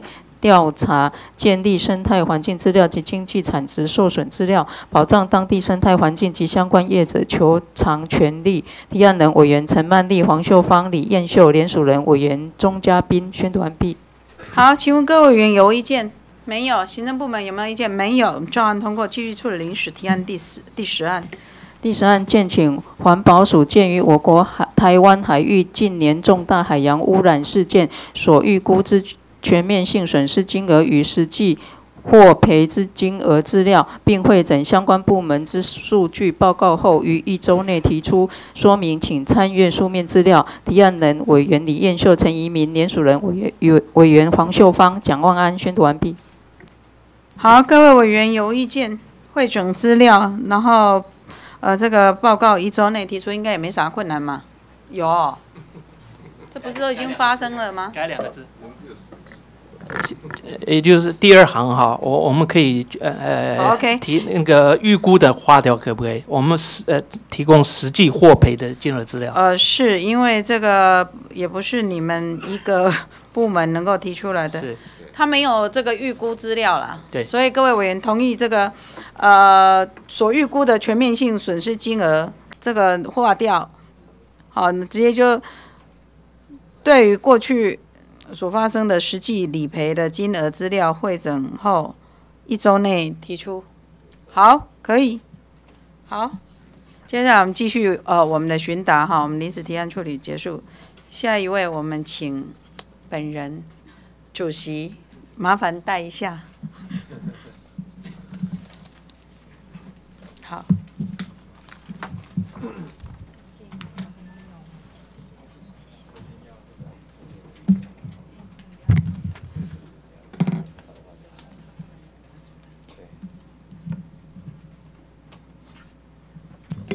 主席，各位大家午安了，是不是请我们这个航港局？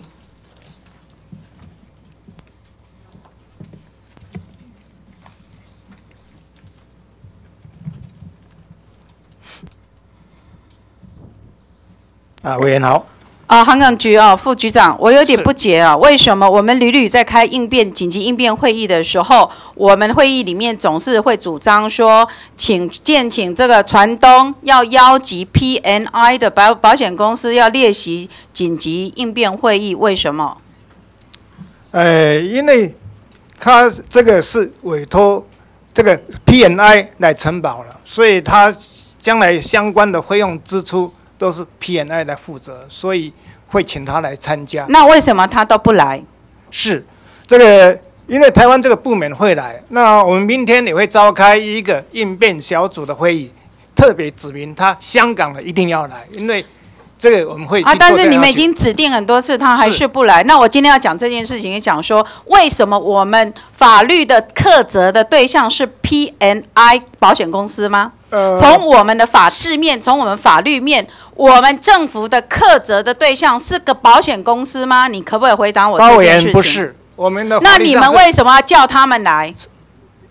因为他这个，他法上纲法规定是船舶所有人，当然说我们的克责对象是船东，是是。可是你为什么开会屡屡都要要求 PNI 来？为什么？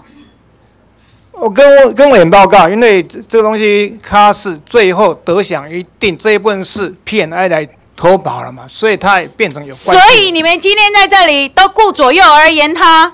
我们客责的对象是船东，但船东把所有责任都推给保险公司，结果政府竟然还跟着船东去起舞，每次都屡屡要求保险公司来谈，凭什么政府要去对保险公司谈？我们以民间车祸为例。肇事双方，我们直接来谈。我们大家都知道，不可能你让这个受害者去跟保险公司谈。我克责对象不是你保险公司，保险公司是你跟船东两造双方的民事契约的问题。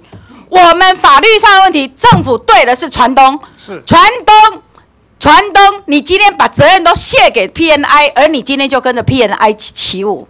船东最大的利益就是说，希望我不用付钱，全部都给保险公司赔到完。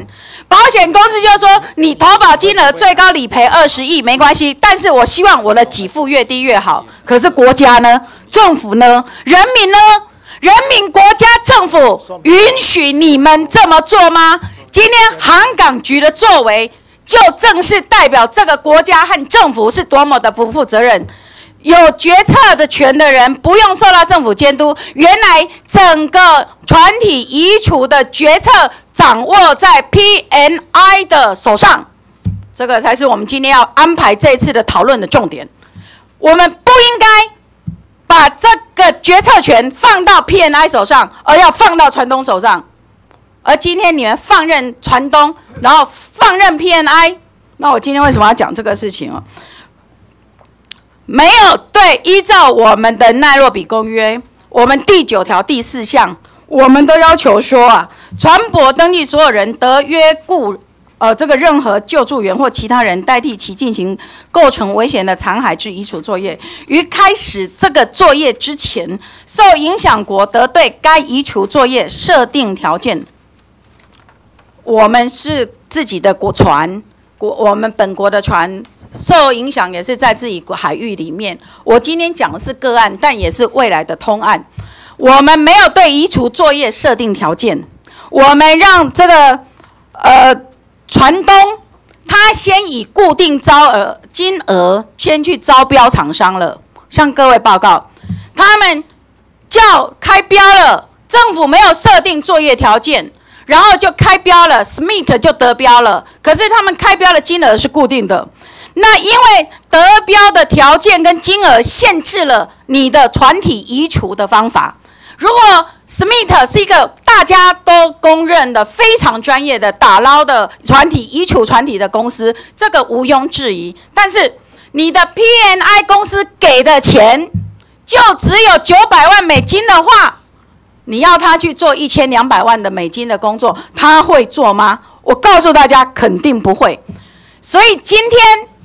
因为你开标了，然后你政府就说你开标了，他才找 Smith，Smith 帮他提了移除计划，这个移除计划你再去审他，你就丧失了政府对移除作业的这个所谓的设定条件的高度了。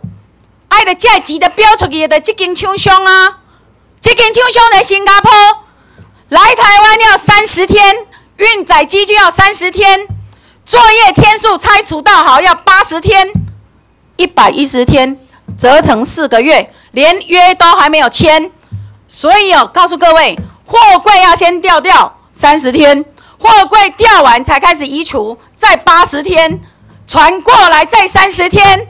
我现在告诉大家，如果这个模式没有变，这个计划没有更改，我可以肯定的说，运气那就好诶，爱四个月，今天五月十一号，四个月以后叫九月十一号，通通都没有台风来，都是风平浪静，因为所谓的平船，平船作业，海象要非常的好，才能允许作业，海象稍微恶劣，平船都不能运作。更不要讲一千吨的平船吊得起来这么重的后半段吗？更不要讲你们的移除作业是允许切割主机，切割主机还要几天呢？切割驾驶舱，你个爱克波比，切割完以后后段的船不会再有裂舱或者是翻覆，不会再有油污，即便通通都波比了，我告诉你，九月九月了，九月了。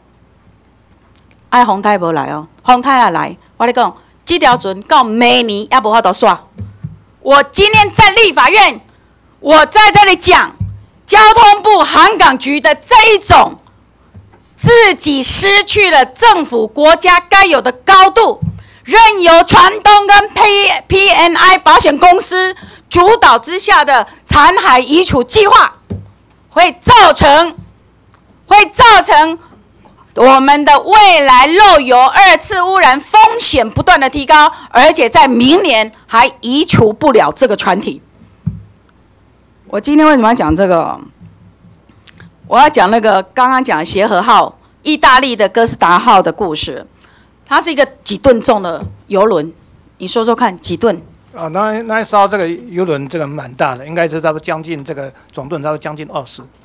二十什么？二十万？二十万？二十万啊！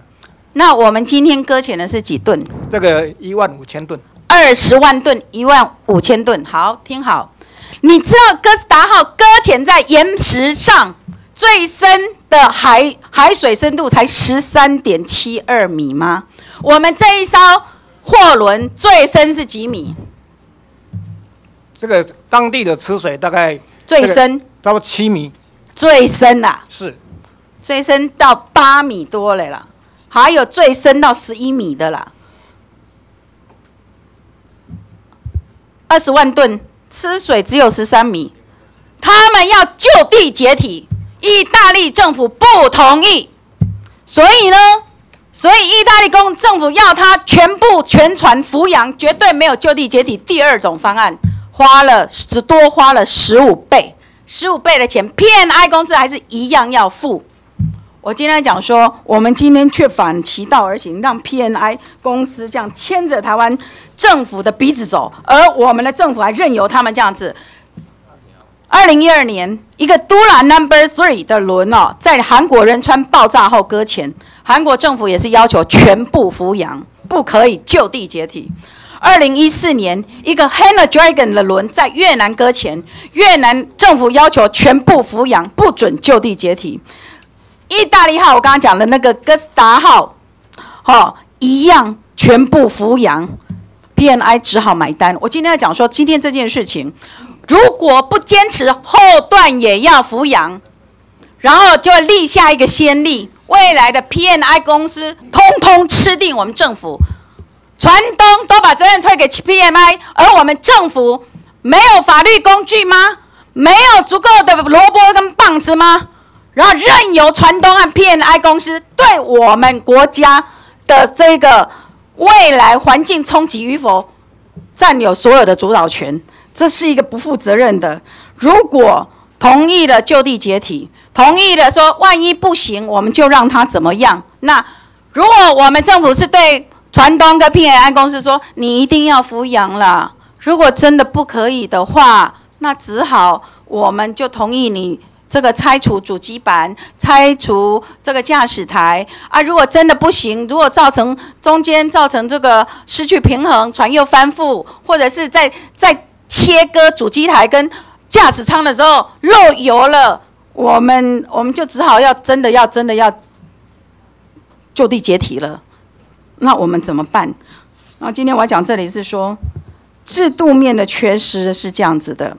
为什么交通部航港局可以这样子？因为如果漏油了、二次污染的，需要处理的机构叫环保署，不是航港局。如果二次污染的，大家开始大骂环保署。可是我今天要为环保署讲一句话：环保署，环保署，我为什么对航港局这么不满？四月十六号，他们第一次。省德享台北轮的船体移除计划，整个德享台北就是提一个就地解体的计划给他们审，他们不同意，因为林淑芬跟他讲两个原则：台风季节已经要完成，然后我们希望扶阳对生态冲击最低，他们他们他们就这样子去反映。第二次，第二次呢？四月二十七号的会议记录。我们的环保署说了几句话。环保署说，我们从环保的角度，要以危害生态环境最小、移除时间最短两个原则，所以他们认为应该要在这个两个月内签约，立即签约，两个月内通通要移除完成，跟交通部所讲的三十天传送过来，八十天拆解，加起来一百一十天。是不一致的。可是环保署去那里开会讲话，有人甩他吗？没人。环保署为了要替人家擦屁股，他去告诉他们，希望两个月内通通要做好，然后两段都要扶养。交通部航港局甩也不甩他们。四月二十七号，还有专家，中原大学的庄研究员说，这个地货柜里面还有腐蚀性物质。船柜的这个移除里面啊，要收集污水，可能会溶于水，看有没有污染。财团法人船舶暨海洋产业研发中心组长说，这个所提的计划的恐可工作日三十天、八十天，要有海象资料来支撑。所以呢，你们所提的计划到底有没有公信力？你们说八十天到底可不可以移除？要有第三方海事公证单位认证为宜。他们认为可能是湖州的。然后呢？引水人这个办事处讲，这个你们计划说，如果不小心遇到台风了，船体要固定，浮养浮养后的稳定计算，哦，你们要切割，然后再浮养这一些东西啊，应该具体说明。所以他们连这个计划的内容都是粗糙的、不负责任的、资料不精准的。财团法人中国验船中心说。这个德翔船体的破损状况，你在你计算它能不能浮的方式，不能用 IMO 的稳定计算公式去，不合不合适。而且，财团法人中国验船中心说，如果需要切割船体，要在计划中心说明切割方法、作业时程、船体固定的方法、切割过程细固的方法可能造成的污染及其应变措施。所以他们告诉大家，他没有哦两段都扶养，他已经预留了可以切割。切割完以后再扶养，好，包括北部航港局自己的北部的航务中心都指出，能否提供航港局其他厂商所投标的移除计划？你们只有 Smith 的这个切割计划，而且你们钱都跟 Smith 讲这样子，Smith 当然只能做这样子。有没有其他公司可以提供两段都抚养的计划？人家船东也不理他了。所以，所以我们在讲说这个会议结论呢，有讲说。如果抚养不可行，哈，你们提出说明，我们邀请人家来审审看，啊，如果真的不可行，当然要同意。如果这样子，他就不会有可行的啦，他就不会有抚养的可行性，因为你预留了可以许可他不抚养。我今天要讲这个，就是说台风季节要来了，你们照你们审查 Smith 的方式，就要一百一十天，而且那是要签约后，Smith 跟这个德享台北还没有签约。无法履约，你到六月签就要往后这个延一百一十天，那还是波比波带几波红胎，红胎来的长浪啊，红胎后也长浪了。我像刚刚讲，他现在的这个抚养的方式，是要用一千吨的用一千吨的平船，你告诉我，一千吨的平船要几级的风浪之下才能作业？你回答我。这个八委员，因为在作业的时候，我记得我们在抽油的时候，你就说风浪达三四级，你们的平台船就不能作业，所以风浪到三级就不能作业的平台船。就要八十天，啊，你八十天都风浪三四级以下，啊，那风浪没有三四级以下，我今天跟你讲，你们不要这么不负责任哦。这个生态是无价的。刚刚在讲渔业损失，我在讲说，如果不是渔业损失、观光损失、生态损失，哎，这个谁要来负责啊？观光局。那我的海岸的礁岩不是采集的，也没有渔业的，也不是抓鱼的。也不是观光地点，那他这种损失、生态损失，谁要负责啊？报告委，这个适合不适合这个作业？目前法规上没有强制规定，所以是由船长来做决定。那船长会视他这一条船的一种性能，去决定说可不可以去作业。所以目前在航政法规上是这样处理。你都没有回答到我刚才问你的这些问题了。没有签约，工作都还没有开始。你的，我们都知道，政府你对于他的作业要件，如果设定了全部都一定要抚养的话，那么他花的钱都会不一样。花的钱不一样的话，如果他跟 Smith 只签九百万美金，他怎么个不一样法啦？所以双方契约怎么达成？如果他们双方契约达成了，他们就只给付那样子的话，那我们怎么要求我们的作业条件？所以，我今天讲重点是我们到底要求什么样作业条件？不是依据船东跟 PNI 公司怎么怎么这个协调，怎么签约，花多少钱，而是要依据保护国人的这个生态为第一优先，然后在台风季节风险提高以前把它移除优先，两个月，照环保署的说法，两个月全部抚养。在这种状况，花两千万还是一千万美金，还是九百万美金，那是你家的事。你的 PNI 公司不赔偿你，你得享要自己买单。这个就是你们，谁叫你发生事故？你不要发生事故，你不用负责。你发生事故，你不能只推给保险公司，这是国家和政府的态度。可是你们没有，你们还任由 PNI 公司牵着鼻子走。然后让我们这条船，照目前为止，照这种状况条件设定，明年还没有办法移除，我们就等着检验。当那一天来的时候，我跟你讲啊，你也不一定在这个位置了。现在叫环保署做什么？叫渔业署做什么？那个都是末端。当污染发生了，当伤害发生了，我们如果可以把污染、二次污染的伤害，让它不要发生。这个才是这个国家和政府处理的最高原则。可是你们有吗？你们有吗？啊，我们一定会做这样去。你能够回答什么？局长没有来，市长也没有来，你你能够保证什么？你什么都不能保证。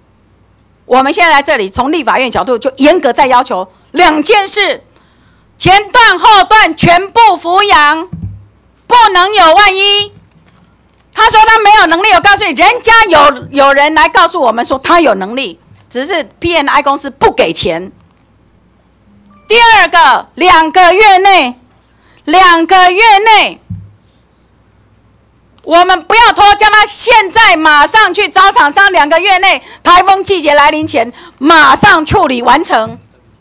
照环保署的约定，我们理工环保署去开会，写下来你的意见，你拢无参采，为什么？四月二十七号，环保署两两个条件，你一条也没有参采，为什么？为什么？报告委员，因为这个你们出事了，环保署要帮你们擦屁股的呢。是。他提出了意见，你们为什么都置之不理呢？因为这部分呢，也要尊重船方的意见的。尊重船方，政府是站在尊重船方这个立场的吗？政府是在监督、苛责，要他们立即自己善后的立场。要求的不是尊重，船东是用来尊重的。你刚才说尊重 PNI，你个叫 PNI 来开会是干嘛？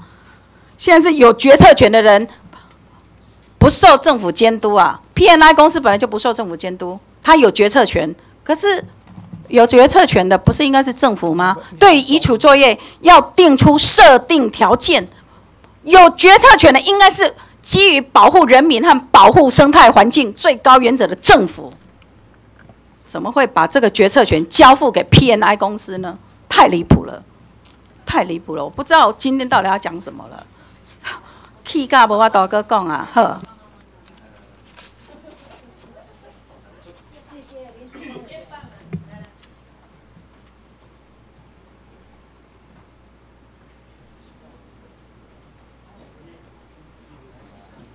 好，下一位我们请王玉明委员。王玉明委员，这个巡打结束以后，是不是休息一个半个小时，让人家呃吃个便子饭？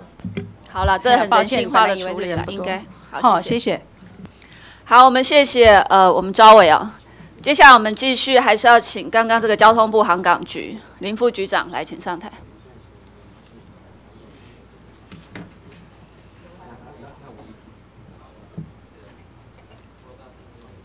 啊，委员好，林副局长，刚刚的委员呢，咨询你非常多的问题，是是，但是你的回答就是本席也在下面听很久，没听到你什么样的回答。刚刚主要的咨询就是为什么环保署他建议的，就是你们应该要采这个抚养的拆解，前段后段都应该。你们做不到吗？不能做到吗？而且如果说采取抚养的拆解，其实是不会造成二次的海洋的严重污染。我不晓得你们在这个五月四号联合报其实有做一个报道，这个是你们航港局接受采访的，你们自己也承认，在八年前陈锡伦是采取这个呃现地拆解的模式，但是当时的经验就告诉大家说，不仅旷日费时，而且冲击到这个当地的环境生态。所以大家对于这一次得享台北，它它这个整个搁浅的货轮，应该是要采取抚养这样的做法。环保署也是这样建议，是你们反对吗？你们做不到吗？没有没有，我们当然只是也希望这样，希望这样。你们立场应该跟环保署一致吧？一样一样。那现在有什么困难？是委员会，我们要求两个月之内完成这样的拆解、采抚养的方式，你到底有什么困难？报告报告委员，两个月啊。我们可以提出来，但是实际上两个月这个时间做得到做不到，其实我们不敢不敢。你是说采取抚养的方式做不到，还是什么方式做不到？两两个月，我我们你是时间做不到，采取抚养的方式，确定是都可以全部采取这样的方式作业。是因为这一部分的话牵涉到一些技术上的一个问题，所以这一部分我们也很希望说两个月，但是这部分我们提出的要求，这个。打捞公司这边要能够做得到，才是一个要求。你们过去其实台湾已经有好几起这一种这个呃轮船搁浅案，过去的处理经验，难道真的不能再加快这样的一个速度吗？做不到吗？呃，报告委员，过去的处理方式都是用拆解的方式，都是在原地拆解，对，所以没有采取过这个抚养处理的方式。抚养的，那环保署来，环保署也一起上台。因为环保署既然做出这样的一个建议嘛，哈，这个副署长是你们参考其他国家的经验，这样子的一个作业时间两个月有太的要求太过分吗？做不到吗？我们也经过呃跟专家讨论以后提出的建议。是啊，是你们当时是有开专家会议的吗？还是是请教专家的意见？请教专家，然后去开呃联席会议这样。所以从环保署。为了预防这个二次污染，然后请教专家的意见，觉得两个月之内采取抚养的作业方式是达得到的嘛？对不对？对，我们是这样的。那你们有没有在会议上具体提出你们的建议跟看法？有有有有，都在会议记录里面都有。好，那副局长是你们反对吗？刚刚有委员一直咨询，就是说是你们有意见呢。报告委员，我们当然不会反对，我们这个。其实我们的目标是一样的，但是那你们应该要做出这样的决策权利，两个月的时间还蛮长的，就是以这样的目标去要求今天闯祸的这个这个德享，他应该要完成这样的一个任务跟目标啊。祸是他闯的耶，是是是是，哪有在善后的时候处处体谅他，然后还希望说这个他说他有困难，我们就说有困难就没办法。因为这条船呢，它的以它的吨位来讲啊。那为什么会两方评估不一样？环保署问专家意见，他们觉得可以啊。啊，啊，你是问哪边的专家？这个你们两边的专家不一样吗？报告委员，史密特他是一个国际知名的这个一个打造公司，他的经验非常的丰富啊，所以当然我们请 PNI 这个参加 PNI，不，我们请这个德享公司列席参加，然后他这个德享公司邀请的 PNI 一道来啊啊，其实他这个都有他的经验，那透过这种经验的一种交换的话，我们会得到一个比较可行的那你应该也要多听听其他专家的意见啊，不是只有他们单方面这个公司的意见。他那基于维护他公司的利益，或者是他为了帮他节省他的成本，他会想方设法告诉你说他有一些不可行。那我请问你，他们提出来的可行的、可达到的时间点是多久的时间？他们多彩抚养的作业模式，是环保署说两个月哦，他们自己讲的是多少时间？你说？呃，分成两段啊，这个前段的话是三十个工呃三十一个一工作天。个月内就可以完成。三前前面那一段。对，那后段三？后段的话是六十个工作天，所以加起来。但是两个有重叠，所以是八十，我们给他八十个工工作天，那就是多二十天就对了。八十个啊，对，是所以现在航港局要求的是八十天，是环保署提出来的是六十天。那你们不能再加把劲，要求它再更缩短嘛？是，我们我们我们来要求，我们来对啊，是，因为如果他们评估两个月是可行的，顶多顶多再多再给个十天，两个月十天嘛。就是我们应该从政府的决策里面，我们是要要求的更严格，那他就会一直往这个方向去推进嘛，好不好？所以我希望回去之后，航港局你要重视环保署，人人家也是有请教专家学者，你们是请教业者哦，是我们也也有请那个专家参加，也有吗？有有有，我们有有好啊，那你刚刚也承诺，就是是两个月，原本你是八十天，本席是希望在这个折中底下，或许缩短到七十天，两个月是我们最基本的要求，真的不行，弹性只能再给个十天，因为是台风季要到了。我们现在从现在开始算起来，现在是五月十号，是。六月十号、七月十号，七月中旬过后，大概是几乎是台风季，每一年台风季，大概七月中旬过后，大概我们就会有台风生成，有可能会影响到周遭的海域，所以我相信你们应该也有这样的一个压力啊。是是。因为这一次它所造成的整个呃我们经济海域的这个损失，我们的渔损，还有海洋生态的损失，大家都不希望还有因为台风季来还没有清完，再造成第二次。我觉得台湾的我们海洋生态我们也承担不起，好不好？是好，那这副局长请回，这个好谢谢呃副署长也请回。我先要请教的是渔业署。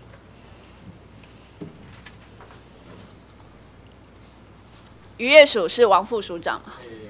对不起，因为刚刚王组长呃另外有会议哈，那所以你由我是我是组长哦，是是组长，谢谢。施组长，哎是，怎么上面没有你的名字？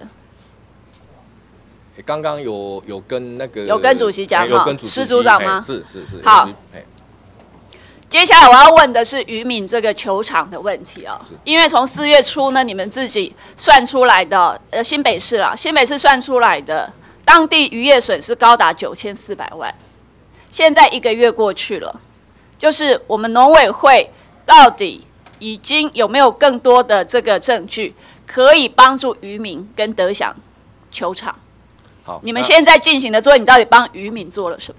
好，那跟委员报一下哈。那我们对渔民的损失哈，大概可分三种。第一种就是你可以直接看出来哦，有直接对证据直接的哎直接的证据那那这一部分哈，那目前哦已经统计到今天已经有四十艘渔船哈，他有提出哦他的这个受损的一个证据。那我们有协助哦那个这些渔民哈，然后他经过去那个采采集他的那个油污的一个样本哈，那那另外还有化验以后，然后就。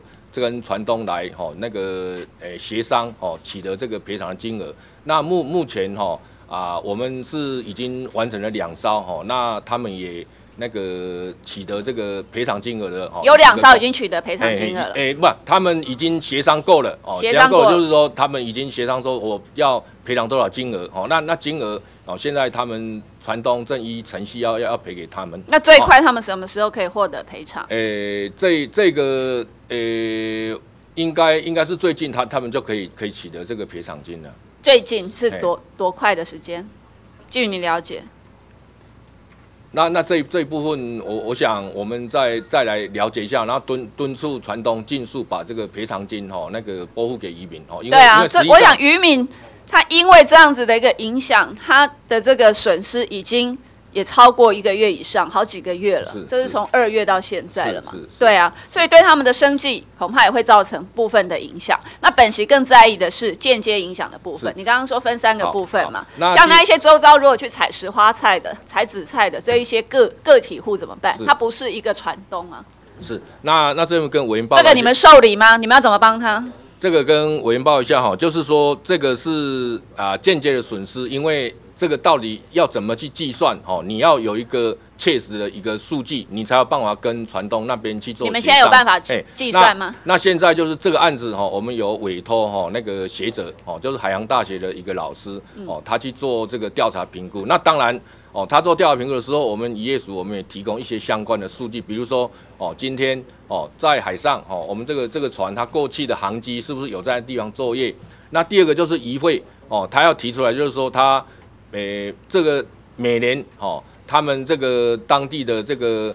啊，遗后量跟跟产值哦，那这个当然是包括诶、那个在潮间带的这个采石花菜的一个部分。对啊，那潮间带这一些呢？这一些有也也是纳进去吗？也是一样，他们都是有。那你有没有把握这一些的你们现在提出来的证据，将来在这个呃诉讼上面是可以获得赔偿的？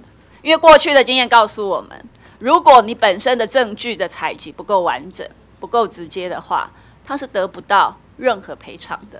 过去我们在国际上面就是也曾经呃，比如说要去请求一些，包括像什么。珊瑚的富裕的费用啊，渔业的富裕的费用啊，或者是一些包括观光损失等等，都是得不到赔偿。在国际上打官司也没有打赢过。呃，对不起，跟委员报一下，观光损失呃不在我们我知道我的意思就是过去的经验告诉我们说，你认为你现在这一些间接损失的证据力有多强？诶，间接损失哈，这这一部分哈，那因为我们有一些统计数数据嘛哈，那我们实际上我们也有跟老师那边在在做沟通哦，就是未来我们可能哈会分根据不同的一个渔业哈，比如说它有崩黑啊哦，然后它有比如说诶刺网渔业哦，或者说它今天刚刚讲的潮间带哦对，那那我们我们有请老师就是依照我们各个不同哦这个渔业它过去的这个产量、产值哦等等的这一些数据资料来来进行分析。那分析取得一个哦有一个那个数据哦球场的一个数据以后，那我们是会先我们会协助哦这些移民哦，就是说跟船东来协协商说，那我应该是取得所以哦后续渔业署这边会继续协助我对。对对对，我我们会继续继续协协助，然后跟船东那边来协调说，哦，大概可以取得多少的这个金额。那如果说在诶采用协商的这种方式，如果没办法针对这个球场金额取得共识的话，那最后可能就是走上民事诉讼的这这这这这个途径。好，本席这边要让你看一个这个图表哦，这个是刚刚我的灵体里面特别提到了，就是我们的这个船舶油污染球场的方式比较，我们跟美国跟中国大陆比较起来，我们现在整个在球场上面呢，我们只有在我们的海洋污染防治法三十三条，然后提到说，船舶所有人应负赔偿责任，什么样的赔偿责任，我们并没有去定定。而在你们的农委会负责这个环境敏感事以及渔业损害球场事宜，其实你们现在恐怕也没有定出很明确的到底球场的范围是什么。但是呢，在美国，美国他们在这个油污染防治法里面呢，它针对损害哦，它总共有六大类。那六大类我现在没有列在上面了。它把天然资源、财产、实际使用的损害、政府收入的损害、利润跟获利能力的损害，还有公共服务费用提高的损失，包括这一次得奖事件，我们造成我们海巡人员的死亡，他们这个都列为是他们必须要负担的这个损害赔偿的范围。但是相较之下，我们可以看到中国大陆它还有成立的油泊呃这个船舶油污的损害赔偿基金，它也是跨部会的九个单位共同成立的，它就是针对这样子的一个赔偿跟后续的诉讼要去做这样的事情。那现在渔业署，我请教你们，你们是用一个科员还是多少人来处理这件事情？美国他们一样有创立国家油污基金中心，它是用一个单位，然后来做后续的这些处理。因为每一次的油污事件其实范围太大了。那我请教渔业署，你们现在是用几个人来做这件事？一个人承办员吗？还是？呃，跟委员报告一下，我想首先根据根据刚才委员讲，实际上根据海污法哈，那大家好像比较 focus，好像就是好像就是一夜的损失。其实哦，环保署它会负责公部门哦，包括比如说我们今天哦，我们这个人员到现场的一些，我知道你不用讲环保署的部分啦，我是要说像你渔业署啦，面对这一些渔民的损失高达九千四百万的损失，你们现在是用多少人来协助后续的处理？是不是只有一位科员？我们现在就有一个科嘛，我们啊针对这个业务，我们有一个科，然后有一个承办人员哈，就一个承办人员来处理这所有的事情，对不对？有有承办人员，我是要让你看到是说一个承办人员跟对照，我们看美国，它是用一个油污基金中心，中国大陆它也是设立了一个赔偿基金，它是用一个制度来处理后续的事情。我们相较起来，我们在这一方面真的是比较弱了，所以我刚刚才会提那个提案，但那个提案呢？是先针对渔业署，我希望你们自己，因为将来我们是海洋国家，将来类似的事件可能还会有，但是你们在处理的时候，我希望你们是系统性的来处理，而且这次要面对的是说直接损失，如果你们可以取得这个赔偿，间接取得不了，那未来这个问题要怎么办？我希望你们可以好好去演绎，好不好？是，好，谢谢。好，谢谢委员。好，谢谢谢谢王玉明委员。那呃，我刚刚那个林淑芬主席他刚有说，呃，王委员结束之后，我们就休息半个钟头，所以呢，我们现在就要到十四点十十五分，好，再请各位再回到现场来，非常感谢大家，谢谢。两点十五，哎，因为基本上已经四在洗了嘛，哎，两点十五，哎。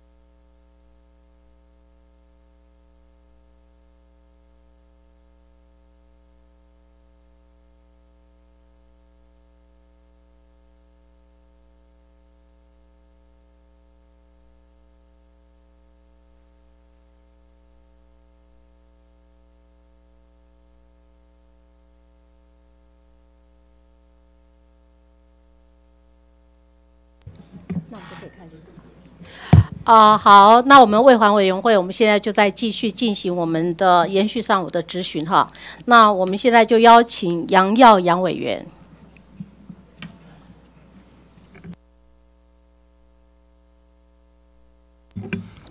谢谢主席。主席，我请一下副副署长，渔业署王副署长。啊，啊委员好。哎，副署长好。副署长，我们在台湾比较荒谬的就是，台湾是一个岛国，是我看从早上咨询到现在，好像对于海洋的保海洋的保护的权责，好像我们现在不要谈主改，算不算你环保署的？海洋的，我们是有一个海洋污染防治法，没错，但是里面有一些分工。我我讲的不止不止哎防治啊，嗯，不不止就是就整体的的的的海洋环境保护，还是你们只管污染污染的部分污染的部分，污染的部分哎好，所以像像底层淤泥、海漂垃圾、海底沉网，都算是污染防治的一环，对不对？对对，好，好，还是因为我们还是长期在环境保护的部分，还是还是陆地重于海洋啊，哦，所以才会有今天这个这个这个这个专专案专案报告的题目。我先讲一下哦，就是德德江台北的油污哈、目前目前你们估计出来的损失金额大概九千多万。哎，对，那个呃，渔业署那边的估计大概是这样。好，渔业署呃，新这个北市，新北市，这个这个怎么？新北市，所以不是不是环保署估的，也不是渔业署估的，那谁来回答？谁来回答？这个这个这个这个求偿金额怎么算出来的？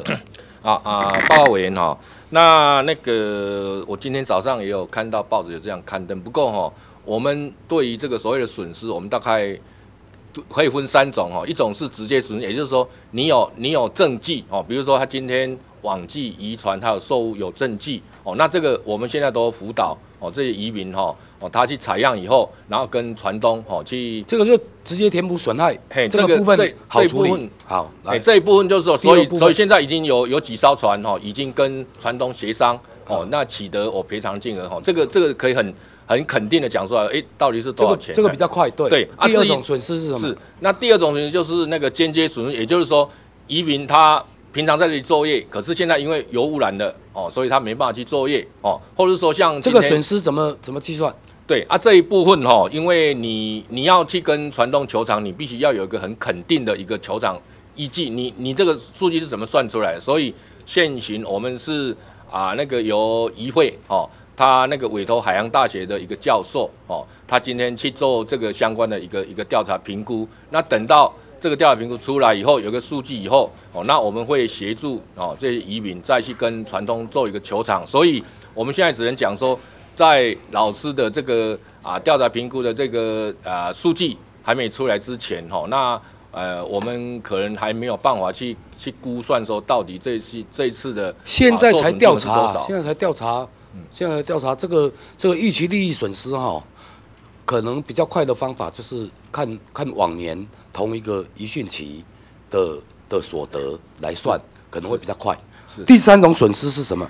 第二种就是生态损失，也就是说啊，今天是因为我们都知道嘛，我们鱼还没有被抓上来前都是公共财哦，那这个都是属于哦全体国民所有，所以变成说今天因为哦那个油污染哦造成我们海洋哦它的那个资源的哦一个损失哦，那那这一部分哦我们也是委托海洋大学哦现在生态损失的的求偿权人是谁？哎，是我们是中华民国政府，中华民国政府。那我们农委会是代表中华民国政府去跟哦那个船东来来求偿。对，我现在就是要你这个答案。是，你是你是代表中华民国要球场的的的的呃人，可是你你作为代表人，你现在你现在全部都没有概念，差不多要要求偿多少，你全部都没有概念，对不对？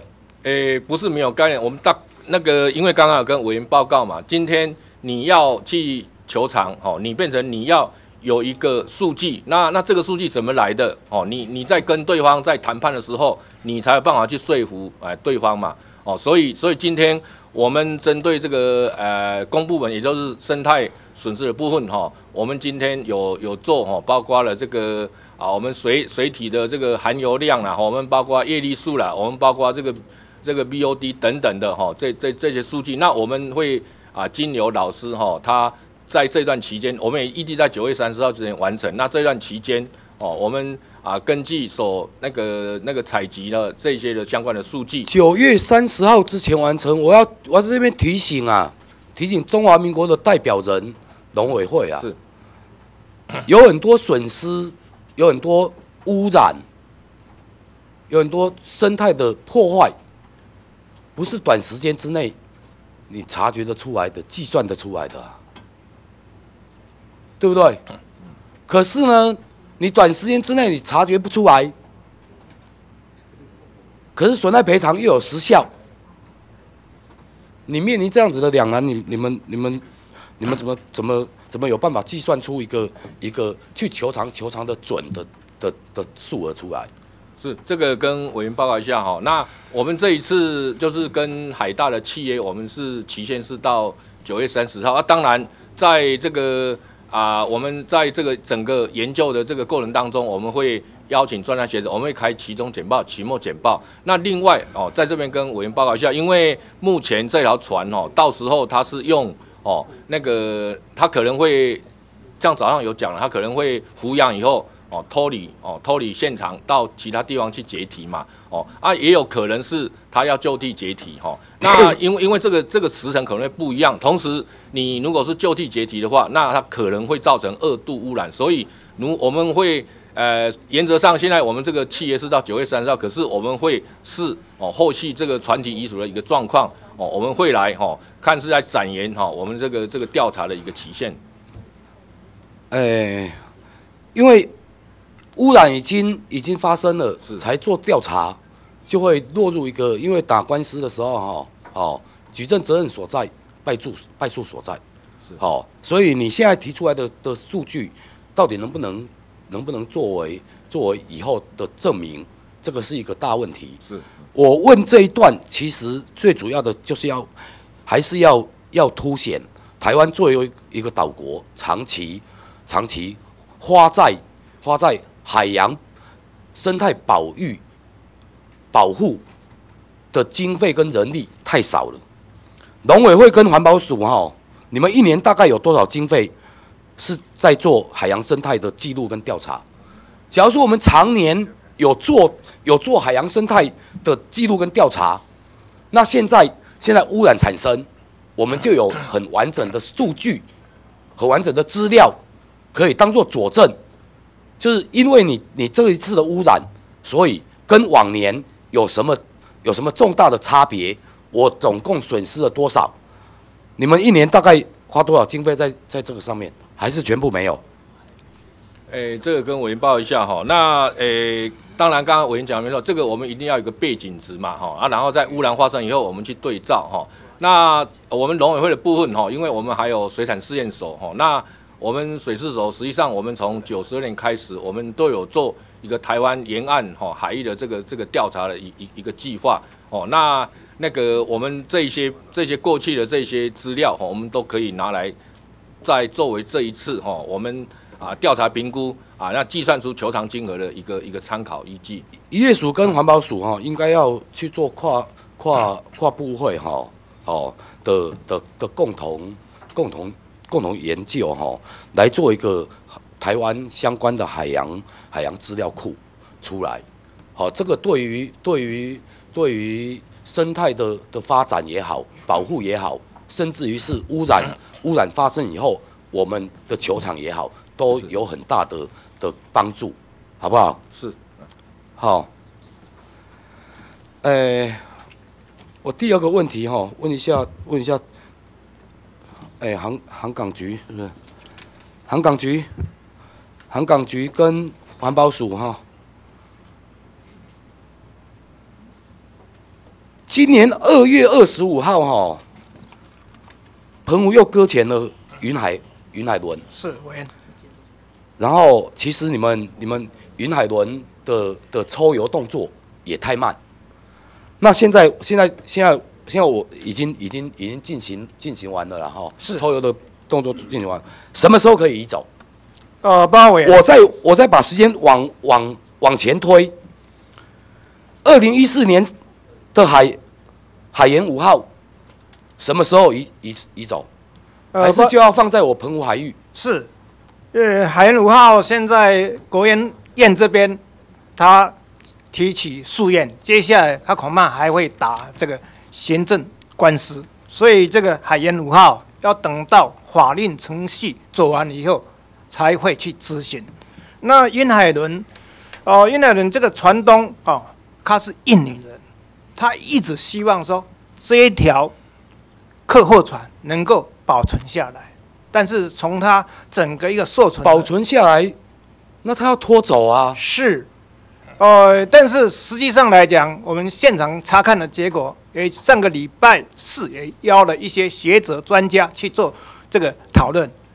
其实它是因为这条船破了三十三个洞，船体破了三十三个洞，而且卡在礁岩上，所以浮扬不可能了。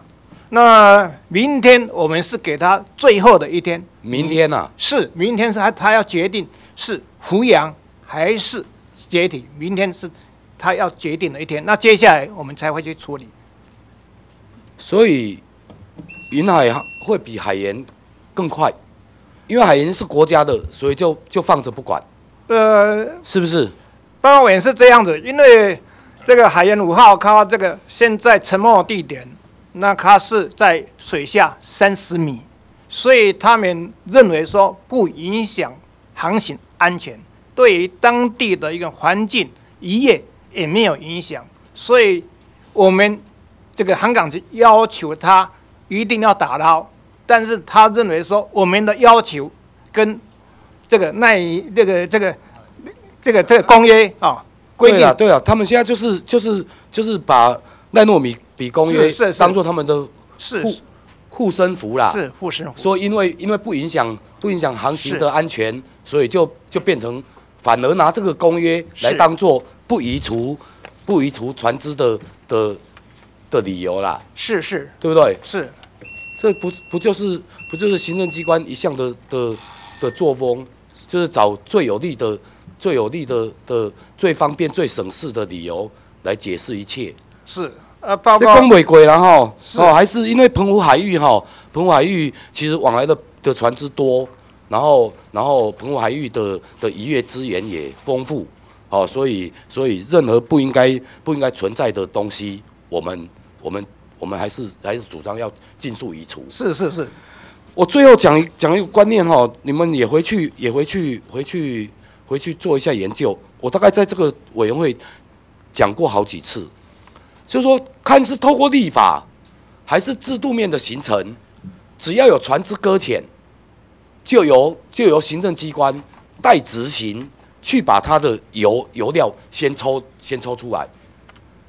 我大概来这边四年多，讲了好几次，你们就是这边等，运气好，像像澎湖两艘搁搁浅，三艘搁浅都都没有都没有都没有事。那像像台北就就就发生事了，等到你油污溢出，我常讲，海洋的污染是迅速、范围范范围广大，比陆地都还快，都还广，而且影响的更深远。所以你们回去哈、还是还是就是就是航港航港局就交通部跟跟环保署还是要去呃看要透过修法，还是还是你们直接用制度形成一个一个，只要在在台湾相关海域搁浅的船只，我们就由政府第一时间把它的把它的油料抽离，你不要等到污染了以后才来酒厂，黑龙维护期呀，好不好？是是是是，哦，好，好，谢谢主席。好，谢谢委员。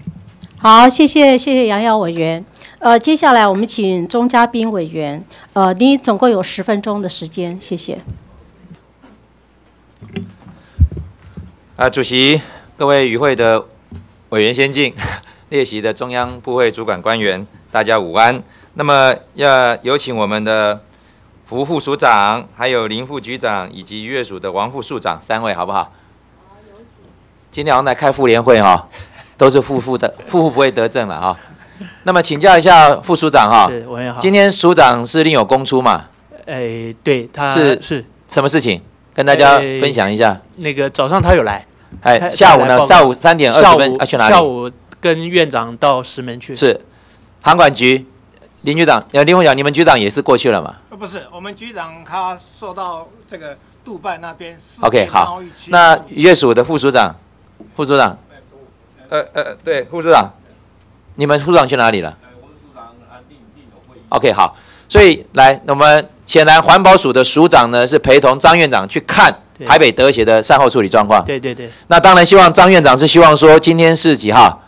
今天十一号，十一号明天要总辞。是我想张院长呢是很有责任感，他希望在他总辞之前，德乡台北他希望能够把它处理。你是不是认同苏院长的这个决心？当然，当然，在座都是事务官。换言之，在总辞之后到二十号之前，你们就是我们的国家运作的枢纽。德祥台北能不能顺利处理？在之二五二零之后，也有新的团队来接手。那我这边问几个问题哈。首先，我先问一下航港局的林副局长哈，委员好，那个你们是上港法的中央主管机关嘛？是是那你们知道德德翔台北，呃，它保了哪些险？有船体险，是呃，船东险 P N I 是，是吧？还有哪些险？他那个 P N I 就包括好好几好几个，一个污染、污染、冰险，对，都有哈。哎是。好，那么目前我们要求移除，根据《商港法》第五十三条，这里面呢，刚刚其实杨委员其实都点点到重点了啦，林委员、杨委员都点到重点了。第一，在这第五十三条第一项，你们得命其移除，必要时你们第二项你们得进行采取应变或处理措施。你们当然采取第一项嘛，先叫他移嘛。是是所以刚刚林委员就说了，PNI 来，他们就说算一算，大概九百万美金的价格，你们找他妈看什么方式移啊？九百万美金大概只能拆除啦、拆解啦，大概要抚养很难呐、所以林委员刚刚就是说，为什么你们不直接处理？杨委员问到了，请问一下航港局啊，从这些有船难搁浅发生以来，有什么样的状况是由航港局直接根据第五十三条第二项直接把它处理掉的？有没有？呃，大船没有，小船倒是有。小船有嘛？大船没有过，那为什么？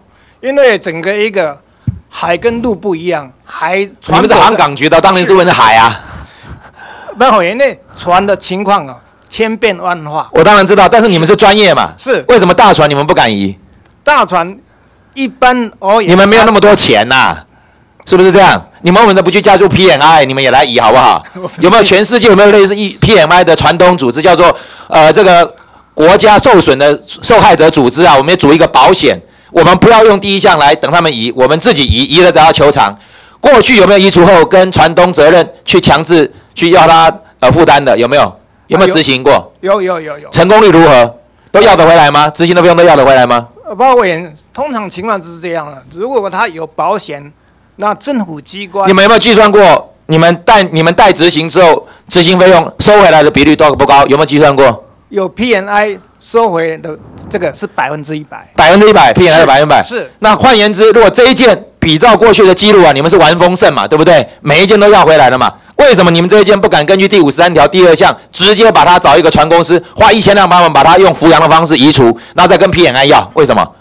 我帮你解答了，你的百分之百就是因为 P&I 付得起的，他移啦；小船他付得起的，他让你移啦。那你要是就要做他付不起的，他就不同意啦。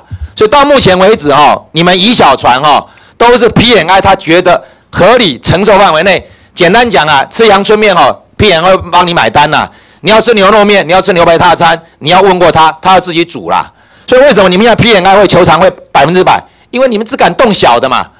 我讲一部书啦，在座很多可能有文青啊，《小王子》里面有一段呢、一个小星球上面的行星上面那个国王，国王他认为国王的权威是建在命令被执行，但是呢，如果命令不被服从的话，他就国王权威就受损。所以国王呢，他下命令之前都问对方：你做得到吗？你做得到，我才下令。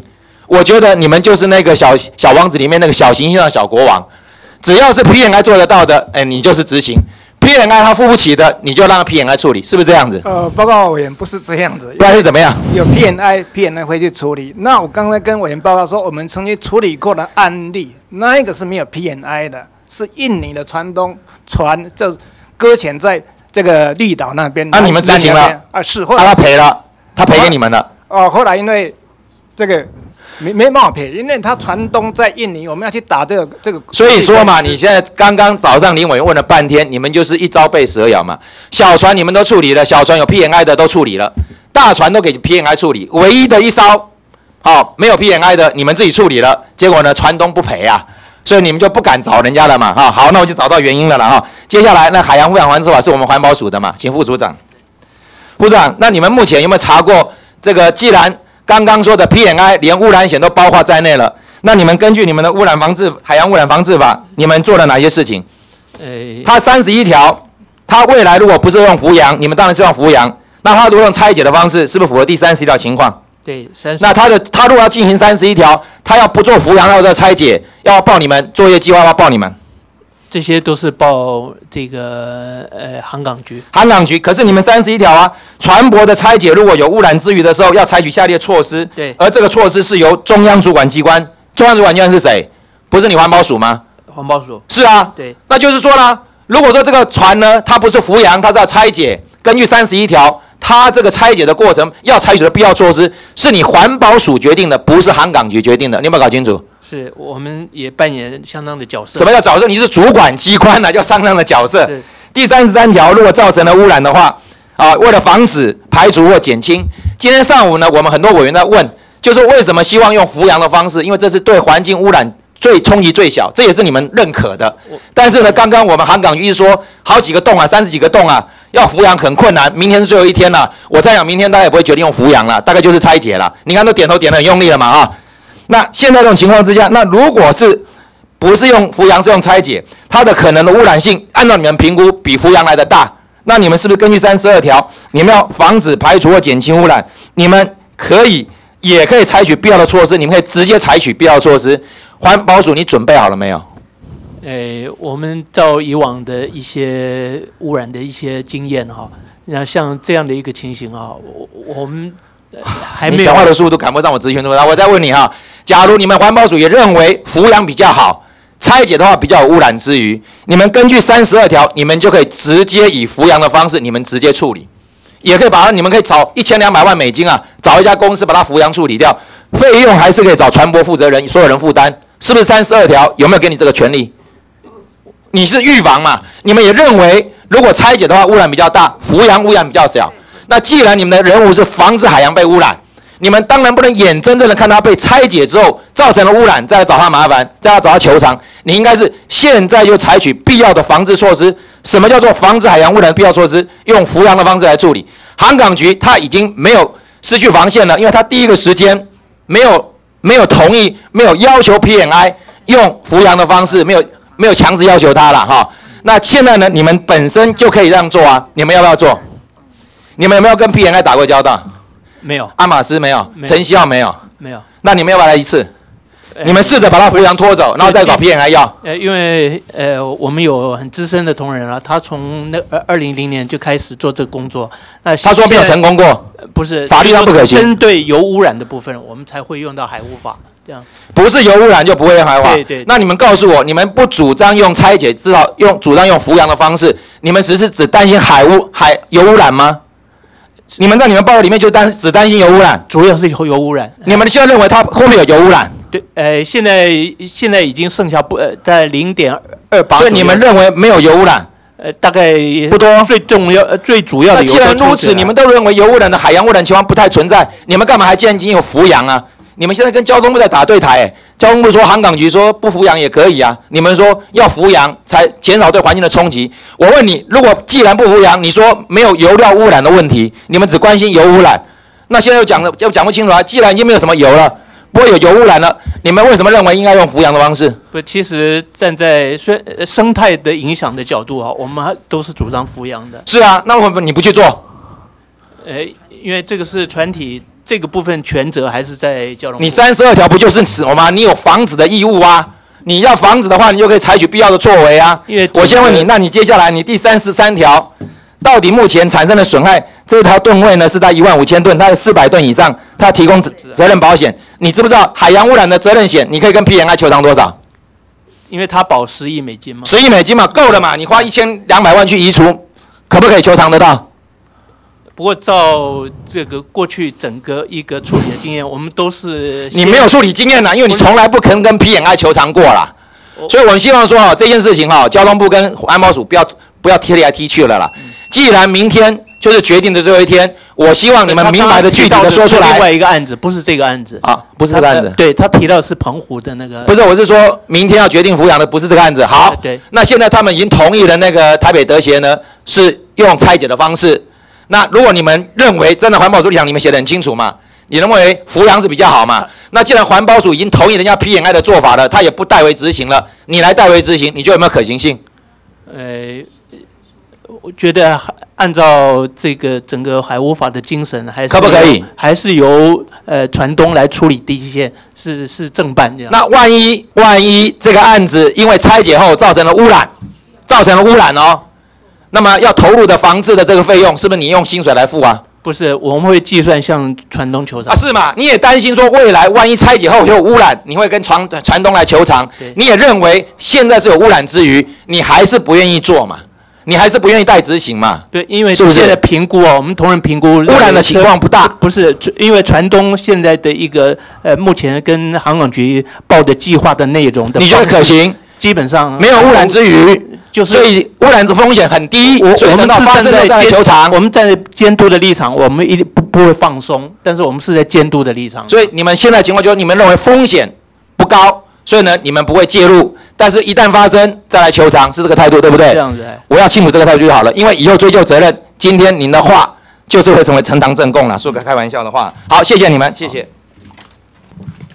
好，非常谢谢钟嘉宾委员。接下来我们邀请黄国昌委员。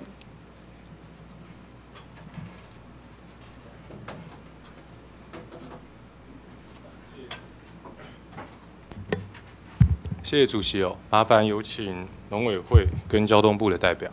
好，有请农委会跟交通部的代表。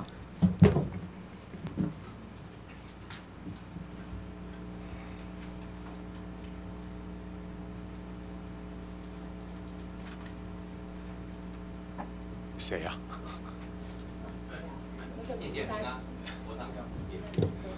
没有关系啊，你们那个相关负责权责、最熟悉业务的人就负责回答就好了哈。我们四月二十八号的时候，我跟刘建国委员有开过一个记者会，那一天有上百位从石门，还有从金山万里来的渔民，在那一天的会议当中啊，我要求针对有关于油污去除的部分，环保署要设一个专线。那今天有关于整个船体移除作业有太多委员咨询啊，这个部分，呃，我今天先放着。那我我现在要比较关注的、是有关于就渔民还有观光业者他们的损失求偿的问题。哦，第一个问题是啊，你们这个专线啊，从四月二十八号我们开会，你承诺设置以后，是不是有确实的设置了？是 是哦，我们农委会的部分哦，我们有指定啊，我们陈科长哦，陈科好长，那请问一下陈科长哦，从你设置以后到现在，你接到几通电话？跟委员报告，目前还没有接到。啊目前还没有接到任何电话。是，那是大家不知道要找你，还是大家都没有损害？呃，跟委员报告，我们这个部分哈、会在那个十六号第一次的那个说明会的时候，也会跟大家揭露。那目前呃渔民的一个窗口，它现在是跟呃新北市政府那环环保呃那个新北市政府这边，还有那个呃我们金山区域会这边来做一个通报。以上报告。所以到目前为止哈，那一天渔民他们在第一线的时候的无助、彷徨跟困难，我相信在那天的记者会已经呈现的非常的清楚了。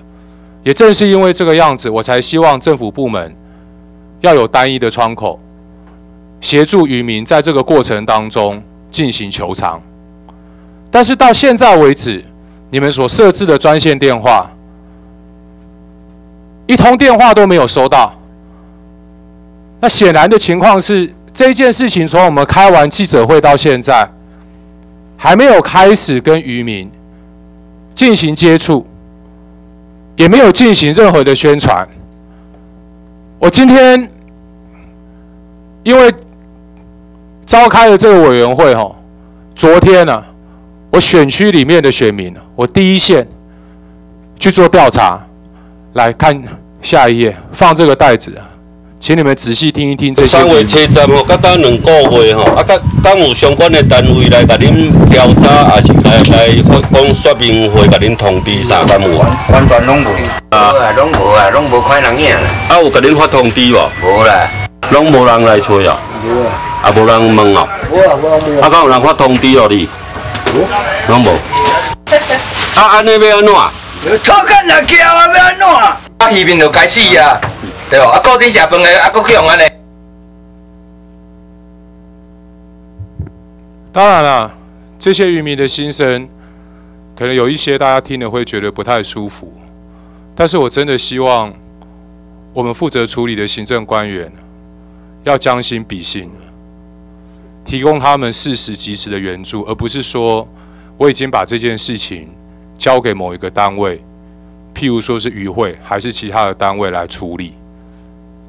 那这一些负责第一线处理的单位，是不是有切实的处理好？我们在行政院这边负责求偿、负责协助渔民的单位，真的有掌握吗？当你们现在说，你们接下来在五月的时候会去办一些说明会，那没有关系啊。我们接下来就针对这些说明会最后的效果是怎么样，来加以检验。刚刚其他的委员啊，在提到接下来求偿的过程当中，有说到你们现在已经委托了一个教授。针对渔获可能产生的损失，在进行调查嘛？但是我要问的事情是说啊，接下来不管接下来是透过什么样的纷争解决程序，对于渔民来讲，他们要证明这一些渔获的损失，他们现在有没有该做什么事情？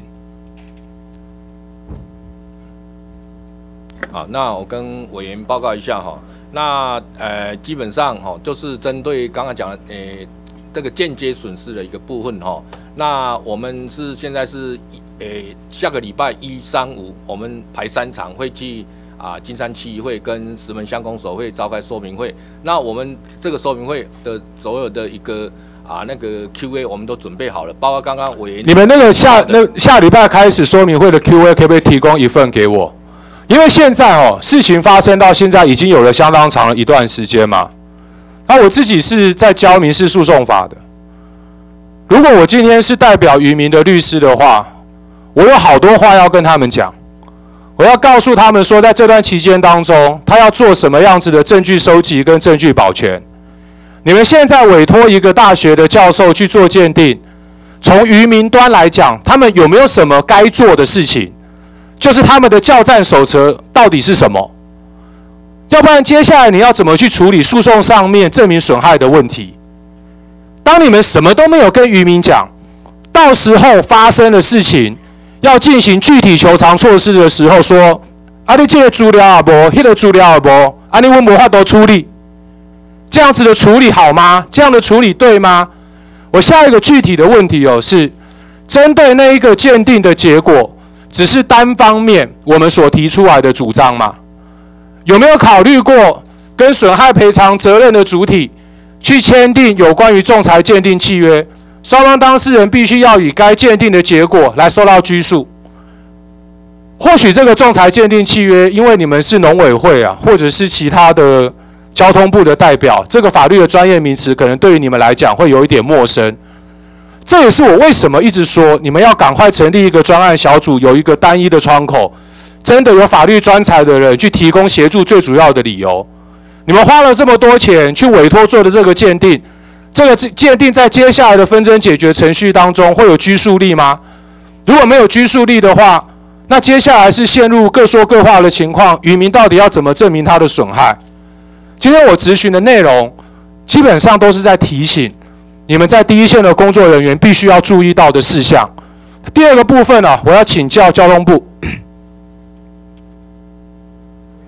观光业者的损害，我们上次开记者会的时候，你们说你们是航呃航航港局的啊，你们不是很清楚，是要通知观光局嘛？是是，那通知了没有？有有有，今天观光局有代表在这边。来，请观光局。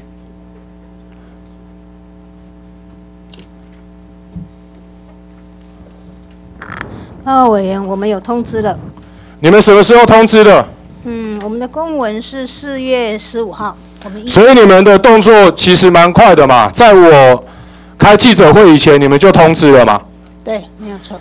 你们给我的书面报告吼说，你们在四月十五号以北关管制第几号函函查辖内业者是否受损求偿，尚无业者提出求偿申请，是吗？对，而且我们是也很担心，因为事情三月四号发生以后，我们直接请教呃正大的法律海洋所，也请教海洋大学的老师。那这一方面我们是很关心的。我们除了海，你们请教的结，你们请教的结论是什么？哎，其实从早上到现在，哎，委员讲的？我们完全支持。其实我们的重点，我们观光产业重点是在不要污染，所以从三月十号没有啊，过去发生这段时间观光业所造成的营业损失呢？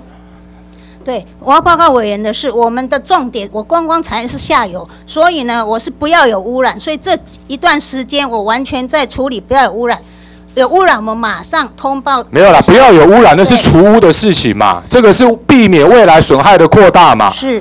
那你们说四月十五号有发函通知，我看了你们的函哦，你们通知了救国团，通知翡翠湾，通知白宫行馆，通知浪行者，东洋海洋公司、新北市石门乡社区发展协会、新空间国际股份有限公司。除了这些公司以外，其他的观光业者呢？哦，报告委员大概是这样，在依据三月十六号第十七次的那个小组的会议啊，那朱市长在三月二十五号他有指示，有关于观光的部分是由新北市观光旅游局。那当时候呢，我们是直接找，所以你的意思是新北市的问题？呃，我不能这么说，因为我现在很直接跟你讲，你们只发函这些少数的几家，问他们有没有损害。到我这边来成型的饭店、餐厅这些观光业有损害的人数非常非常的多啊，他们都在你们眼中不算是观光业者，不算是有损害可能发生的主体吗？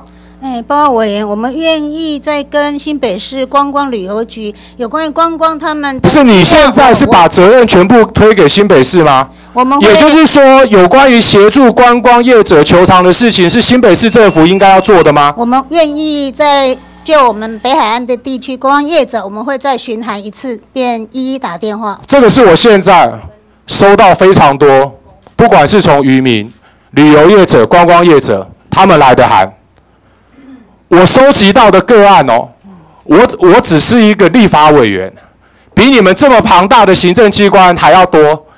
结果你们就是消极的发几个少数的特定业者，这样就算进有进行观光损害的调查。我现在提供一个个案哦，给你们做参考。在一九九七年的时候，俄罗斯的油轮在日本的外海造成一样重油污染的外泄，他们的政府马上积极的协助业者来进行求偿，不仅估算损失的金额，向船主还有保赔基金来进行求偿。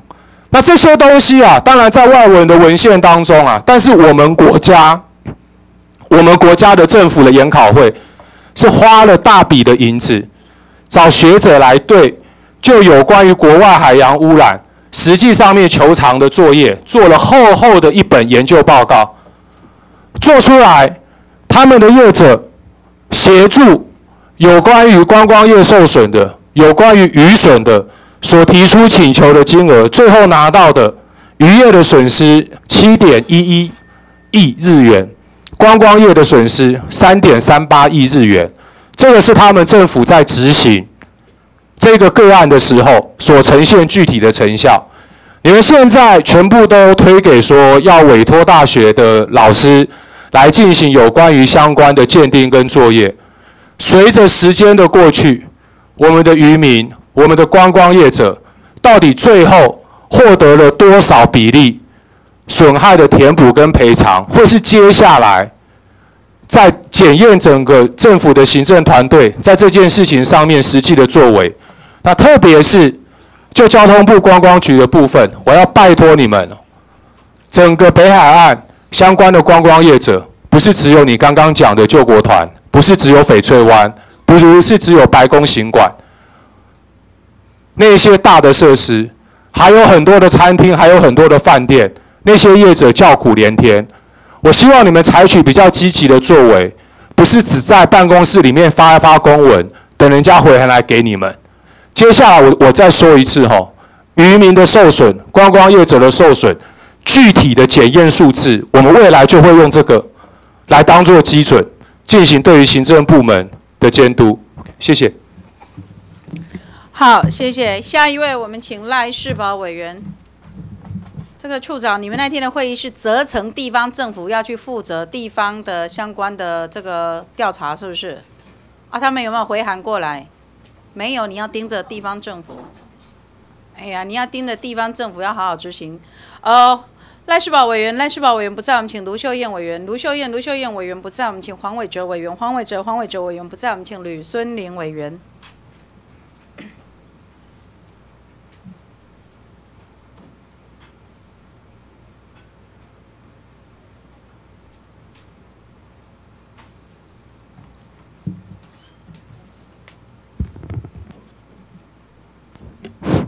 谢谢主席。呃，我想先请渔业署的副署长来，副署长。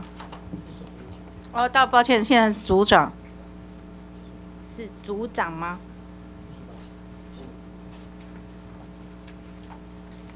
那委员好。所以我要怎么称呼你呢？呃，我施施组长。施组长。是。好。施组长你好，哎，嗯，我在三月二十五号的时候有参加我们行政院所召开，在石门区公所所召开的德翔台北轮呃台台北轮搁浅事件油污油污染现场应变中心的第十六次会议。那在会议记录当中的结论的第七点有明确的指出，有关渔业损失部分，请新北市渔业处及金山区渔会协助渔民，渔会必要时得聘请律师及学者专家协助渔民收集相关损失证据。农委会渔业署密切与渔会联系，并提供必要的协助。所以我要想请教施组长，跟。根据这样子的会议结论，有关于渔业损失的部分，是全部都委由新北市渔业处和金山区渔会来执行吗？我们渔业署有没有做参与的部分？是，呃，跟委员报告哈，那那个今天针对渔民哈，他有两个两种损失，一个是啊直接损失，一个是间接损失哈。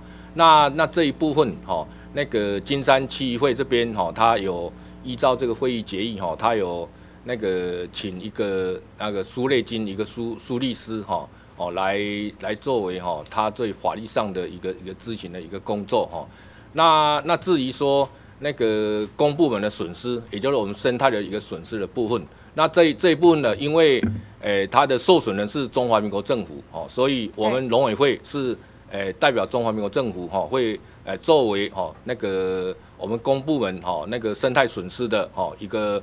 一个求偿者哦，那那这一部分我们也有积极在办理哦啊，另外还有再补充一点，就是说刚刚提到这个私部门的损失的部分哦，那我们也在那个协助哦，协助那个诶金山区议会哈哦，他在呃包括第一个就是他直接损失的部分哈哦，积极协助他们哈，先导移民哈，要怎么样哈来啊向船主哈提出他这个损失的一个证据，以便于求偿哈，所以。呃，这一部分刚刚我有报告过，就是说我们下礼拜一、三、五哦，我们会啊分排三三个啊梯次，我们会到哦那个新北市那边去办哦三场这个移民的一个说明会。那另外新北市的哪里？诶，我们呃一一跟五是在金山区会，然后礼拜三是在那个石门气功所。一五是在金山区议会是。好，继续，麻烦继续。那那那再来争诶，还有第二个就是啊间接损失的一一个一个部分哦，因为那个间接损失就是大家没有办法哦拿到一个直接证据，所以变成说我们必须要哦那个透过老师哈他来哦。针对移民没有办法作为的损失，我们做一个啊调查评估。那为了要做调查评估，我们渔业署我们也啊提供老师哈哦，包括一个在诶那个在那个乌兰海域哈作业的这个过去渔船的这个航机的一个资料哦，来证明说确实过去有很多船是在这边作业哦。啊，另外哦，我们呃也有提供一些我们过去我们港口查报员的哦查报说他那边这个有一些疑货量的一个一个资料哦。那那。根据这些资料哈，给老师哦，在进行我们调查研究的时候哦，他有一个啊那个实际的一个数据资料来来那个做这一项的一个调查评估工作。好，那我想知道就是说，你们在之在这段期间内有没有发函给哪些单位和哪些人？然后来通知这些有受损害的渔民来做一个求偿，或者是说你们要怎么样协助他们去做这样子的一个动作？是，那根据这一部分哈，因为我们啊渔业署跟新北市政府还有渔会哈，我们有啊成立一个啊那个专案小组哈，来协助你求偿哈。那我们在渔业署哦，因为我们渔业署也发现这个问题，我们在诶四月十五诶对四月十五号哈，四月十五号我们。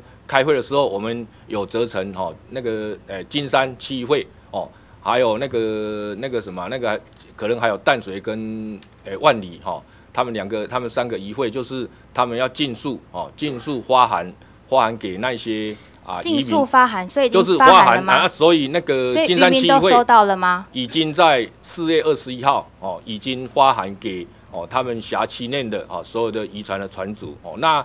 好，那现在请问一下，那另外我我们因为要做确认，所以我们也有也有把请金山区会把他那个那个花花函哈受文者这个一个名册，我们也取得了他的这些名册资料。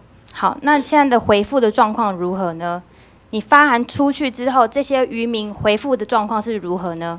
现到目前为止哈是有四十艘嘛哈，哎对，目目前哈我们已经有四十艘哦，他已经。那个提出申请，并那那其中有三十八艘已经完成采样，那两艘会在近期里面哈会那个去进行那个采样。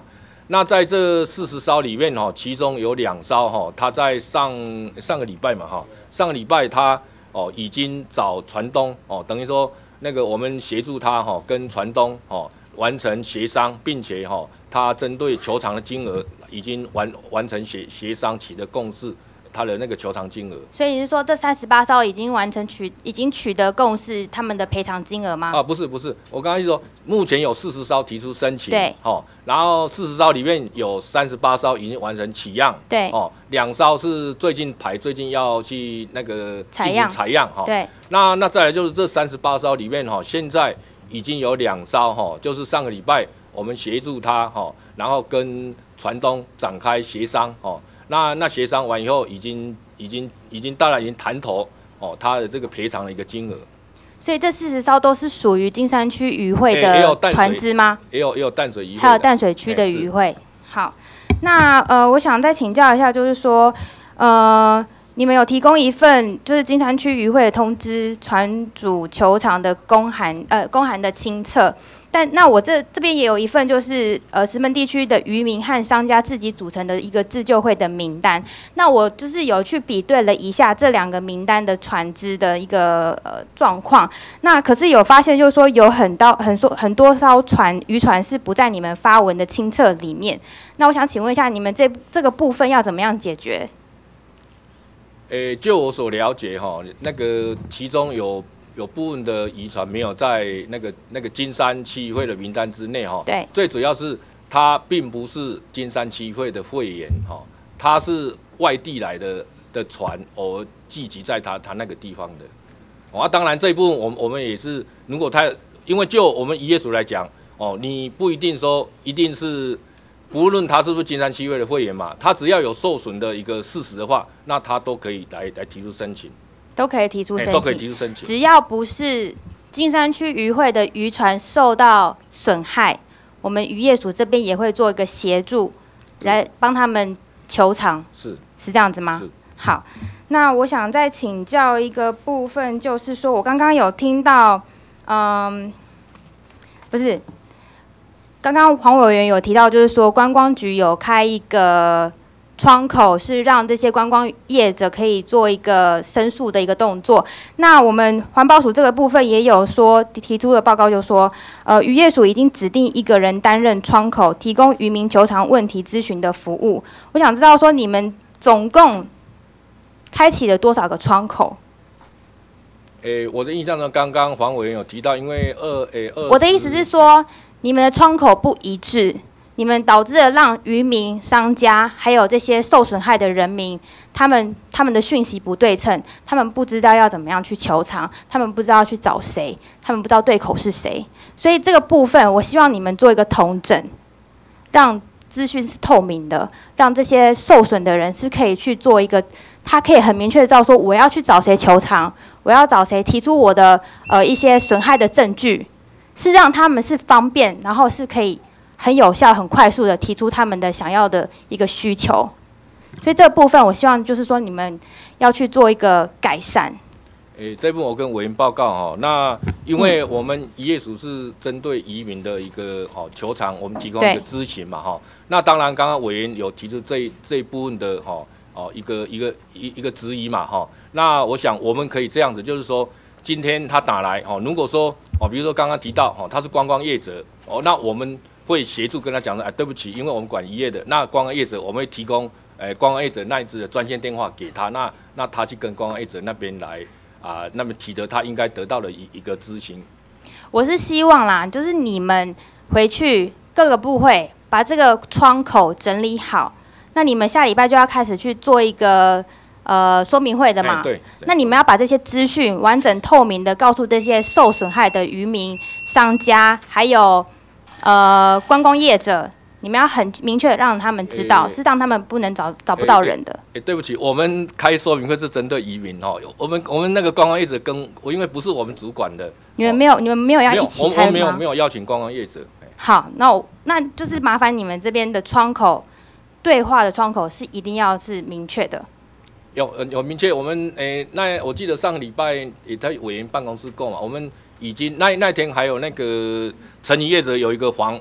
黄黄董事长嘛，那他也有来，我们都把我们窗口的时候那个电话什么，我们都已经都告诉他了。好，还有就是刚刚我提到，就是说不在金山区渔会里面的这些会员，他受损害的船只，你们也要尽最大的力量去协助他们，然后去得到一个赔偿，可以吗？是可以。好，谢谢。有受损，我们当然要协助他。好，还有主席，呃，我想要就是请。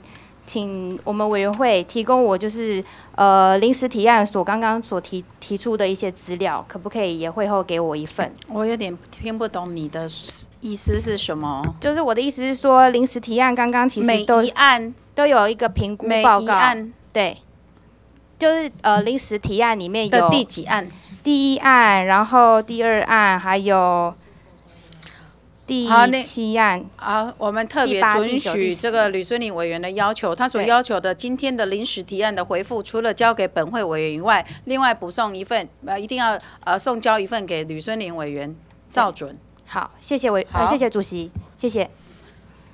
好，谢谢。下一位，我们请徐永明委员。徐永明委员，徐永明委员不在，我们请徐增卫委员。徐增卫委员，徐增卫委员不在，我们请林俊宪委员。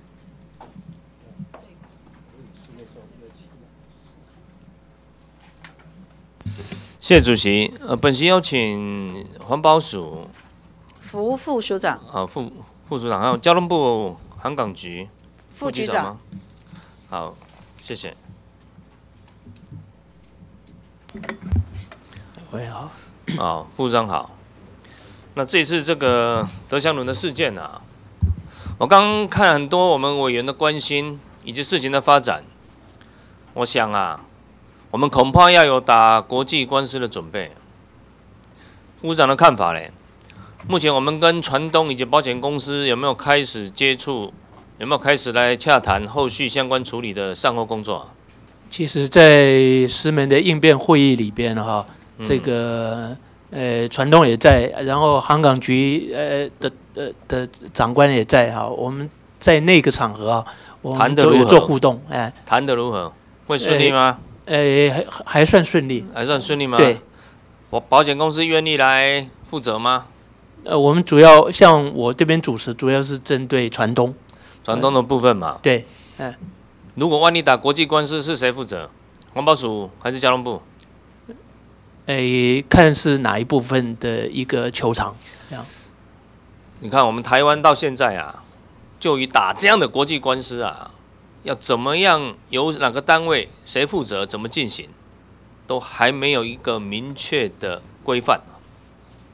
其实我们不是没有经验啊，台湾在过去啊，在阿马斯号的污染事件，当时这艘希腊籍的阿马斯号也造成我们重大污染。谈不妥，后来怎么办？打官司。那因为它是外籍船，造成在我们屏东外海的重大油污，我们政府啊，在屏东地方法院啊提起告诉，结果了，我们自己的法院，我们屏东地方法院认为我们没有管辖权，因为呢，阿马斯号呢，它是希腊籍的公司。负责保险的是挪威的保险公司，所以我们屏东地方法院呐，他认为没有管辖权。最后这个事情因为跟船东以及保险公司谈不懂，就去打了国际官司，是不是这样的？是。当时是哪个单位负责打国际官司的？是环保署啊。在公部门的球场是我们是环保署对，哎，啊，所以如果德香龙要打国际官司，谁负责？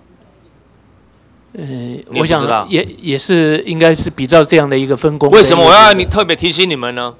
因为要准备打国际官司啊，我们要有相关的准备啊，要谈判人才，要保险的专家，要法律的专家，我们甚至一开始啊，要有很完整的。进行全面的收证啊，因为到最后很容易谈不拢啊。我再举阿马斯号做例子了，阿马斯号后来打这个国际官司，台湾呐，中华民国政府啦，求偿三亿五千万了，我们求偿三亿，三亿哎，三亿五千万台币啊。那最后呢，判决多少？九百多万，我们要再提上诉，想一想啊。还是赶快和解了。我们光律师费用啊，就花了一千六百八十七万，才判赔我们九百多万。那干脆就和解了，最后和解金额是三千多万台币啊，是不是这样的？是的。离我们球场的三点五亿，它只有一成。那有没有汲取教训呢？当年阿马斯号为什么我们国际官司输了那么惨？为什么？我想这个打官司多半都还是就是因为啊，我们没有经验呐，没有准备了，没有收证，证据也不完全，在这个官司上啊，被打得很惨。受污染的是我们，台湾的海洋被污染，台湾的渔民啊受到重大的伤害，结果我们求偿金额只拿回一成。所以这一次，我觉得啦，我们也也要做相关的心理准备了。这是我们准，我们应该是准适用《香港法》第五十三条，对不对？对。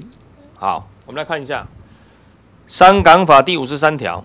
如果我们觉得啦，我们的港航港局，我们请航港局哈，那么我们认为啊，委员好，这个船东了哈，他可能。有不履行义务了，那么我们得要求船舶所有人，就是船东呢，要提供相当额度的财务担保。目前有吗？呃，八委员，因为现在德享公司持续在处理之中，所以他们并没有不履行，所以没有用到这个条款。因为你还没有球场嘛。是。所以他，所以他当然没有履行不履行的问题。他整个船后的这个遗嘱持续在进行。我们希望德祥公司啊要负起责任。我们希望啦，跟保险公司的谈判呐，能够进行顺利。我们希望啊，这样的补偿能够让我们可以就环保所造成的伤害，我们还要清理后续的油污、海洋的污染，以及渔民的损失，甚至观光业的损失，甚至我们还要有准备把沉船给移除的费用。哇，这些都是要花很多钱，甚至需要要很长的时间呢。谈的会谈得好吗？呃，目前其实目前这个 PNI 跟他的下包到到目前还没有达成协议，整个是吗？还没有达成协议嘛？一定会翻脸呐！讲到钱的问题啊，等到金额拿出来啊，大家啊就会开始啊硬碰硬了啦。我们台湾啊，我们政府准备要求偿多少？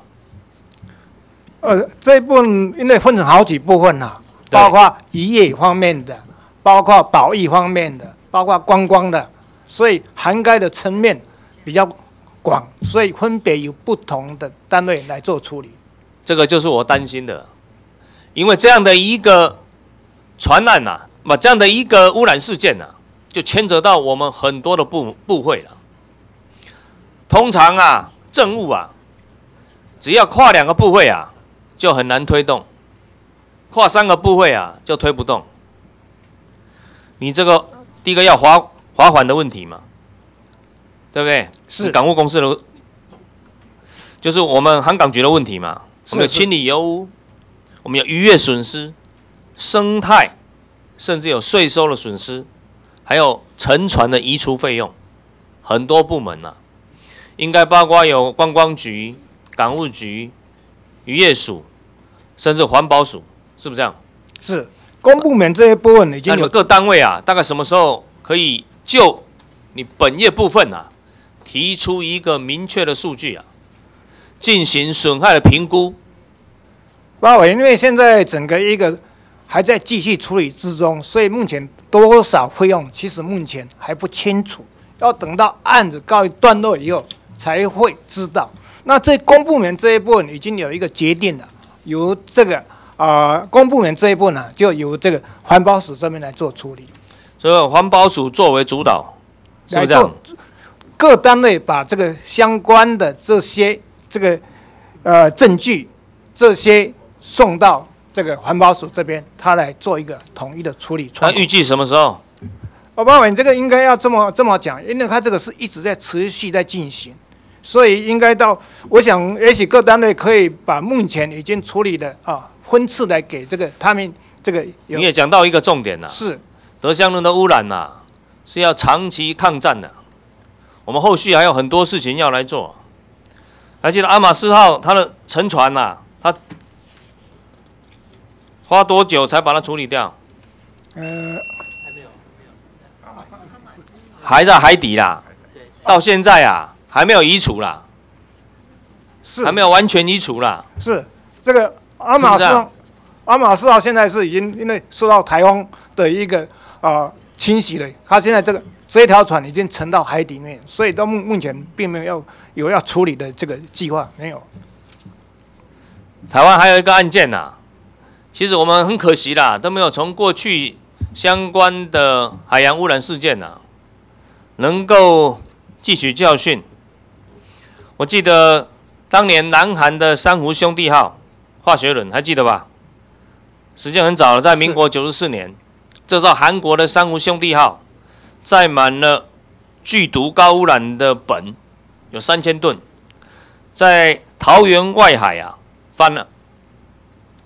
那苯是很危险的物质啊，那怎么办？到最后啊，台湾政府啊出动空军啊，用 F 十六，用眼镜蛇直升机啊，用飞弹去打它了。因为呢，要让苯呐、燃烧掉。结果呢，本有没有烧掉？好像有了，但造成了重大的海洋污染。那重点是善后工作嘞。善后工作呢，厂商啦欠钱也没还。那船的残骸啊，清了两年多，政府听说花掉了几千万美元。那这次呢，我们希望啊，德祥轮的事件呢，能够作为以后政府处理相关的海洋污染事件呢的一个典范啊，把 SOP 给建立起来，把各单位的联系工作了要做好，好不好？是，这个行政院已经有交代、有指示了，所以在这一部分将来这个以后也会变成新政府的工作了。这个甚至要做好几个月，甚至要做好几年。我们希望各位啊，要持续的努力，也不不要排除准备打国际官司的，做最坏的准备，好不好？好，谢谢，我们感谢各位，谢谢主席。好，谢谢。下一位，我们请王惠美委员。王惠美，王惠美委员不在，我们请赖瑞龙委员。赖瑞龙，赖瑞龙委员不在，我们请吕玉玲委员。吕玉玲，吕玉玲委员不在，我们请张立善委员。张立善委员，张立善委员不在，我们请郑运鹏委员。郑运鹏，郑运鹏委员不在，我们请肖美琴委员。肖美琴，肖美琴委员不在，我们请吴炳瑞委员向各位报告。因为还有时间，所以我们开放第二轮登记。那本人优先登记，可不可以请陈委员代理主席一下？我有制度面的问题，制度面的问题。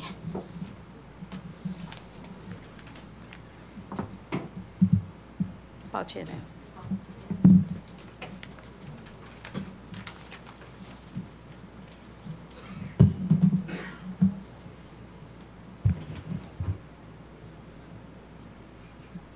啊，谢谢主席哦。因为知识体大，因为今天是德祥轮，那刚才林俊宪委员又提到要打国际官司哦，所以这个事情哦，我们非要厘清不可，是不是？先请环保署，请环保署。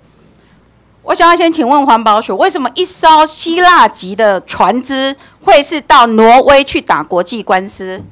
我们为了这个付出很大的代价，我们后来也制定了海洋污染防治法，我们也修过修正了相关的法。所以我今天在开会以前，我就问了法制局一件事情：如果今天德翔台北不是本国籍的船只，它是一个外国籍的船只的话，我们台湾对它到底法院有没有管辖权？好，那我们基于香港法，基于这个民事诉讼法，我们大概认为都会有。可是。民事诉讼里面还有一条，允许船东所在的国籍，他们也有审理权。所以，如果今天德享台北到底以德享台北现在为台湾籍的渔船来讲，我们会不会打到国国际官司？法制局的人在不在？可不可以回复一下？和环保署，环保署先说明为什么当初一艘斯希腊籍的，依照现在的法令，过去法令我不知道，那也应该是到希腊去打官司，为什么跑到挪威去打官司？是不是因为它的 PNI 是一个希腊籍的这个保险？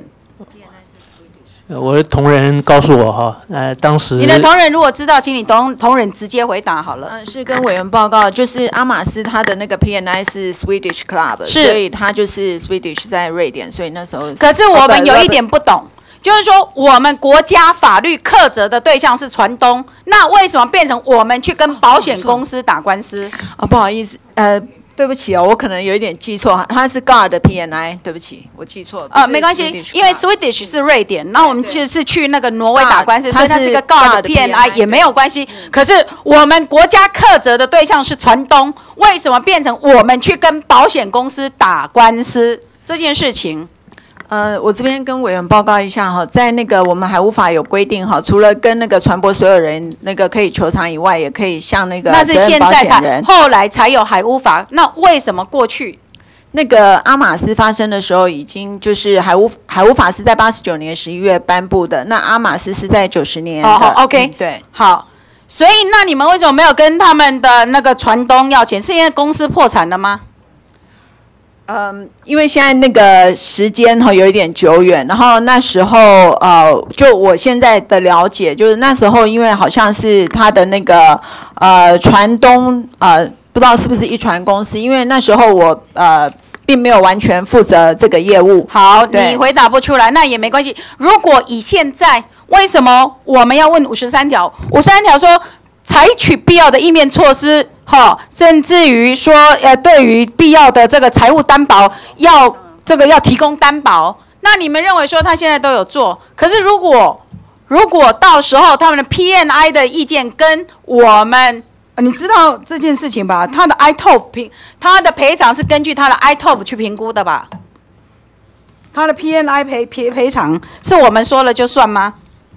呃，主呃，委员讲的是有关那个呃污染的这个部分，还是那个船体残骸的部分？污染，污染的部分是，其实就是说在，呃一般我们过去的案例来看，就是说，如果我们在做公部门的球场，只要有这个确定的这个单据还有证据的话，我们可以提得出来的话，理论上应该我呃这个部分们有这么乐观吗？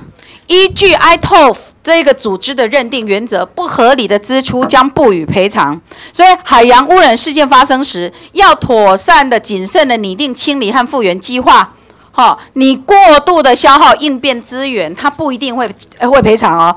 你知道哦，ITOF 是一个什么样的组织吗？它是那个国际呃船东联盟的对，所以你知道成的一个非营利 ITOF 的是附属在 PNI 这一个机制下面的组织。那 ITOF 的运作，呃啊 PNI 要不要赔偿，会根据他们的 I T O P 去做评估哦，对不对？我们看应变计划啊，他们的 PNI 的 I T O P 都有来练习哦，对不对？对。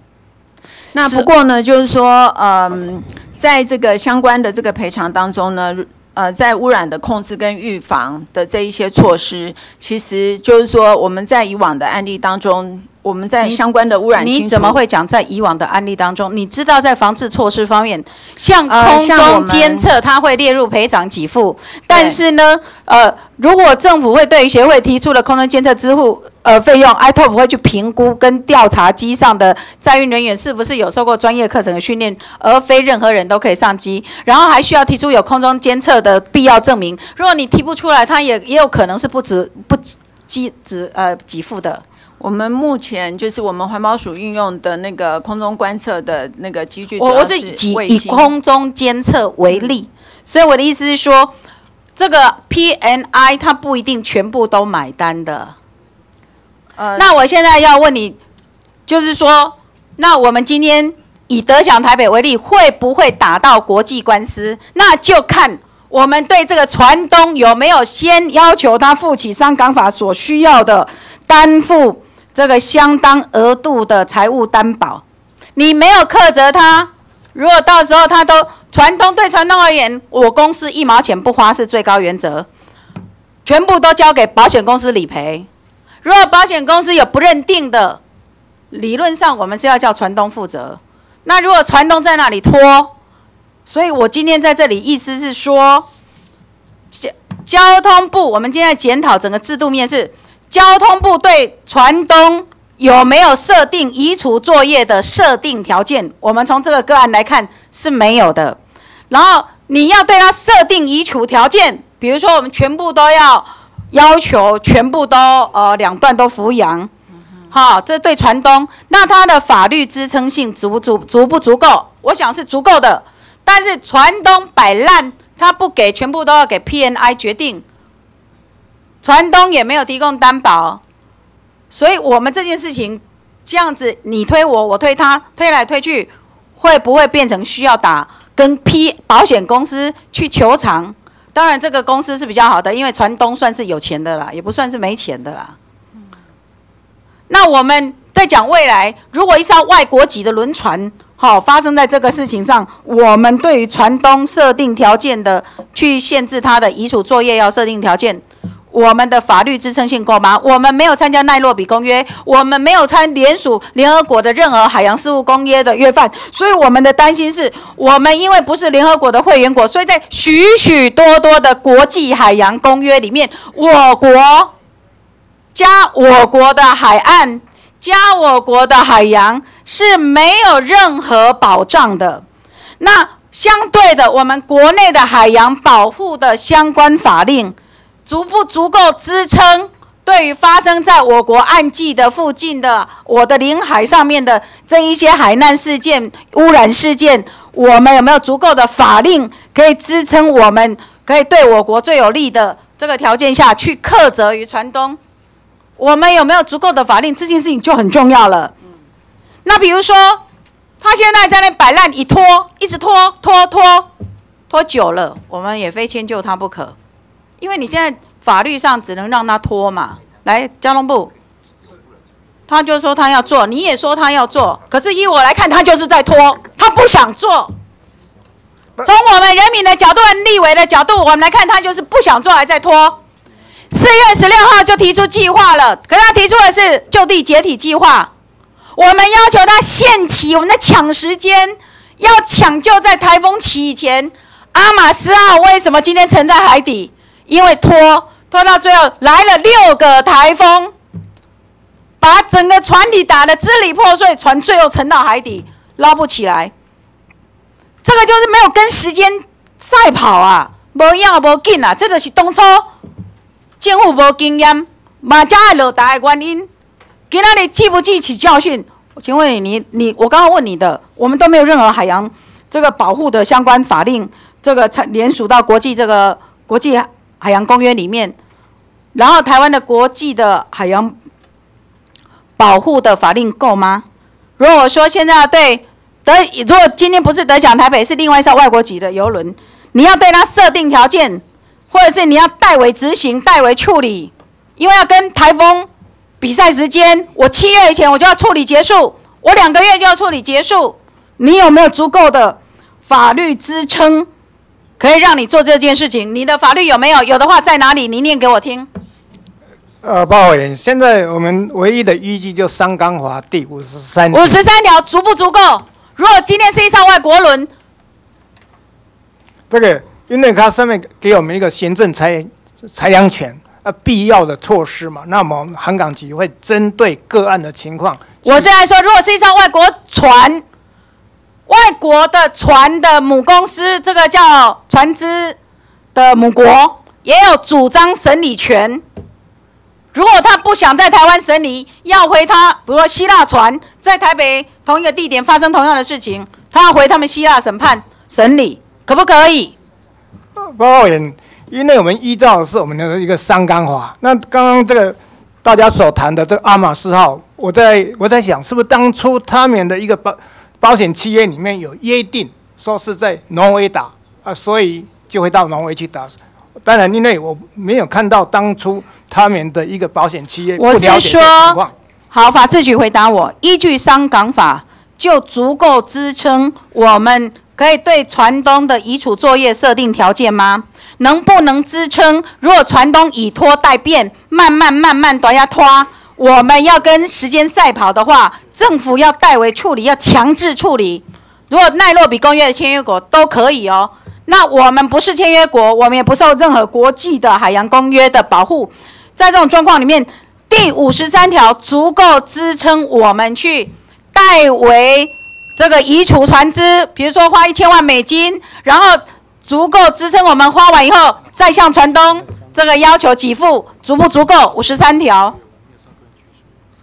呃，那个报告委员，依现行商港法五十三条第三第三项，可以用可以用保全担保权哦，请他提供担保，在船舶所有人哦提供相当的财务担保，或者是限制出境这方面的措施。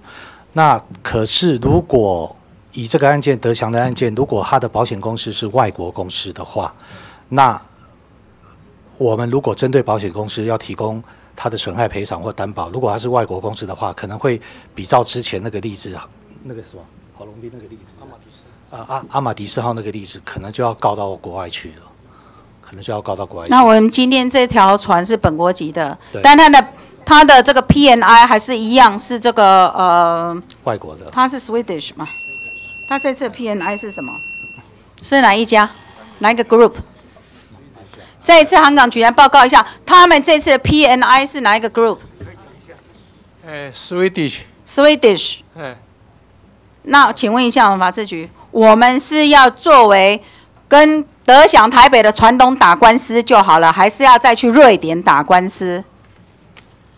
如果包委员，如果今天当原则上当然针对船东的部分，那如果船东部分能够能够确实求偿，那当然就没问题。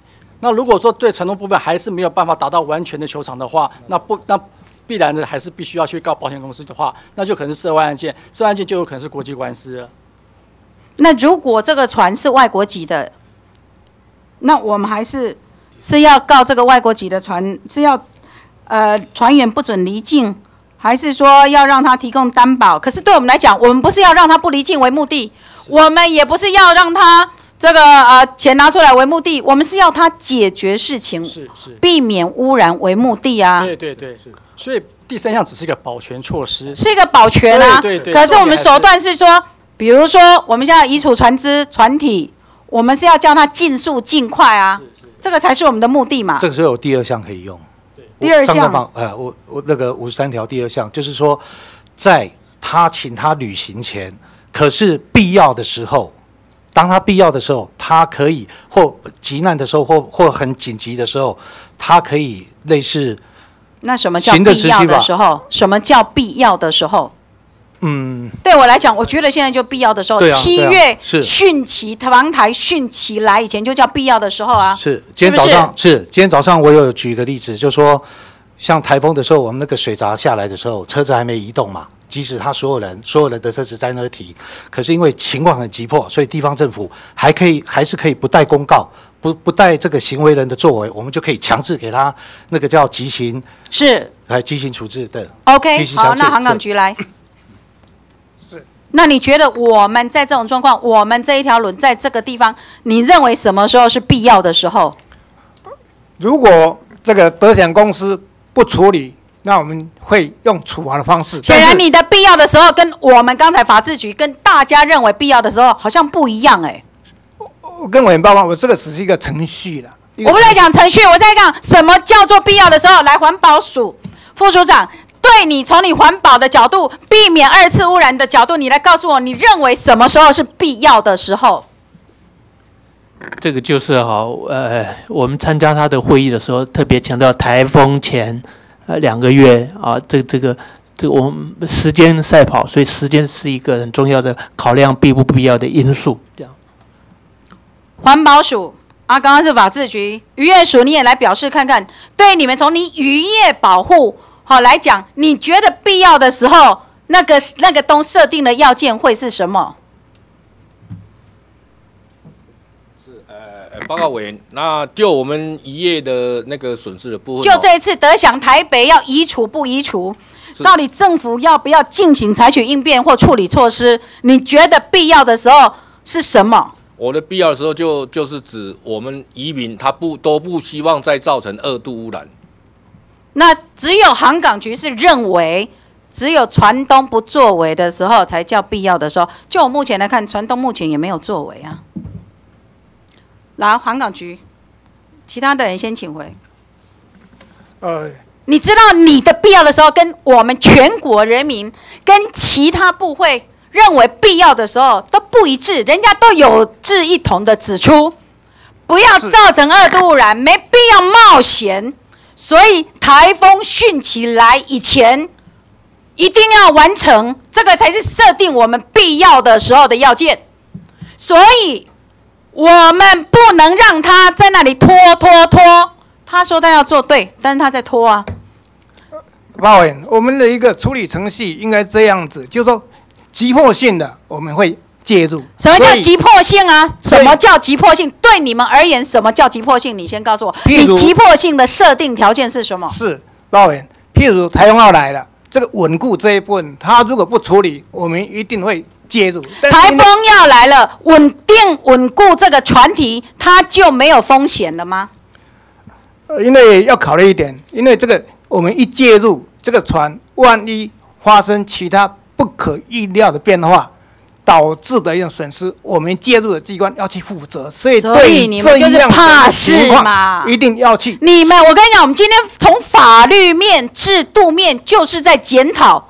那你们为什么不去修一个配套？必要的时候介入了，然后所有衍生的费用全部要船东买单。我管你，你总不能说因为没有这条法律，所以我不敢介入，免得衍生其他更多费用，到时候船东不买单，依法无据，无法求偿。你现在是担心这个嘛？对不对？这个恐怕也要看一下奈洛比奈洛比公约上的规定。不要再跟我们讲奈洛比公约了，奈洛比公约你们都没有给他国内法化，连他的精神都没有放到修法里面来。所以，我们今天讲从阿玛四号到现在，我们学到了什么？再从德祥台北轮事件，我们又要检讨什么？从这里我们知道，对于人民而言，对环境而言，对台湾而言，必要的时候、紧急的时候，就是在台风来临以前，把船给拖走、扶养起来、拖走，就是真正的最好的解决方式。可是你，你认为台风来的时候把船绑好，不要破碎，不要支离破碎，不要吹坏。航港局、交通部目前就只是认为这样子就好了。可是问你说，你为什么会要求这么低？你说，因为如果我政府代为处理、代为这个措施处理措施，我去做，衍生了很多始料未及的费用支出，怎么办？你现在在担心这个嘛，对不对？所以你们从来没有好好的想，你们的法律缺少的工具，你们要足够。去支撑你强制或代为处理措施的这个法律工具足够与否？从这里，我们就是要学习来这个，我们就要修法在这里，我们就是要检讨在这里。今天我排一个专案，你才说我们来看奈洛比公约，奈洛比公约你还没有签，你们也没签约，你能适用吗？你也适用不了。奈洛比公约的精神落实到国内法化，你有去做吗？没有。没有，我们今天真的很痛心，就是在这里，不是只有组织到底有没有专责的这个机构去处理这件事情而已。我们是在讲说，整个政府的态度，态度，我们现在就是只有抢时间。现在我们任由 PNI 这一个保险机制在主导整个德享台北轮的移除作业。他们只愿意付一千万美金，而我们就准备要冒险，冒着二次污染的险。我们为什么没有办法不用冒险呢？我们真的是在这里。好，那我问一个处理的问题了。昨天行政院说要解散紧急应变中心和专案小组，对不对？是。然后责成各部位回去处理，对不对？我也认为不用天天跑去石门开会啦，干嘛天天紧急应变中心天天跑去石门开会干什么呢？我们也认为开会强度也不用天天，但是真的解散了好吗？不用跑到石门，台北也可以开会，不用天天开会，一个礼拜也可以开一次会，为什么一定要解散？会不会遇到跨部会的协调的问题呢？啊第一个，第二个，他说。政府介入海难事件紧急处理应变机制所衍生的费用，责成跟保险公司先行垫付，还无可能的啦。你政府先去做，叫保险公司要垫付，伊要做垫付无？第二个，由航港建设基金先垫偿，再跟船东这个要求归垫，这依法有据吗？你的基金可以先行垫偿，在这个这个污染出污啦，或者是任何紧急应变，是这个因为救人救人。以外的事情可以做吗？你的航港建设基金可以吗？是，所以它是用垫付，就是代表你的航港基金里面有一条是可以支付因应这个污染的吗？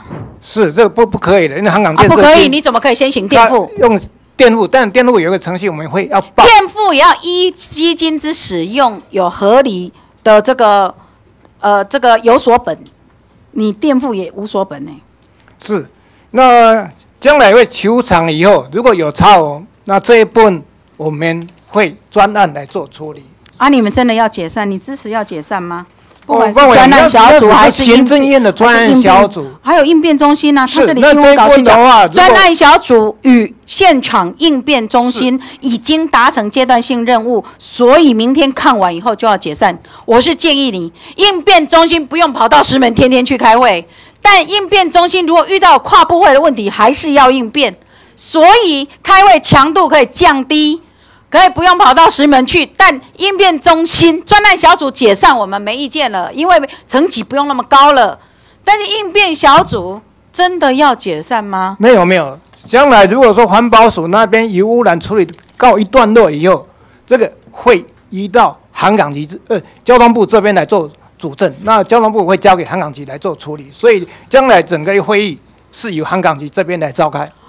好了，持续会召开。我们真的是不管是从这个个案，赶快尽速在台风来以前脱掉解决掉，这是我们的要求。是。另外呢，我们希望这制度面这么多，你对船东无可奈何的法律支撑不足以让你去有任何作为的，通通都要修改，然后要以保障我国的所有的这个呃这个相关权利的相关的配套都要提出来。这个真的是知识体大，希望我们能够从教训当中啊学习到一点成长啦。无真正是再说再下一次再来一样啊，起码的法律工具不足了。谢谢。